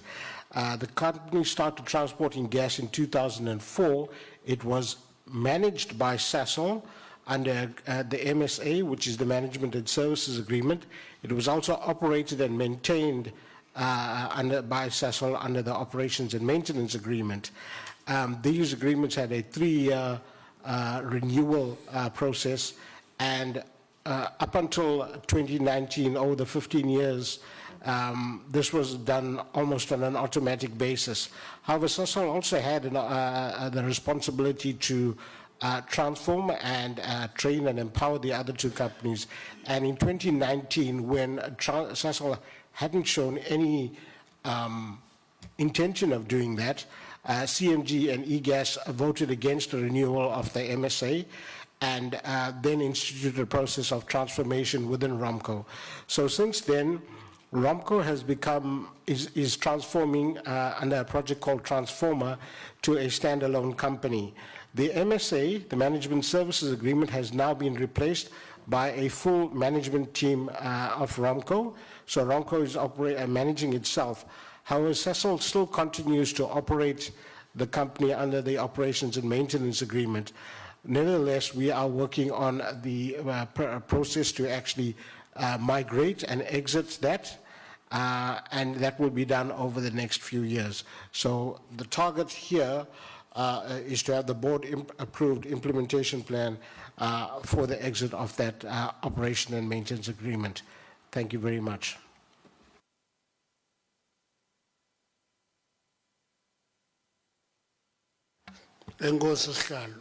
Um, that is us. My few words of gratitude to all of you is that eh, ndiyahamba kusiya ehousing siya housing and sine question first question iza kum nto zenu zasenatal ezo first question iza kum in the house Okay, honorable members, I know we have uh, not done justice, and I, I want to suggest this process. Uh, Molo Susan, Molo, awuzwazi uba yi-CEO Molo Susan, sukuma bakubone. Angibonanga. Uyaphila? Siyaphila. Ya besifuna ukuva ivoice yakho. Singahlala lapha kanti awukwazi nobulisa. Hayi singahlala phansi mhlekazi. Enkosi honorable members just very few. I know you are true honorable minister. We are way way out of time. And the worst thing is that, uh, honorable members, unfortunately, we did not prepare even a lunch for you. Let me do this very quick. I'm giving you, once you exceed two minutes, this is our last term meeting, not just last meeting, our last 10 minutes. Just in a minute, your last words. I'll start with Honorable Malinga, Honorable Volmarans. Uh, you can just sit and say thank you, Enkos from 2019, Honorable Makeke, Honorable um, Honorable uh, Mahlaule. You can even thank the minister, I can see he's grieving. Why you calling? No, no, no, Chairperson, thank you very much for this opportunity. Let me say to the team led by the minister, eh, thank you very much for your hard work. We apologize where we stepped on your toes, eh, where we were very brutal. It's part of what we had to do. Eh, we can bear fruits now, Chair. The seventh administration will be eh angazi minister ngoba ngathi kuza abantu abasha bodwa um they will eh, bazohamba kalula chairperson because we have paved the way. Thank you very much. Keep well. Thank you. Uh, Thanks, Chair. Um, Chair, from time to time, uh, politicians get deployed, and when you get where you are deployed, you have to fit in whatever uh, capacity that you are uh, designated to. Uh, in this regard, I've had a wonderful op- opportunity of working within the DMRE uh, family uh, with all its package, its problems, its uh, good times, its bad times. And uh, we have made uh, quite good acquaintances. And um, the objective was to pave and show the way forward in a positive way for the country. Uh, it's such memories that uh, a person would always um, uh, keep um, in their minds and heart. I thank you for everything that went through. Thanks, Chair. Now we're now we're, uh, uh, a chairperson, Omkul. Uh, Thank you, Chairperson, and good afternoon, my minister and my colleagues and uh, DG with everyone that is present today. Uh, In fact, Chairperson, um, today's session reminds me of uh, my first day, uh, I think it was in April, when I got in into the room, I think Seth was doing presentation and, and they were just reporting, you know, how bad things were at that time. But um, I, actually, I'm now, you know, impressed that there is a lot of improvement and with all other departments. And uh, I never thought that I will understand what is going on and, and I've been learning and I just want to thank all of you.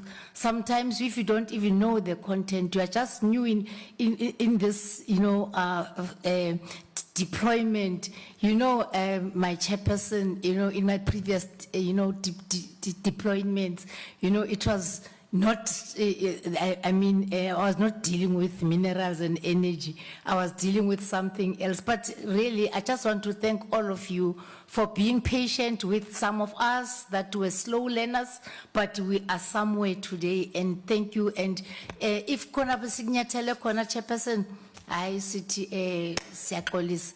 Thank you, uh, chairperson. Oh, well, no, no, no, no. I'm sorry. Chairperson in my other life.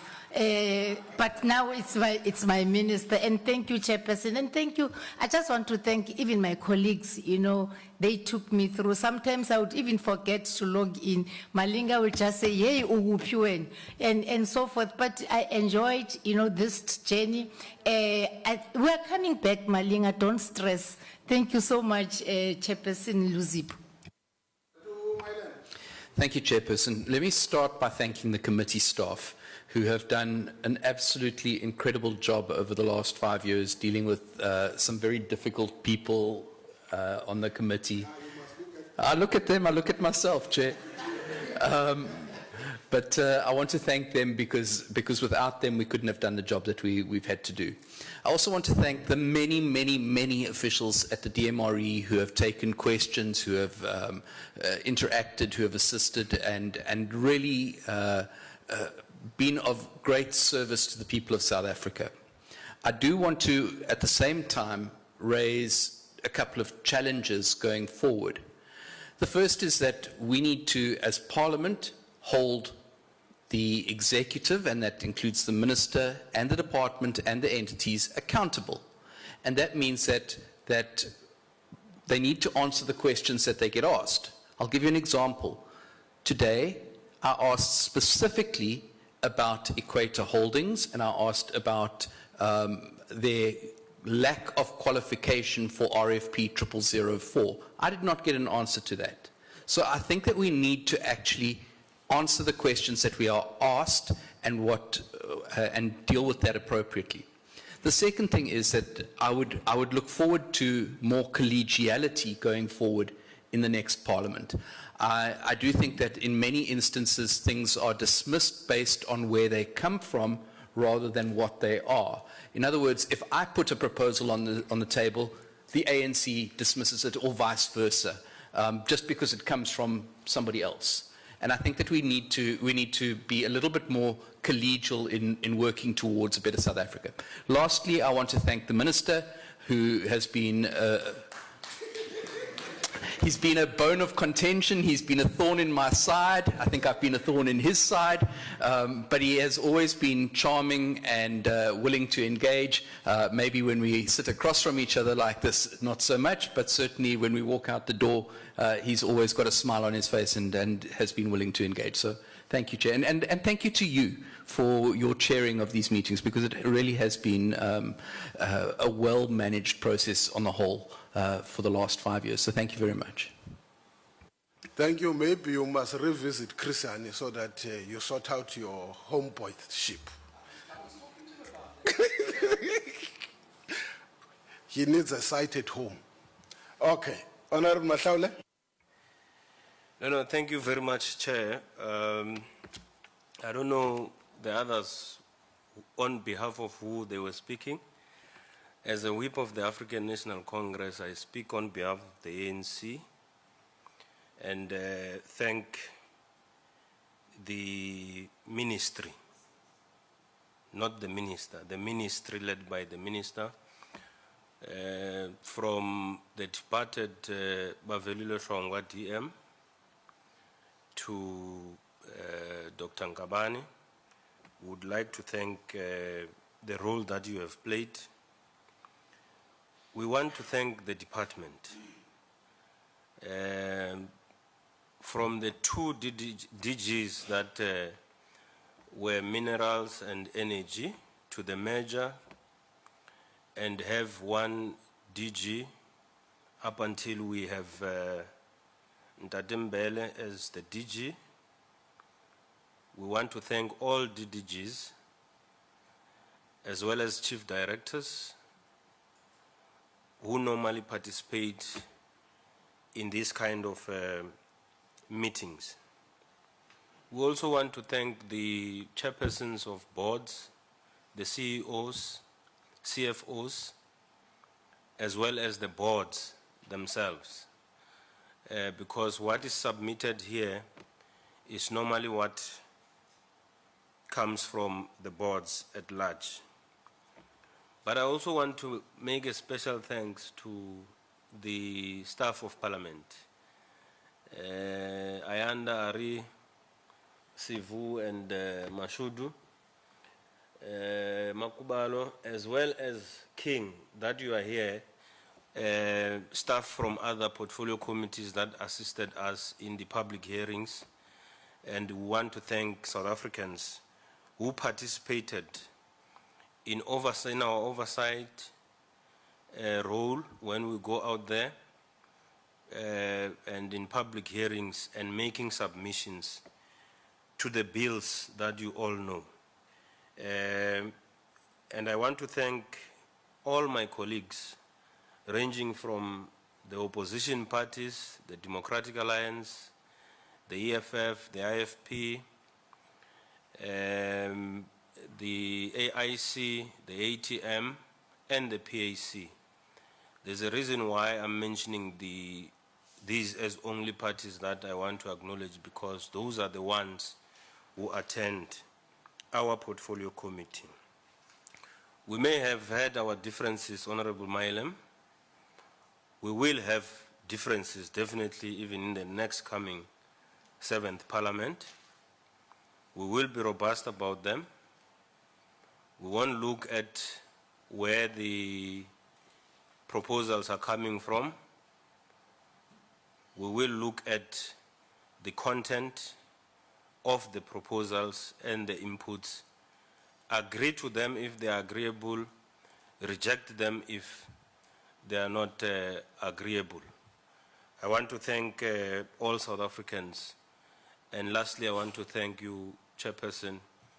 At times, it was not an easy uh, task for you to chair, even from the members of the ANC, myself included, when we don't agree with you as the chair of the ANC, of the, of the, of the portfolio committee, as the ANC, we had a responsibility to make sure that uh, we rein in you as well when we needed to do so. Thank you very much. Sure, Minister, on behalf of the whole team, even those who are not here.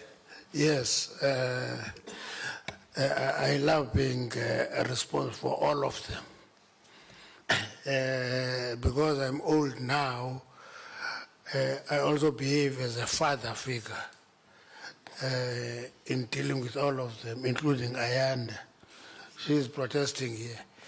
No, thank you, Chairperson, to you first for chairing a difficult portfolio committee. This is a quite a difficult portfolio committee. But stories that I have heard about other portfolio committees make me appreciate that this is a good portfolio committee. The, I've heard stories where sometimes the minister and the portfolio don't talk to one another, they walk past each other. Uh, we have not reached that stage. Uh, we talk to one another, we engage, we're upfront, we appreciate that. Let me thank the portfolio committee in its entirety and uh, the team of the DMRE, Team DMRE. What a wonderful team. Sometimes very slow on dealing with difficult things. Uh, uh, we're having a session with the DG to deal with that aspect. You can't be slow when you deal with difficult issues. Run with difficult issues because it is always the case.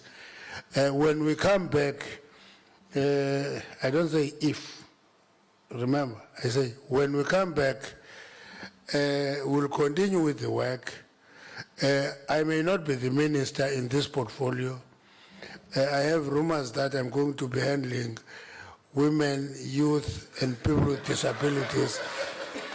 I've heard that rumor. Uh, it's not me who appoint ministers, but the rumor is, is all over that I will be dealing with this very important portfolio, and uh, I'm ready for it. Uh, so uh, we'll be together. Thank you very much for the work. Actually, I must tell you that this was five years of schooling for me. Uh, I learned a lot of things from you. Um, I listen sometimes. Sometimes I'm a little bit rough-edged in dealing with things that come my way in a way that is not analyzed properly. Uh, uh, so I think you have all accepted that. Uh, I think uh, Mela will meet in the seventh administration. You and me will go to that portfolio. Po- no, we're going to we're going to that portfolio. Two of us, women, youth, and people with disability. Thank you very much. I enjoyed the five years. It was quite fulfilling. I'm happy with it. Thank you very much.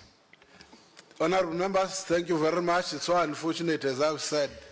Um, for me, it was just a learning experience, but at the same time, I'm sure I'm much wiser than when I started. Uh, just to share, uh, uh, honorable members, we come from difficult moments. Ne? Uh, at times, uh, those, there are meetings you don't know. Receiving calls, someone telling you, you want to run the department. And uh, the response will be, don't tell me how to conduct oversight. So it was part of the learning uh, experience. Uh, we finally even ironed uh, Pulo. So uh, we finally ironed out. Uh, Honorable Pulo, uh, Dr. Pulo once said, ah, but Jay, I believe you really don't like me. no, it was because we had to do work.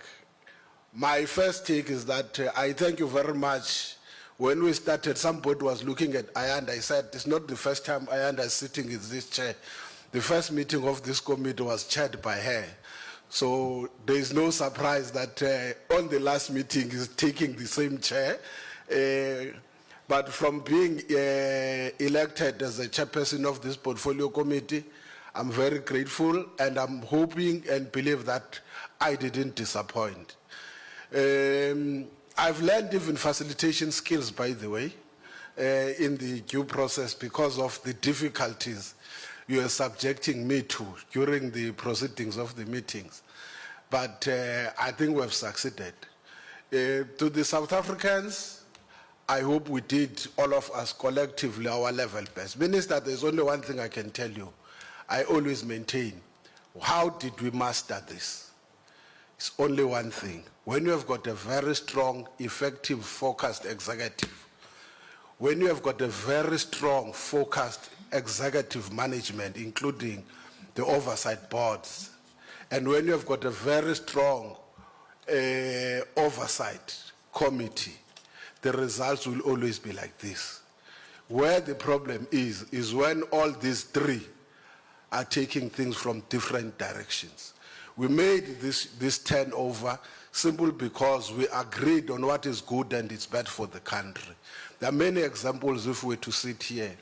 One of those I always say, when uh, Mr. Mwakhe used to talk about uh, 20 million, ah, that's nothing. When he stood there, no, it was just a 80 million, it's not a big issue. Then we realized down the line that uh, in the energy space, you, take, you talk billions, not just millions. And we learned a lot on that. Uh, I'm sure when you sit down, Minister, you look at the achievements that this department, obviously not on its own, it was not easy to recover the lost strategic stock, but we did it, and it, it was done successfully. So my appreciation is to everyone who has made it possible, and wish you all the best uh, that uh, we meet again on the seventh parliament. As the minister said, uh, we may, if we all come back, that will be great, but we may not be in the same area. Thank you very much. That's well appreciated. The meeting stands adjourned until the next term of the seventh parliament. Thank you to the media. Thank you to the media. Thank you very much to the media.